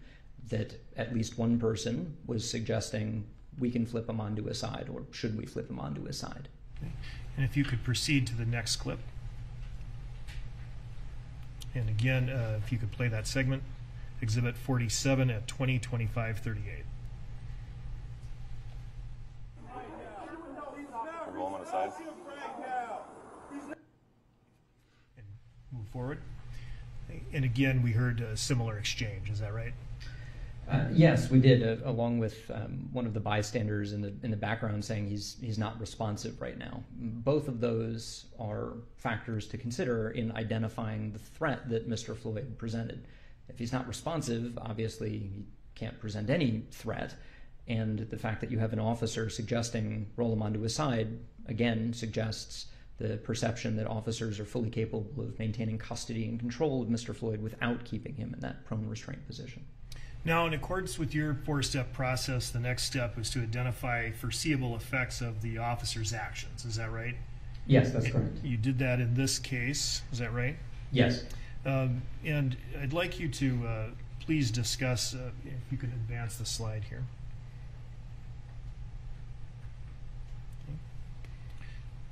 Right, go ahead. Uh, we have some uh, potential foreseeable effects. What does a reasonable officer have to take into account when determining what the uh, uh, potential foreseeable effects of their actions are? Sure. So, under that first step of the analysis, we look at the facts and circumstances as they would have been aware to a reasonable uh, officer on the scene. And some of those facts and circumstances may um, indicate that there are specific foreseeable effects of force. So, in this case, again, we have those two separate uh, uh, components of force that I'm going to address. One is the knee across the neck that foreseeably can cause pretty significant serious bodily injury or death. Um, if you think uh, of someone who's laying face down, where the head or face is against the ground and the chest is against the ground, that means the neck is kind of like a suspension bridge, right? So it's generally accepted in policing that you do not put weight down on someone's neck in that position because of the potential that the neck won't be able to handle that weight. And you can end up damaging the structures of the neck. That's kind of generic. There's nothing specific that we need uh, in, in, this case. That applies to, to all defendants. So um, I'm, uh, I apologize, all individuals. Um, there are also foreseeable effects of keeping someone in that prone position. Uh, prominently, what's called positional asphyxia, someone who starts having trouble breathing, who can't take in over time the amount of oxygen that they need to sustain their life functions. Um, this is something that's been very well known in policing for at least going on 30 years. The prone restraint position limits the ability of someone to breathe.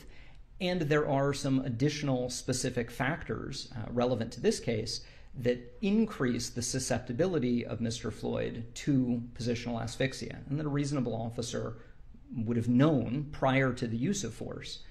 Um, specifically, ask another question. And those uh, additional risk factors would those include the downward pressure of the weight of overruled weight of the officers? Uh, yes, absolutely. Additional weight on a subject's back can further compromise their breathing, rendering them more susceptible to positional asphyxia.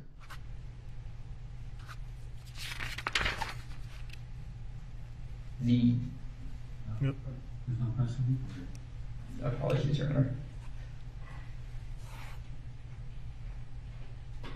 All right, at this time, uh, I'm going to ask that the next clip, clip six, which is taken from Exhibit uh, 49, which is, uh, I believe, Thao's body worn camera, and it starts at uh, a timestamp 202150. If you would play that, please.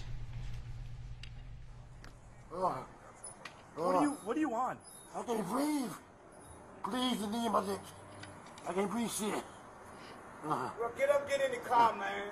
I will. Get up, get in the car. I can't move. I've been wiping the whole. Ah! Get up, get in the car. Mama, Get up. Mama, I can't. Get, get Up y'all here. get in, bro. All right. You can't win. My knee, my neck. win. And can you please explain, are we looking at a break? Were, were you signaling to me, Judge, that we? I don't know.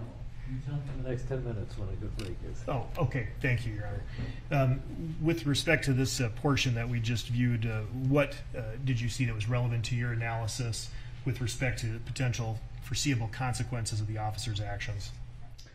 So two things really stand out. Um, one is you hear Mr. Floyd uh, saying that he can't breathe, and one of the indicators of susceptibility to positional asphyxia is that someone starts having difficulty breathing. Um, the uh, other the other component, one of the one of the factors that can increase the susceptibility to positional asphyxia, is drug or alcohol intoxication. Uh, even before the defendant arrived on scene, the uh, the, the counterfeiting uh, suspect, who was later identified as Mr. Floyd, um, was described as possibly intoxicated.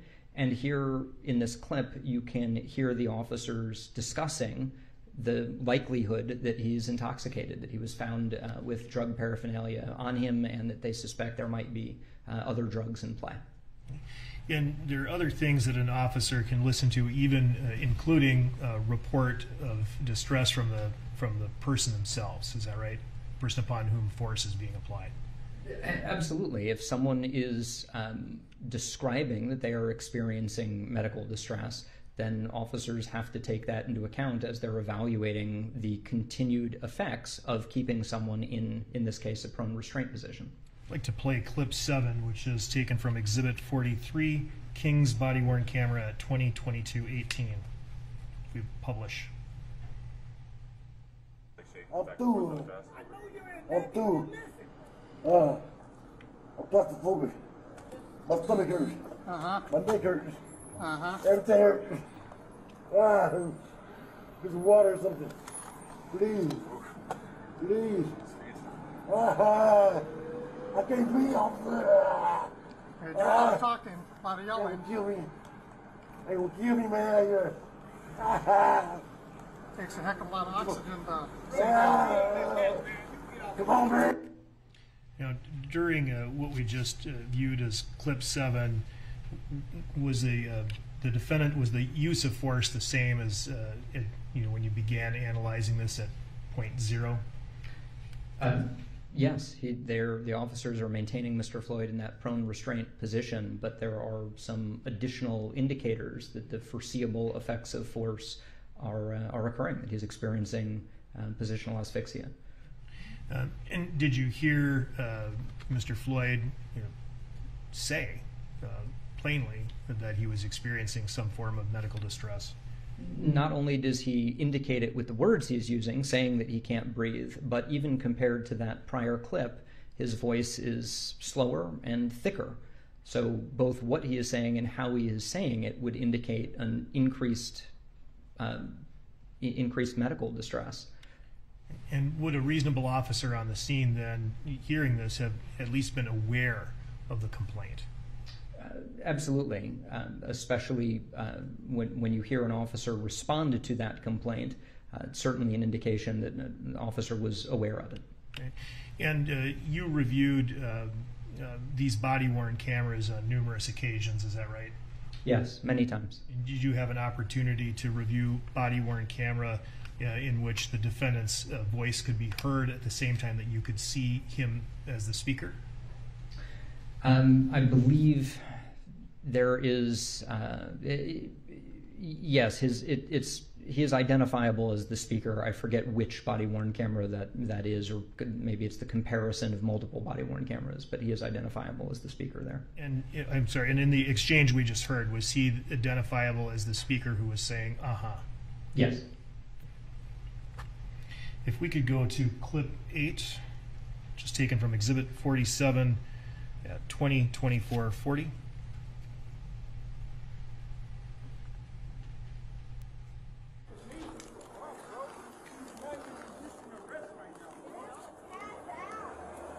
Yeah, I think he's just messing up. Uh, and if you could advance, can you please uh, explain to the jury what you heard and saw in that clip that's relevant to your analysis as to the foreseeable effects of force? So the first thing you hear is one of the bystanders say he's passed out or something like that, and that's echoed by um, one of the officers who says he's passing out. As we're assessing, um, first, as we're assessing threat, if we can jump back to that for a second, someone who's passing out obviously does not present a threat. Um, you don't hear Mr. Floyd, which is notable because until he stopped speaking, uh, his vocalizations were kind of incessant, right? There, there weren't very many periods where he wasn't speaking until until he wasn't. Um, and you hear the the I, am sorry, back to the the officer. You hear an officer saying uh, he's passing out. Um, that again indicates an increasing level now of medical distress. And the officer who was stating this was in close proximity to the defendant at the time he was saying it. Is that right? Uh, he was. I believe this is Officer Lane, who is at Mr. Floyd's feet. So um, maybe of the of the officers who are on Mr. Floyd, may be in the worst position to identify exactly what Mr. Floyd is going through, but still identifying that he's passing out. In the clip that we just viewed at 2024-40, that was approximately 40 seconds after a time that you've identified that uh, Mr. Floyd had said, "I can't breathe," approximately 27 times. Is that the incessant speech you were talking about? Yes, um, before he fell silent, Mr. Floyd uh, said, I can't breathe by my count at least 27 times. Now, if we can uh, advance to the next clip.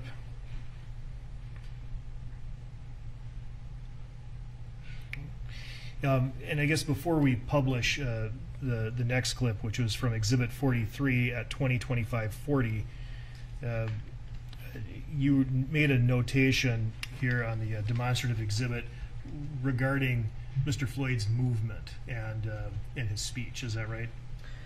Yes, that's correct. So from um, uh, approximately four minutes and 45 seconds after the prone restraint had begun, for the next 53 seconds, Mr. Floyd is silent. He's not saying anything, but he's still uh, moving slightly. And would this have been readily apparent to a reasonable officer in the defendant's at the defendant's vantage point at that particular moment? Uh, absolutely. If we could publish uh, the the next clip.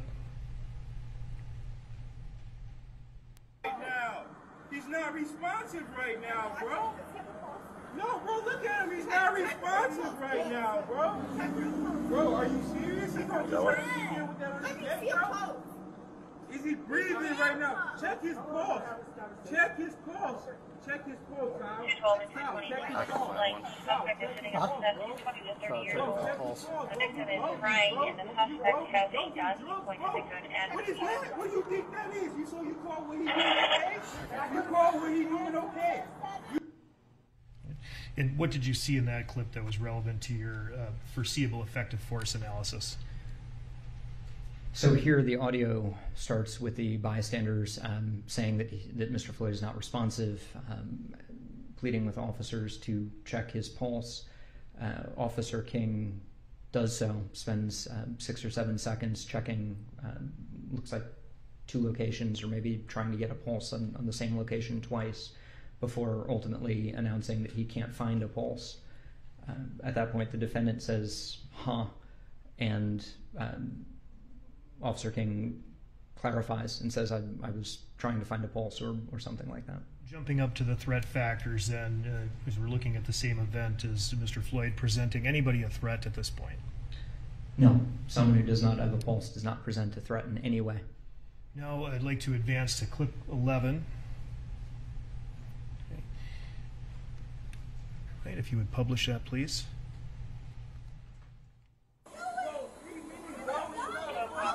Not responsive right now. You guys might wanna. Now. And please uh, tell the jury what you saw relevant to your analysis with respect to foreseeable effects. So you hear Officer Lane describe Mr. Floyd as not responsive. Uh, this is as the paramedics are arriving, and uh, Officer Lane is is directing them uh, by by saying that uh, Mr. Floyd is not responsive. Um, again, back up to the threat factors. Certainly um, cannot be a threat if he's not responsive, and now even more uh, indication that the use of force is having deleterious effects on Mr. Floyd's health. Okay. And uh, if we can advance to the next clip. Right? at, at point, and, and I don't believe that's a. Oh yes, actually, go ahead and publish that. Uh, it's the Frazier video, twenty twenty eight forty two, Exhibit fifteen. The fact that you guys aren't checking his pulse and doing come Uh, what is it you see here that was relevant to your analysis? This is um, immediately before Mr. Floyd is loaded onto the stretcher, uh, and you see the defendant take his knee off of Mr. Floyd.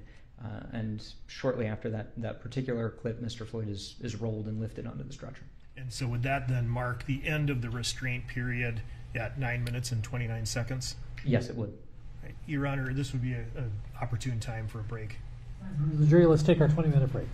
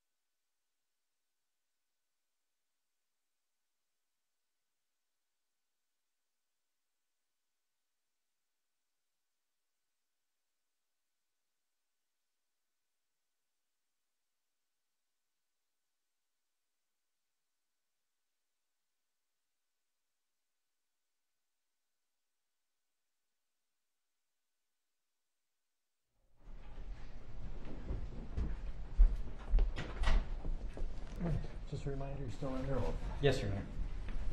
Mr. Schleicher. Thank you, Your Honor. Uh, Sir, during this uh, restraint period that you've defined from, you know, second zero to 929, did uh, George Floyd present a threat of escape during this encounter? No, he did not. Did he present a threat to physical property? No, he did not. Uh, Did he present a threat to the physical safety of the officers No, he did not. or anyone else? No, Did he present any sort of threat at all? no. Your analysis, uh, you noticed uh, there were a number of bystanders in the area, is that right? Yes, that's correct. Did your analysis include an assessment of what impact bystanders may have had on the situation? Yes. So now moving into the, the fourth step of my analytical framework, um, the uh, facts and circumstances include the bystanders and their interactions. All right. And at this time, I'd like to play uh, clip 12, which is Exhibit 49, starting at marker uh, uh, timestamp 2022 22. That's stupid. My stomach hurts. Uh-huh. My neck hurts. Uh-huh. Everything hurts. Ah, get some water or something. Please. Please. Ah, I can't breathe, officer. Ah, ah. Talking. They gonna kill me. They gonna kill me, man. out here. Ah, Takes a heck of a lot of oxygen. Bro, with your feet on that neck, man. You get off Come on, man. How many uh, bystanders did you observe at that particular moment in time?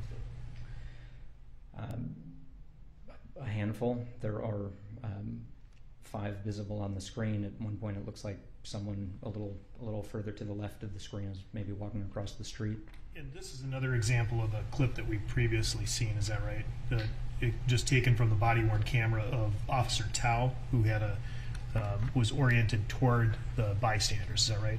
Yes, so the video clip that's uh, sort of directly below the 2022-18 clip, um, we heard uh, Mr. Floyd saying the same things. That was when I was uh, describing his voice getting slower and thicker. In in the end of that clip and at the near the end of, of this clip that we just watched, uh, watched, excuse me, you can hear one of the bystanders make um, uh, a statement about uh, the officers being on Mr. Floyd's neck. That is the first time in this interaction, um, more than three and a half minutes since the use of force began, that any bystanders are criticizing what the officers are doing. The only prior comments from one of the bystanders are uh, encouraging Mr. Floyd, uh, Mr. Floyd to comply with the officers. Right.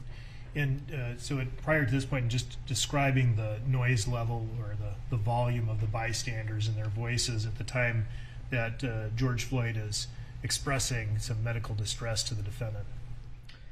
Um, as you can hear, the bystanders are, are pretty quiet. You hear uh, Mr. McMillian's, I, I believe it is, voice um, near near the end of the clip, but other than that, it doesn't sound like anything more than normal road traffic.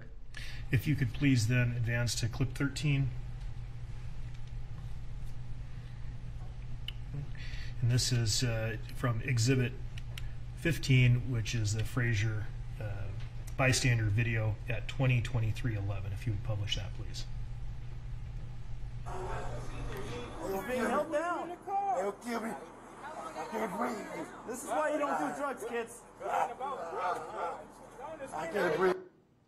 What did you hear in that clip that was relevant to your analysis of other facts and circumstances as related to the bystanders?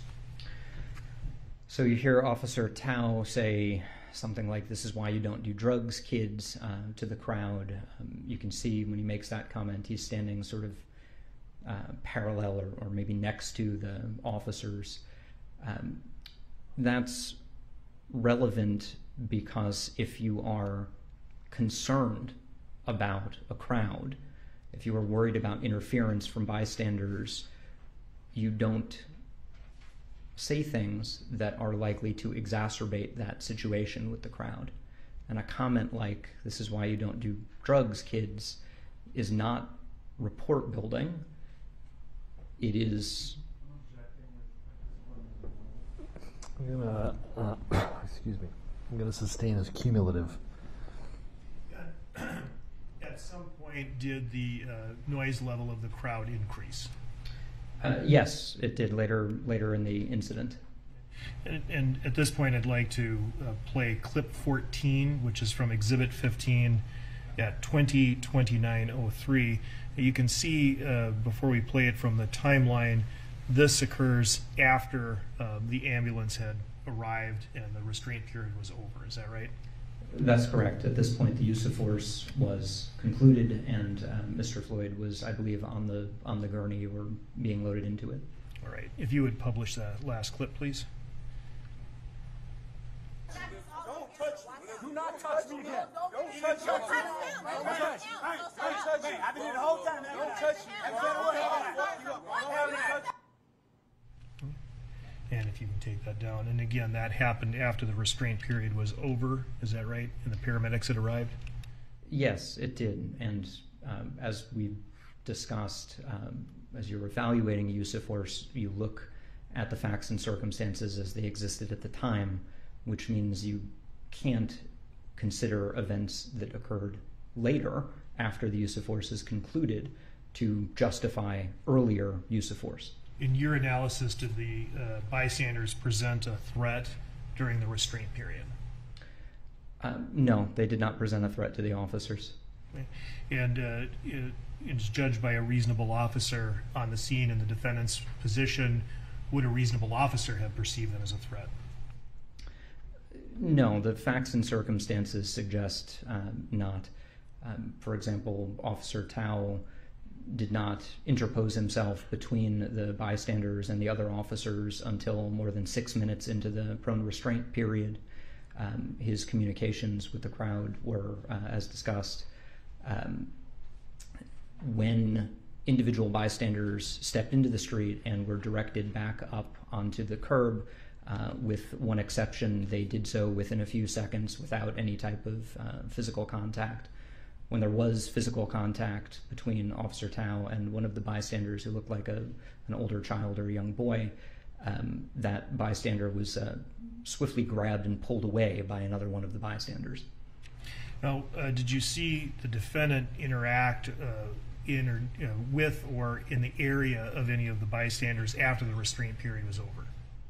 Um, after the restraint period was over, uh, yes, the defendant um, left the position where he had been during the restraint and walked back, uh, I believe, to his squad, the police vehicle, uh, walking by several of the bystanders, not really interacting with them, but just walking by them or, or near them.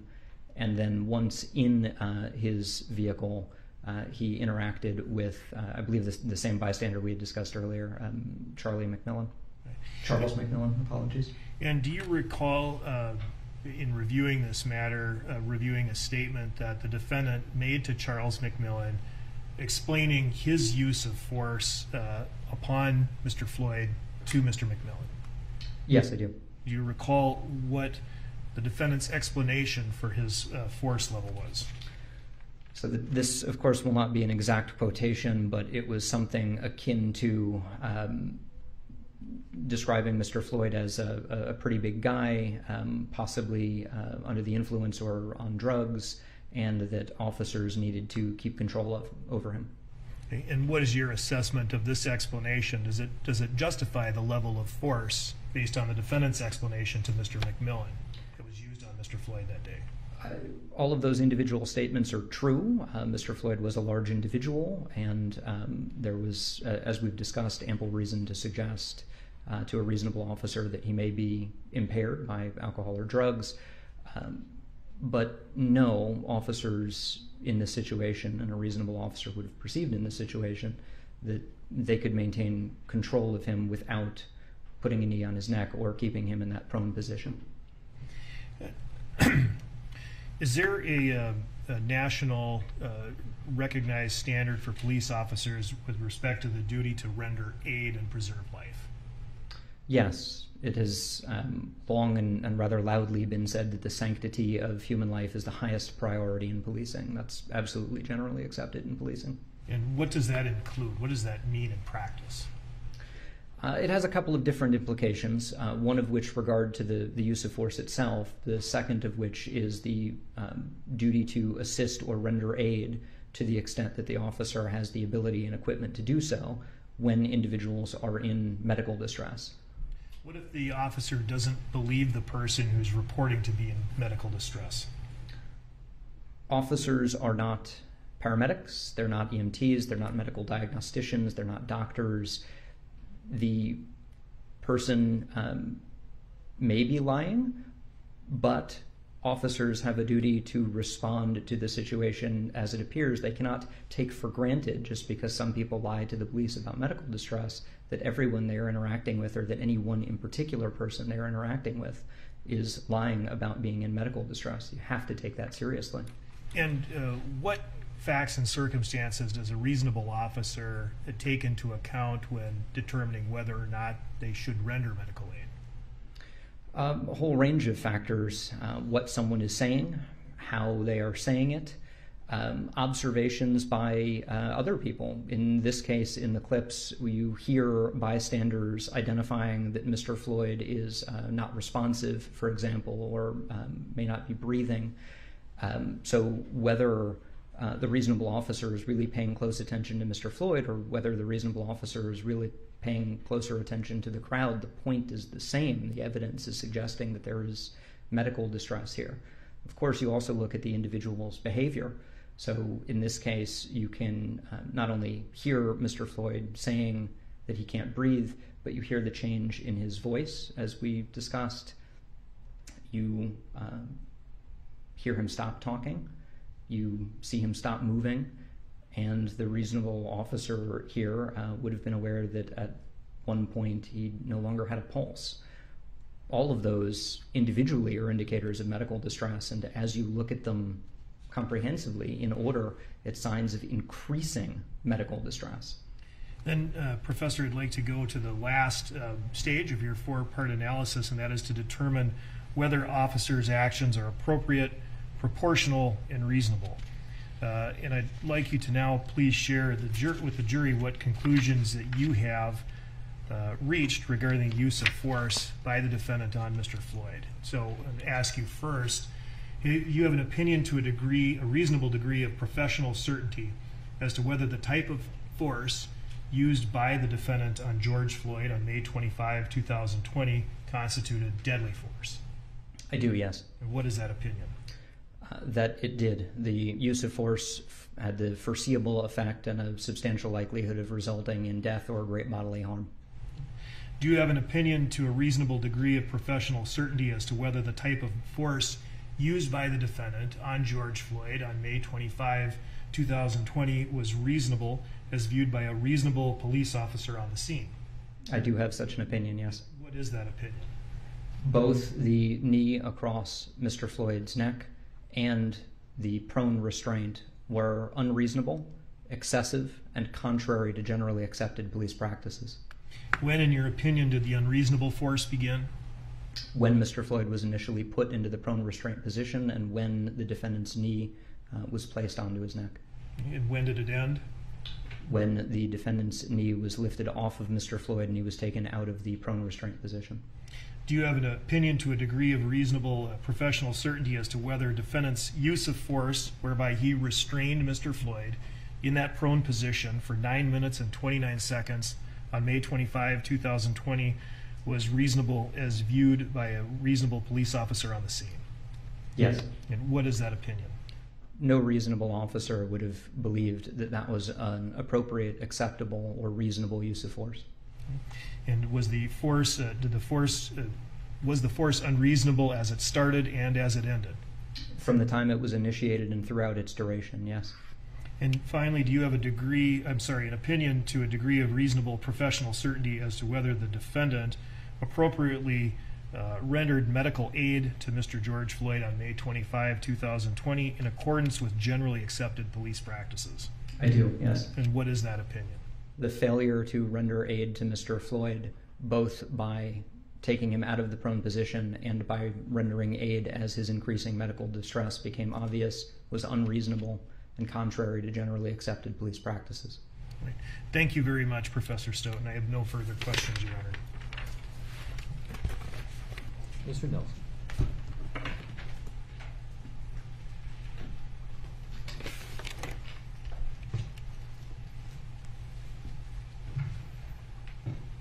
I may have just a moment, Your Honor.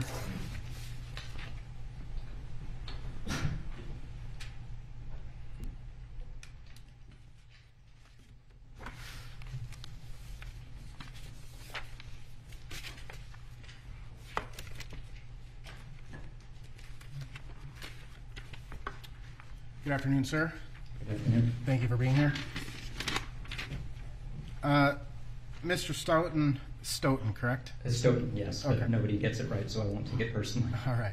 So, Mr. Stoughton, uh, you testified that you've been a, you were a police officer for approximately five years before going into uh, the more academic uh, nature of your work. Uh, I was full time with the police department for a little less than five years and stayed on as a reservist for another six months um, and was an investigator before ultimately going to law school and taking an academic route, yes. Okay. And you uh, analyzed this case principally from an academic standpoint, correct? I would not describe it as academic, no, I would describe it as the professional standards for policing. Okay. And the Graham versus Connor standard that you've discussed, I mean, there's more to it than just those three factors. Agreed? The Graham v. Connor standard is the the Fourth Amendment standard. Yes, there's um, more to Graham v. Connor, and there's more to the professional standard than just Graham v. Connor. And that would include um, that the analysis of an officer's use of force is viewed from the totality of the circumstances, correct? As viewed through the lens of a reasonable officer, yes. So it's not just 14 10 second clips, it's the totality of the circumstances viewed through that lens. Agreed? Yes. And in fact, one of the standards that Graham versus Connor, or Connor establishes is that um, shouldn't be viewed from the 2020 lens of hindsight, right? The 2020 lens of hindsight is an admonition to not rely on evidence that was not available to officers at the time. It's part of the reasonable officer on the scene standard. It, of course, doesn't mean that we can't evaluate an officer's use of force after the fact. Understood. But the information, what we look at is the information that was available to the officer on scene at the time based on the reasonable officer standard, right? Um, not exactly. It's the information that was available to a reasonable officer at the time, not a subjective, the information that the individual officer had. Understood. So we look at it from a broader lens than just the officer that was actually on scene. Agreed? Uh, an objective lens, yes. Right. And that includes um, all of the things that would be known to a reasonable police officer on the scene. Yes. All right. So you you started uh, you described your kind of four prong approach to the analysis of uh, this particular case. Uh, same approach you take in every review you've done, correct? Yes. And ultimately, um, ultimately, you focused the majority of, as, as I understood, the majority of your testimony, your direct testimony, on the third and fourth prongs of that analysis. Would you agree with that? Um, no, I, I would describe most of my testimony as being about the second and third prongs, the whether uh, Mr. Floyd presented any threat, and if so, how much, and uh, the risk factors to Mr. Floyd, the foreseeable effects of force. Okay.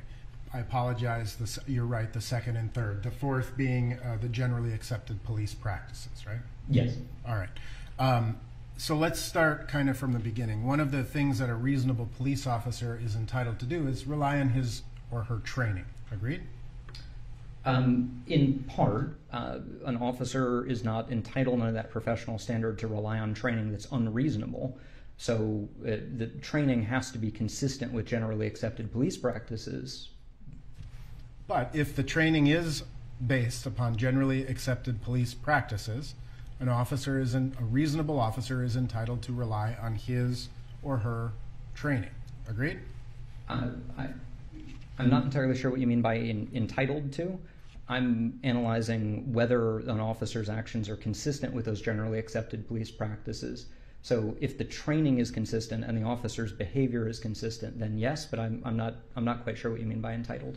When an officer approaches any use of force or any arrest, one of the things that a reasonable police officer takes into consideration is his or her training. And provided that that training is based upon generally accepted police practices, they can rely on their training in assessing the risk, the threat, all of the things that you've discussed. Agreed? I,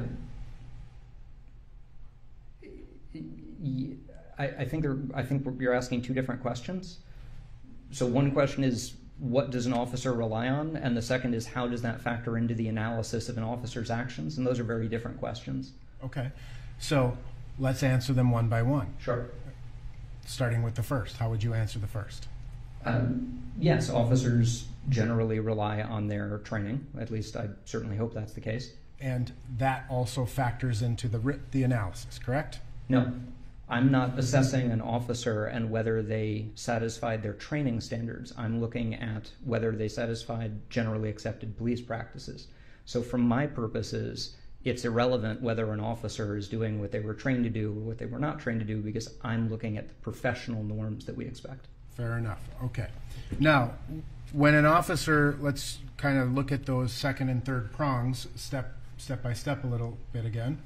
Um, you testified that when an officer, a reasonable officer, is allowed to uh, take into consideration what information they would have it, have received before the use of force began. Agreed? Uh, yes. And in this particular case, you understand that Officer Chauvin was initially dispatched to this offense, correct? Yes. That that dispatch was subsequently canceled, correct? Yes. That a second set of officers responded or took over the call, so to speak, correct? Yes. And that Officer Chauvin, without the other officers on scene, was dispatched in an emergent state. Agreed? I explain the last part, I'm sorry. The officers on the scene did not request backup. A dispatcher made the determination that these officers needed assistance, correct? Um, I, well, offhand, I don't remember exactly the justification for the response, but I, I will accept that if that's your representation. And ultimately, so if if an officer is canceled from a call, but then in an emergent situation, that's going to give a reasonable police officer a heightened uh, sense of awareness as they respond to that call. Agreed? Um, it depends on what information is provided to the officer and the reason they're responding, whether they're responding uh, code three, lights and sirens, or, or not. Um, I would say it, it can, but I'm not aware of any facts and circumstances that would apply in this case. So in this particular case, after officers Kueng and Lane initially responded to the to the call, dispatch um, uh, sent Officer Chauvin and Officer Thao code three to the scene. You don't recall that? Um, I, I would have to review the materials, but again, I'll, I will accept your representation of that. And ultimately, it was then because they were taking somebody out of the car, correct? Implying that a reasonable officer would know that someone was being removed from the car for some reason, right? Yes, yes, And I an recall off- that now. Thank you. And an officer would have that, a reasonable officer, if we can take what they would know before the use of force into consideration, would know that fact. Yes, a reasonable officer would have known that at some point prior officers removed Mr. Floyd from the vehicle And or from of- a vehicle. One of the one of the factors that you discussed uh, in terms of the Graham v. Connor standard was the severity of the crime they were responding to, right? Yes. And ultimately, in terms of that, is it do reasonable police officers frequently encounter a situation that starts out as a mild offense, but uh, elevates to something more serious? Um, it's certainly possible. I don't think there's any reason to suggest that there there were facts or circumstances of that of that here. Well, if the officers who were initially on scene were struggling with an individual, resulting in dispatch stepping up two additional officers, code three, that would Im- at least imply that there was something more serious than just a counterfeiting, correct? Um, no, not necessarily. In in this case, they were taking Mr. Floyd out of the vehicle for the counterfeiting. Resulting in a dispatcher stepping up the call to code three. Yes. And so, in again, reasonable police officers, in addition to relying on their training, provided it meets professional standards, they also can rely on their experience as right. Uh, with the same caveats, yes. The, the, yes. Provided that those prior experiences meet with professional standards. Right. Again, there's a difference between what an officer is relying on and whether their behavior meets the generally accepted police practices. And um, so, one of those types of issues that a police officer may have experienced is uh, perhaps people don't like to be arrested, right? Uh, that is not uncommon. Right. And that people uh, who are being arrested sometimes feign illness or feign uh, some medical emergency in order to avoid being arrested. Agreed? Um, so officers would know that when they get someone medical attention and it turns out that a qualified medical provider can say there's nothing here. Or that uh, the person's, you know, behaviors change, right? They say, I, I have, I'm having a heart attack, but then their behaviors are inconsistent with their words. They start doing jumping jacks or something. I've never seen that. So it's also, again, based on an officer's experience. Uh, it would be reasonable, reasonable police officers may experience uh, one suspect in a car disrupting the police uh, intervention to assist other people in the car from avoiding apprehension. Have you seen that? What, um, I'm, I'm sorry, can you ask that again? Sure. There would be, again, based on a reasonable police officer standards, or a reasonable police officer's experience, excuse me, that one person who's being detained by police may obstruct that police uh, intervention to sort of protect or hide information about his or her passengers. That the individual who is being detained may. I, Resist or obstruct in order to prevent his or her friends from being searched or identified. Um, I, I suppose, at least in, in theory, that's possible. In this case, it's not clear that a reasonable officer in the defendant's position would have been aware that there were passengers. Well, did you, you, you said you've spent 120 to 130 hours reviewing the body cameras, correct? Yeah, something like that. And you are aware where Officer And the rest of the materials, of course. And you're aware of where Officer Chauvin and Officer, uh, Lane, excuse me, Officer Thao parked their vehicle, right? Yes. And you were aware, based on the materials, that an additional squad car uh, was there from the Minneapolis Park Police, correct? Yes. And that that officer, where they were parked, was essentially across the street from each other at the point that Officer Chauvin arrived. Agreed?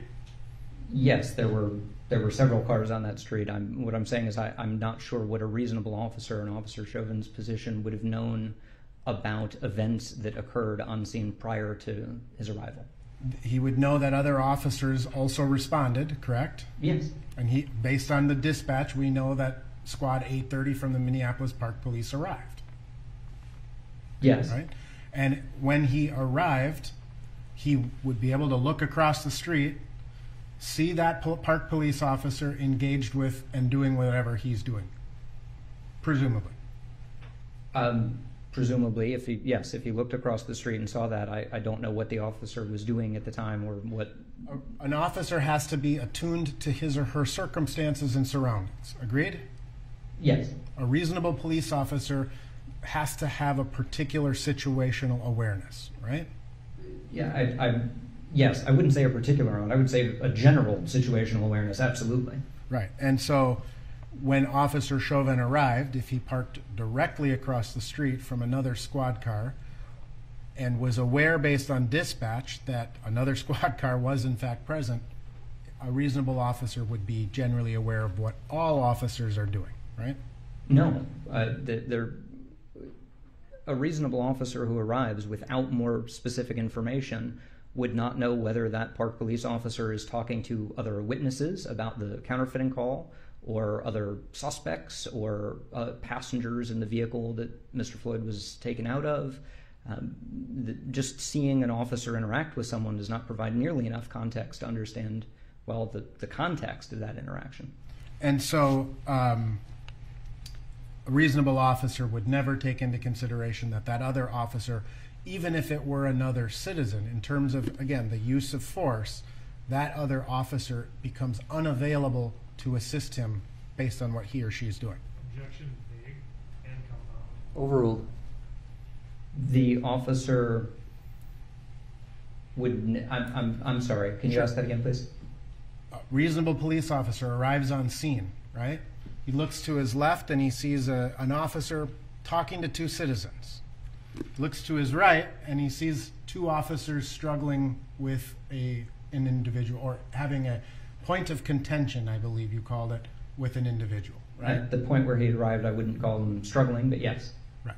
But he observes that there is obviously something that's a little bit more serious going on here, right? Um, uh, yes, at least they have one individual in custody there or in handcuffs, yes. Right. And the reasonable police officer would know that that other officer who's all the way across the street is not going to be as much of an assistance as he could potentially be as he's approaching the I yes, I, th- I, I, if I understand your question, uh, yes, as the as the officer uh, arrives there, he is in a better position to offer immediate assistance to the officers interacting with the handcuffed individual than an officer who is talking to whomever. And a reasonable police officer will assess a person's words in the context of their actions. Agreed? I would say assess both their words and their actions. Yes. And if someone is saying, I'm going to cooperate, I'm going to cooperate, I'm going to cooperate, that's what they're saying, their words are saying, but their actions are not cooperative, right? What is an officer to do in that situation? Just automatically believe that they're going to sometime cooperate? I think it depends on the situation. Um, no, I don't think an officer has to assume that this person will, uh, at some future point, uh, comply. And in fact, an officer, again, is entitled to use force under these national standards greater than the force or greater than to, to overcome the suspect's actions. Agreed? Um, I, so I, I, I really don't like greater. Sometimes I hear that formulation, but it doesn't make a lot of sense to me. Um, if someone is running away, what is force greater than running away? Uh, I would say that an officer has to use or, or can use force that is proportional and reasonable to address an individual's noncompliance or resistance, assuming, of course, that they have legal authority to do so. Right. And um, how it is frequently described in, in, in these materials that you've reviewed is that an officer can use more, an, a, a, an amount of force that is greater than the greater than the force being used by the suspect in an effort to overcome that resistance, right? Are, are you asking me about the MPD training material specifically? Yes. Objection, Your Honor, beyond the scope. Sidebar.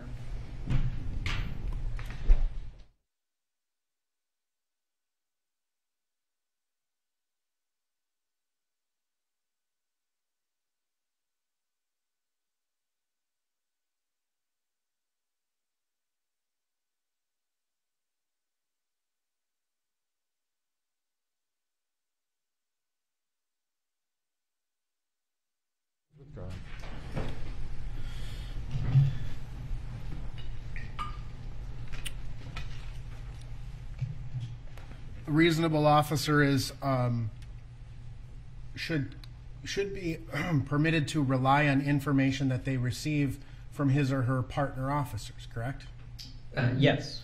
And do you recall in reviewing the video after or as this uh, struggle was ensuing, Officer Chauvin asking if he was under arrest? Uh, I do. I believe that's um, either prior to or as they're taking him out of the vehicle, out of the police vehicle. And other officers confirmed that he was under arrest at that time, correct? Uh, yes, either Officer Kueng or Officer Lane says, well, he's under arrest for forgery, or again, something very similar to that. Right. And Mr. Floyd said forgery for what, right? Uh, yeah, something like that.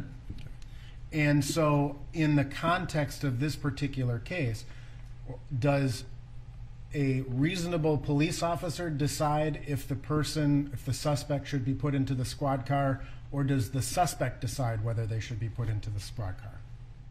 D- does the does the I mean the officer determines that someone should be put into the squad again assuming that's there's legal authority and the like. Right.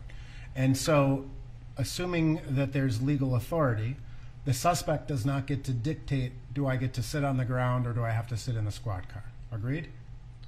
Uh, to to um, some extent, uh, yes, absolutely. There's a um, uh, yes. Now, as we watch through the the clips that you selected, uh, the clips that we watched were not chronological necessarily in their order, were they? Um, going in sort of top row and bottom row, each was chronological, right? The first clip happened first, the last clip happened last, and then we went back to back to the beginning on the on the bottom part, right, on the foreseeable effects discussion. Reasonable officer um, would also uh, presumably have some knowledge about his partners, correct? Um, uh, you might need to define some knowledge, but they would certainly know some stuff about the, the other officers that they were interacting with at close proximity, yes.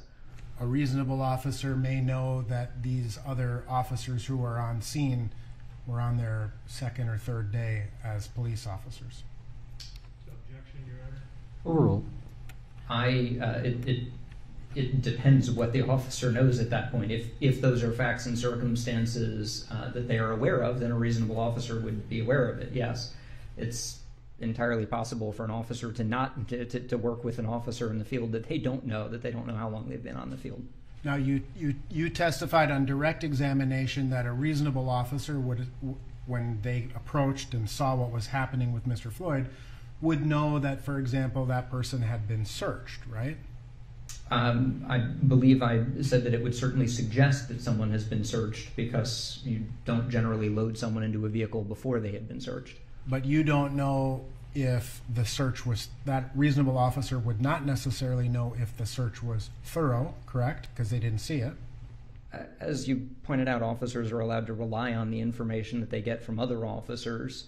Um, so while no, the officer is not in a position to gauge the how thorough the, the particular search was, there is an element of relying on other officers to do the job they've been trained for. And also in terms of you don't know whether the vehicle that the person and or his occupants was in was searched. A reasonable officer wouldn't necessarily know that at that point. Um, yes, that, that's correct. Without additional information, I don't know why a reasonable officer would know that a vehicle had or had not been searched or had or did not have occupants. But in fact, during the course of their interaction with Mr. Floyd, the officers did in fact discuss that Park was over, Park Police was over with the occupants of the vehicle and that the vehicle hadn't been searched yet, right? At, at which point? As they had Mr. Floyd restrained. Um, I, I can't tell you exactly when that happened. I remember some discussion to that effect. So officers, you would agree they go through this process of reassessment, the reasonable police officer does, right? I certainly hope so, yes. And officers will get information that may change how to deal with a particular situation, right? Um, that may uh, yes, as officers get additional information, they may update their response, escalating or de-escalating a use of force, for example, or talking to one person or not talking to one person that they had originally intended to speak to. Sure. Now, in terms of, again, uh, the concept of situational awareness, an officer has to be around of his, uh, aware of his or her surroundings, agreed? Yes. And that would include things like uh, being on a busy street, right? Uh, yes, tactically, that's why you don't want to prone someone out on a street when you have the option of not doing so.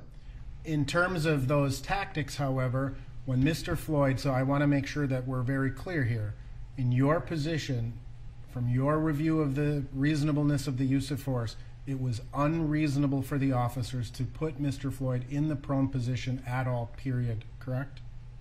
Yes, at that point, he did not present a threat to the officers or their interests. He did not present a threat of uh, escape. Um, the officers used some amount of force to put him into the car, and I have no issue with that. But putting him in the prone position, especially on the street side of the car, um, was unreasonable and excessive and contrary to generally accepted police practices. Um, reasonable minds can disagree, agreed? On this particular point, no. Okay, so Sergeant Stiger, who testified earlier, did you have an opportunity to review his testimony? I believe I, yes, I did. Okay.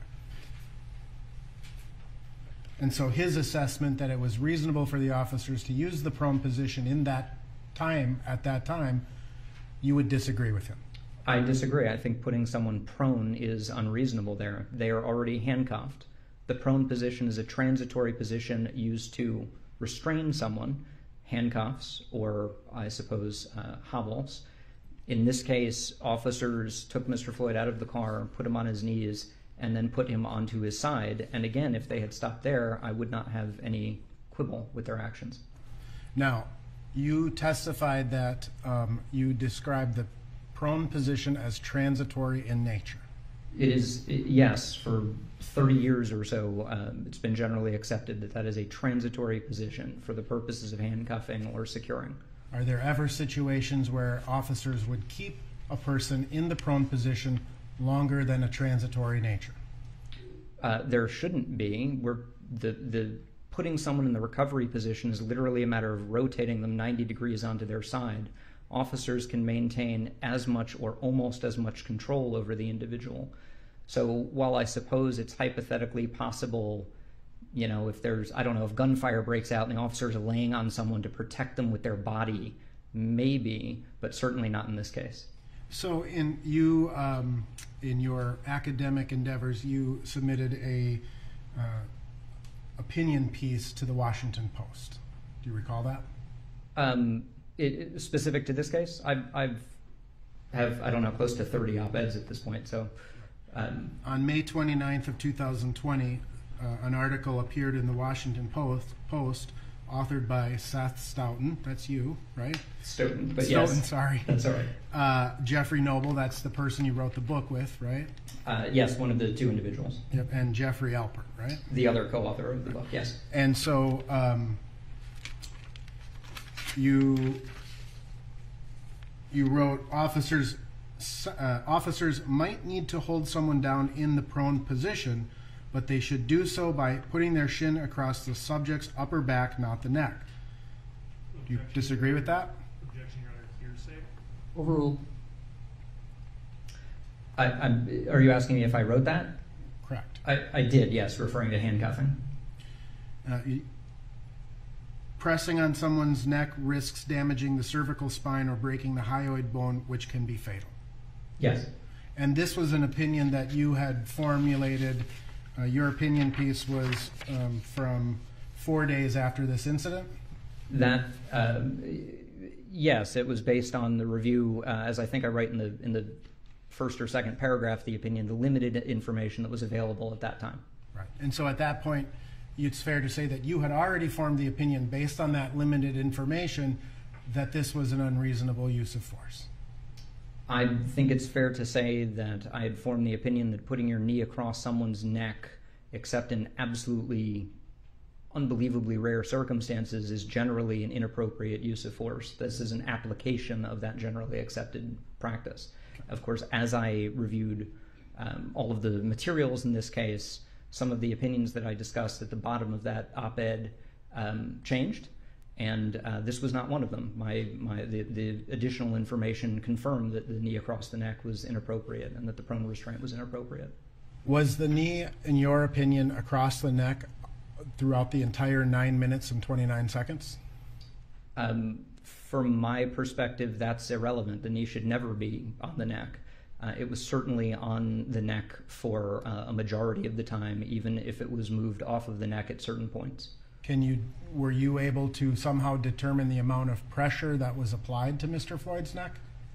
Uh, not with any specificity, of course. There are um, some indicators that it was uh, a substantial amount of body weight, but I can't tell you exactly how many uh, how many pounds.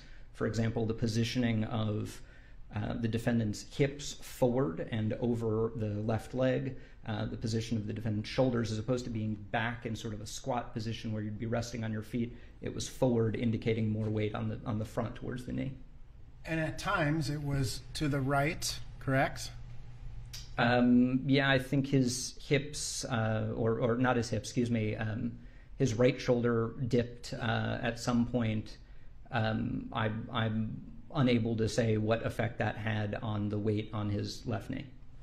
So let's go back to um, the period of time when the officers were uh, attempting to put Mr. Floyd into the squad car. Um, reasonable police officers, again, in assessing their use of force, have to take into consideration uh, the strength of the individual, right? Uh, yeah, sure. Based on the experience that they may just have had, right? Um, how much, uh, how strong someone is, is a reflection of their physical ability to resist in different ways. So that is certainly a factor in that threat analysis. And you already testified that they officers, uh, a reasonable police officer can take into account size differences. Agreed? Um, size differences, uh, number of officers versus number of subjects, physical characteristics, uh, age. You know, a, a A 10 year old versus a 40 year old may possess, present a different threat or risk analysis. Agreed? Uh, yes, they have different levels of physical ability, the threat that they present, or the severity of the threat they present, even in doing the same actions, right? A, a, a, a healthy uh, college student and a you know morbidly obese 90 year old are not going to throw the same punch. Reasonable police officers do take into consideration uh, an expected, per, perhaps, EMS response, right? Um, in what context? Time. I, I, I'm sorry. In, in making which decision? I, I'm yes, absolutely reasonable police officer. I mean, when you call EMS, you expect EMS to respond. So certainly, officers can act in reliance that EMS will respond when called. Right. And you understand that in this particular case, EMS was uh, called at, Yes. the, at the, and that was contemporaneous to the point of the discussion about the use of the MRT, correct? Um, yes, I, I forget if that's when they were initially called or when they were upgraded, but it, yes, somewhere in there. And uh, again, a reasonable police officer in assessing the physical condition of the suspect, it would be reasonable for him to increase the response of EMS based on those observations, right? To, to uh, upgrade it, to ask for a co- lights and siren response. Um, uh, yes, absolutely. What, what's not reasonable is hold. Objection, non-responsive at that point. The answer is concluded at that point.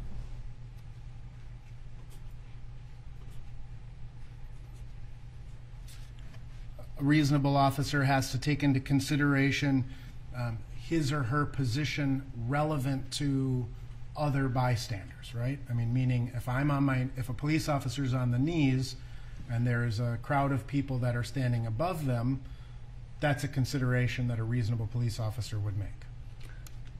Depending on the situation, that can affect a concept that's referred to as reactionary gap. Um, it's one of many such factors in the in this totality of the circumstances.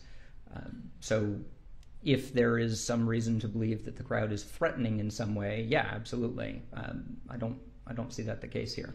You've seen, uh, obviously, the, the footage, and at one point you observe Officer Chauvin uh, reach for his mace, correct? Yes. And shake it? Um, uh, he takes it out of the holster, and I forget if he shakes it, but he definitely has it uh, deployed. Yes, while saying to the crowd, "Don't come over here," or something like that. Yes. Reasonable police officer would know that they are being recorded, right? In this situation. Uh, I mean, the officers are wearing body cameras, so they should know that they're being recorded. And based upon your review, it appears that several people are standing right out in front of the officers holding what appear to be cell phones, correct? Oh, yes. And a reasonable police officer would be who is situationally aware would be aware that they are being recorded by the bystanders, right? I think that's a fair description depending on the positioning of the officers. Uh, I'm not sure a reasonable officer in Officer Lane's position at Mr. Floyd's feet would have been aware, but uh, in the defendant's position, yes.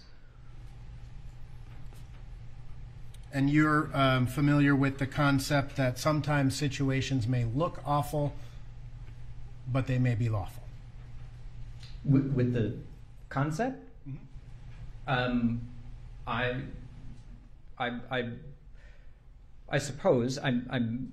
Can you can you explain what you mean there, please? Sure. Um, the police use of force is never a particularly attractive thing to, to watch or to witness. Uh, it's it's not very pretty. Um, I, yeah, I think that's often the case. And just because it's not very pretty does not mean that it's not lawful use of force. Agreed?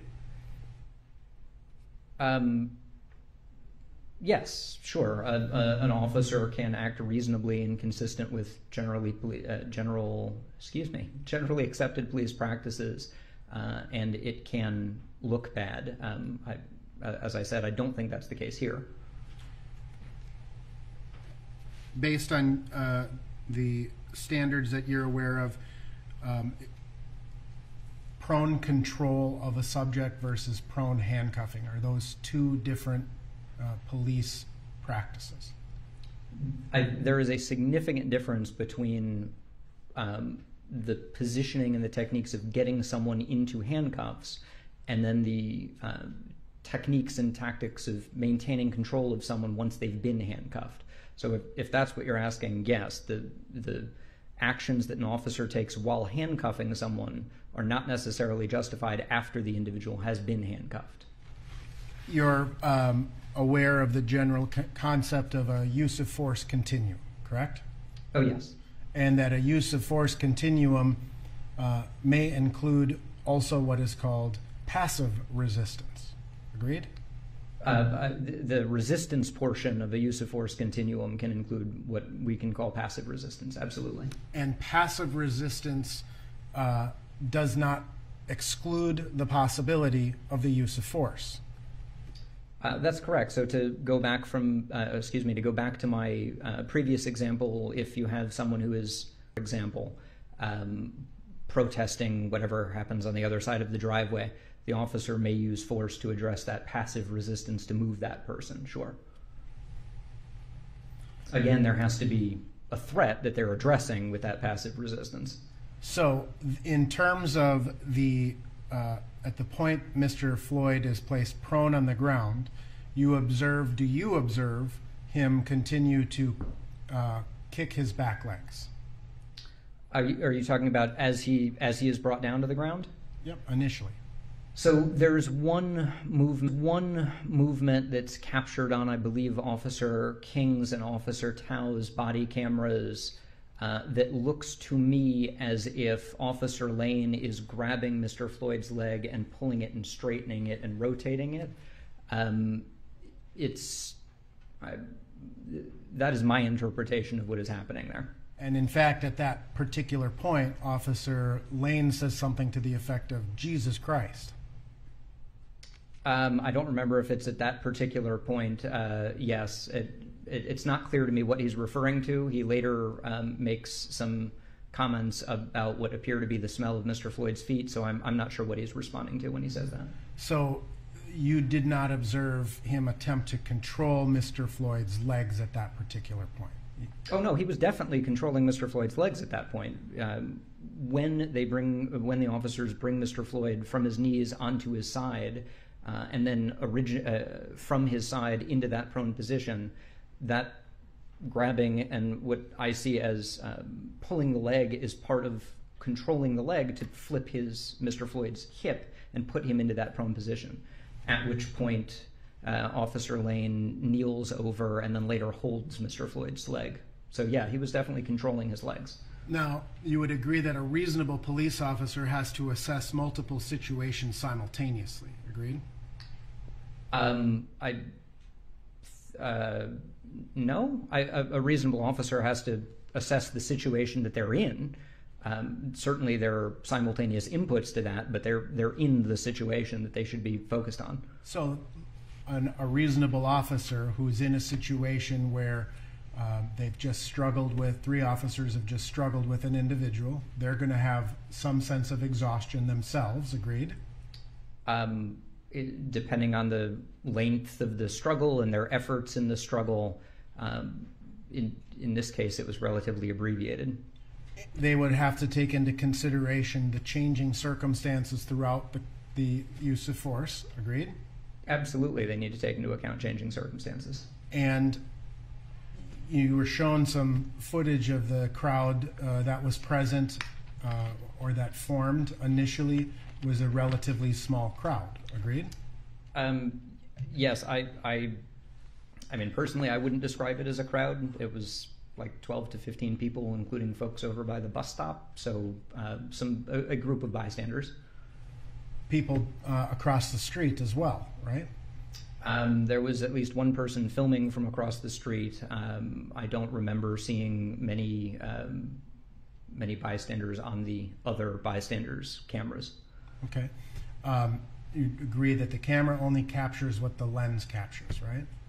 Any individual camera? Yes, any individual camera will only capture what's on camera. And so, for example, that city pole camera, the milestone camera, you can see other individuals standing, more than one individual standing on the sidewalk across the street from where the officers were positioned. Agreed? Yes, at times, yes. And at various points, you would agree that there were people uh, across the street to the southwest, southeast, excuse me. The is that um, is that the the Dragon Wok restaurant? Correct. Um, uh, yes. So so.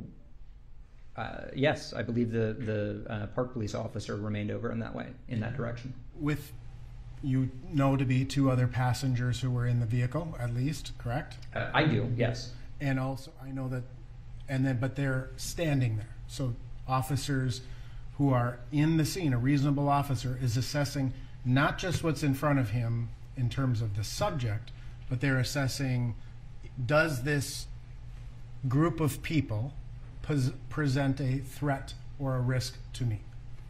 Uh, yeah, that's the basics of situational awareness, right? Knowing, not getting so focused on one particular thing that you lose awareness of the broader situation, the context in which you're asking, uh, acting. Excuse me. Yep, and and a, again, a reasonable officer in terms of situational awareness will try to be aware of what's behind him. Agreed.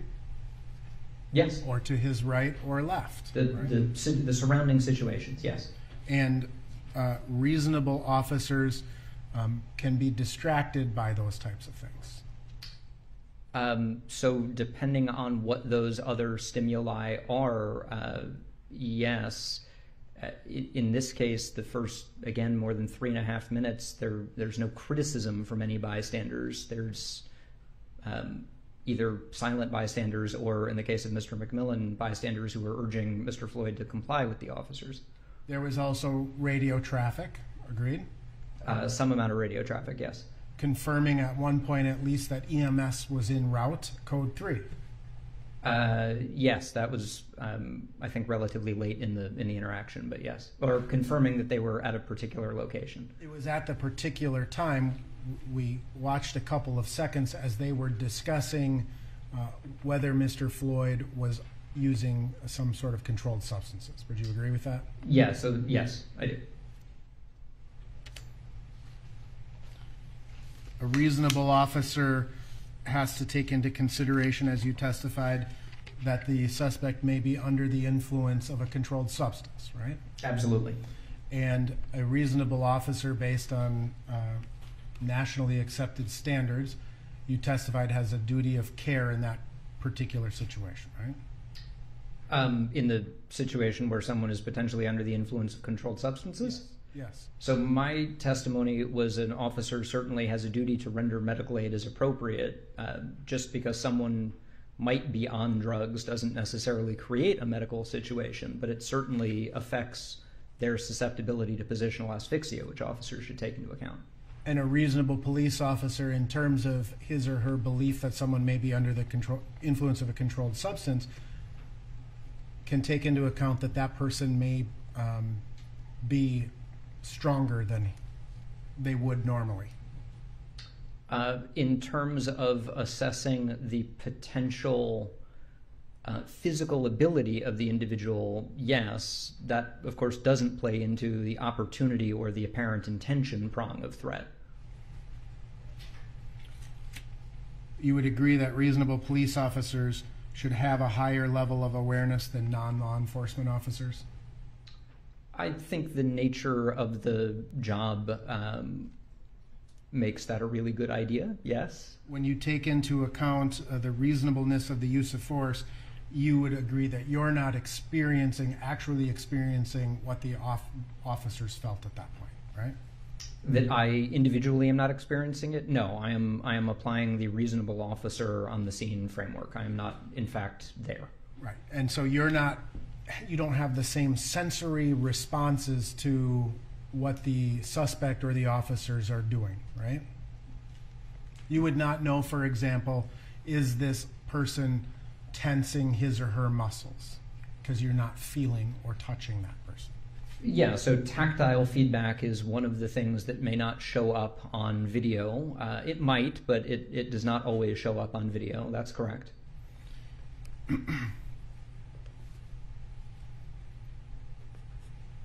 when you do your um, use of force analysis, you're not doing it in a dangerous environment, I presume. Um, without any making any jokes about my kids, no, I am. I'm not generally doing it in a an extant dangerous situation. You have the luxury of slow motion, enhancements, looking at things from multiple perspectives. Agreed? Objective, argumentative. Overruled.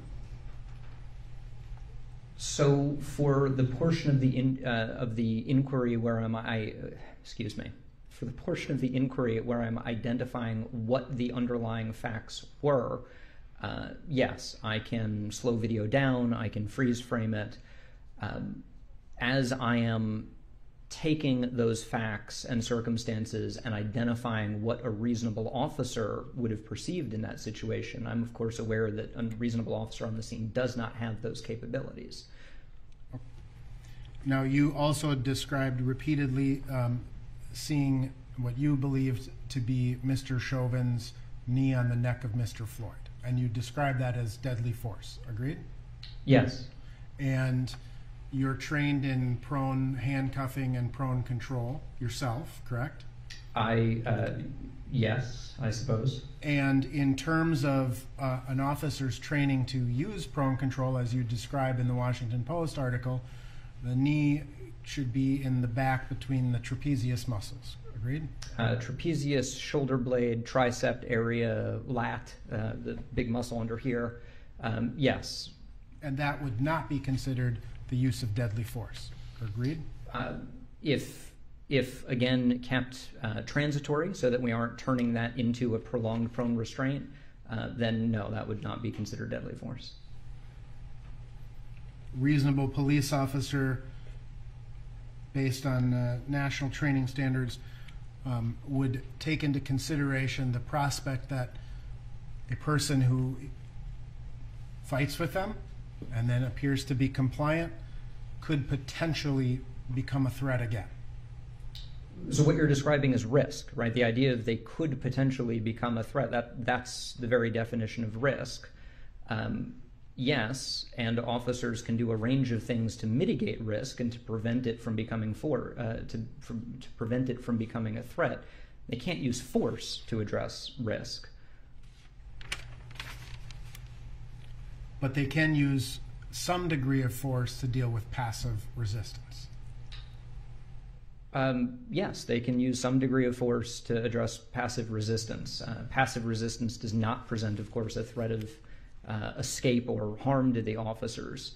Um, and it's the type of situation where if someone is passively resisting while officers are just trying to maintain control over them, then you just hold them on their side. And in terms of um, a person who's handcuffed, it's not a reasonable officer would never expect that person to get up and run away or become a threat again. Uh, that's not my testimony. My testimony is there may be some risk of that, but officers can generally maintain control over a handcuffed individual in the side recovery position, which is what it's designed for. You also watched one of the clips um, where one of the officers checked for a pulse, correct? Yes. And you heard Officer Chauvin say, huh? Uh, yes. And then the response was, I'm just looking for a pulse? I, uh, it was something like that. I said I was checking for a pulse, or said I was looking for a pulse, or something like that. At the point that the officer references, we didn't watch the entirety of it during this clip, but at the point the officer references that he was passing out, you also hear officers say, but he's still breathing. Yes. At that point, he was still breathing, or at least the officers are narrating that he was still breathing at that point.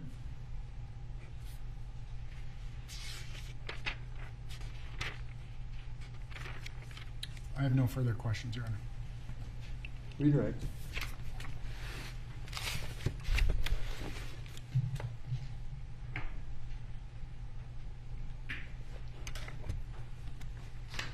Thank you, Your Honor. Sir, you were asked some questions, and I'd like you to provide some further explanation regarding using uh, more force than the subject presents. Right? And I believe you were asked if the officer was allowed to use sort of a level up of force. Um, is that an, an oversimplification of the reasonableness standard? Yes, it is, and it, it's an oversimplification that really doesn't make a, a lot of sense, right? Um, like I said, what does it mean to use a level up from passive resistance or someone running away? You, you know, running faster doesn't count. Um, so I, I, I don't find that to be a helpful formulation of explaining uh, proportionality and reasonableness. And you also testified as to the need for officers to reassess the situation on cross-examination, is that right? Yes, absolutely. Be situationally aware of changes in circumstances, is that right? Yes, absolutely. And that, you know, some officer may need to be aware um, who's behind them across the street at some point, is that right? Uh, sure, officers should should maintain that level of situational awareness. But should a reasonable officer maintain a level of situation awareness as to what's going on right in front of them? Absolutely, that's still the primary focus. Situational awareness is um, not exclusively focusing on what you're dealing with right in front of you, but it's also not ignoring what you're dealing with and that's right in front of you. And with respect to tactile response, that's feeling the response of someone uh, who you're touching, is that right? That's correct. So someone who's, um, you know, you, you can't just tell looking whether I'm pushing on my own hand. Um, so yes, that's correct. Would a reasonable officer in the place of the defendant then have the situational awareness to understand that he's kneeling on top of a limp person who is not responsive? Um, I would certainly have hoped so. Yes, a reasonable officer would absolutely be aware of that. And in terms of situational awareness and relying on information provided from partner officers, would a reasonable officer in the defendant's situation have paid attention when the comment that they couldn't find a pulse was made? Uh, yes, absolutely. That's an incredibly important uh, important piece of information for an officer there, as is um, the the the, the moving uh, of the of the individual. Um, one of the things that we know about positional asphyxia is this concept of vicious cycle, which is that as someone starts to have difficulty breathing, they move or um, or or resist, if you like, for breath. They're fighting to breathe, not fighting officers. Um, and again, this goes back almost 30 years as generally accepted uh, with regard to positional asphyxia and the, the, the way officers should address it. In terms of rendering medical aid and the decision of an officer to believe if someone is stating something like, for example, I can't breathe, shouldn't the officer, using situational awareness, determine um, the uh, credibility of that statement based on all the facts and circumstances presented at the time? Uh, yes, and again, the officer has very limited ability to engage in credibility determinations there. Um, so if someone is expressing difficulty breathing, you roll them onto their side so it's easier for them to breathe. That is what the side recovery position was intended for. One hypothetical situation is that a person standing in the distance from me to you, speaking in the tone that I'm speaking, expressing to you that I can't breathe, you might have a reason to doubt that based on all of the facts and circumstances, correct? Uh, sure. Under our uh, uh, yes, under under our interactions, um, there there's no reason to believe that that's the case. There's no uh, behavioral indications. We're continuing to have the same conversation. As the officer, I would still want to take that seriously and potentially summon medical aid, uh, but we're not in the position of me, you know, knocking you down and doing CPR or anything. But if you're kneeling on top of me and I'm telling you that you can't breathe, that might be a different situation, and your situational awareness might prompt you to believe that, in fact, what I'm saying is what I'm actually experiencing. Sustained. What would the situation be? Well, never mind. I have no further questions. Any further recross? Thank you, sir. You are excused. Thank you.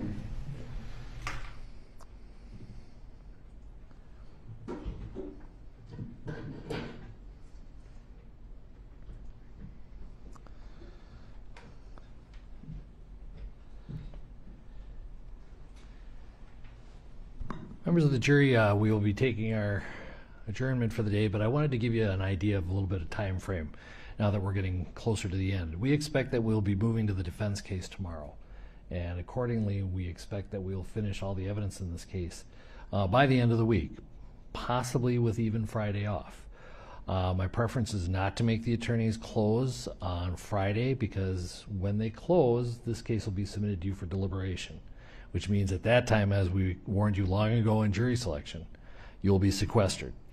Uh, if I were to have closing arguments on Friday, that would mean you'd be sequestered and your weekend, uh, and I don't know if you have any plans. I'm not going to do that. Um, my preference is to give the attorneys more time to prepare their closing arguments uh, and have the closing arguments we predict on Monday.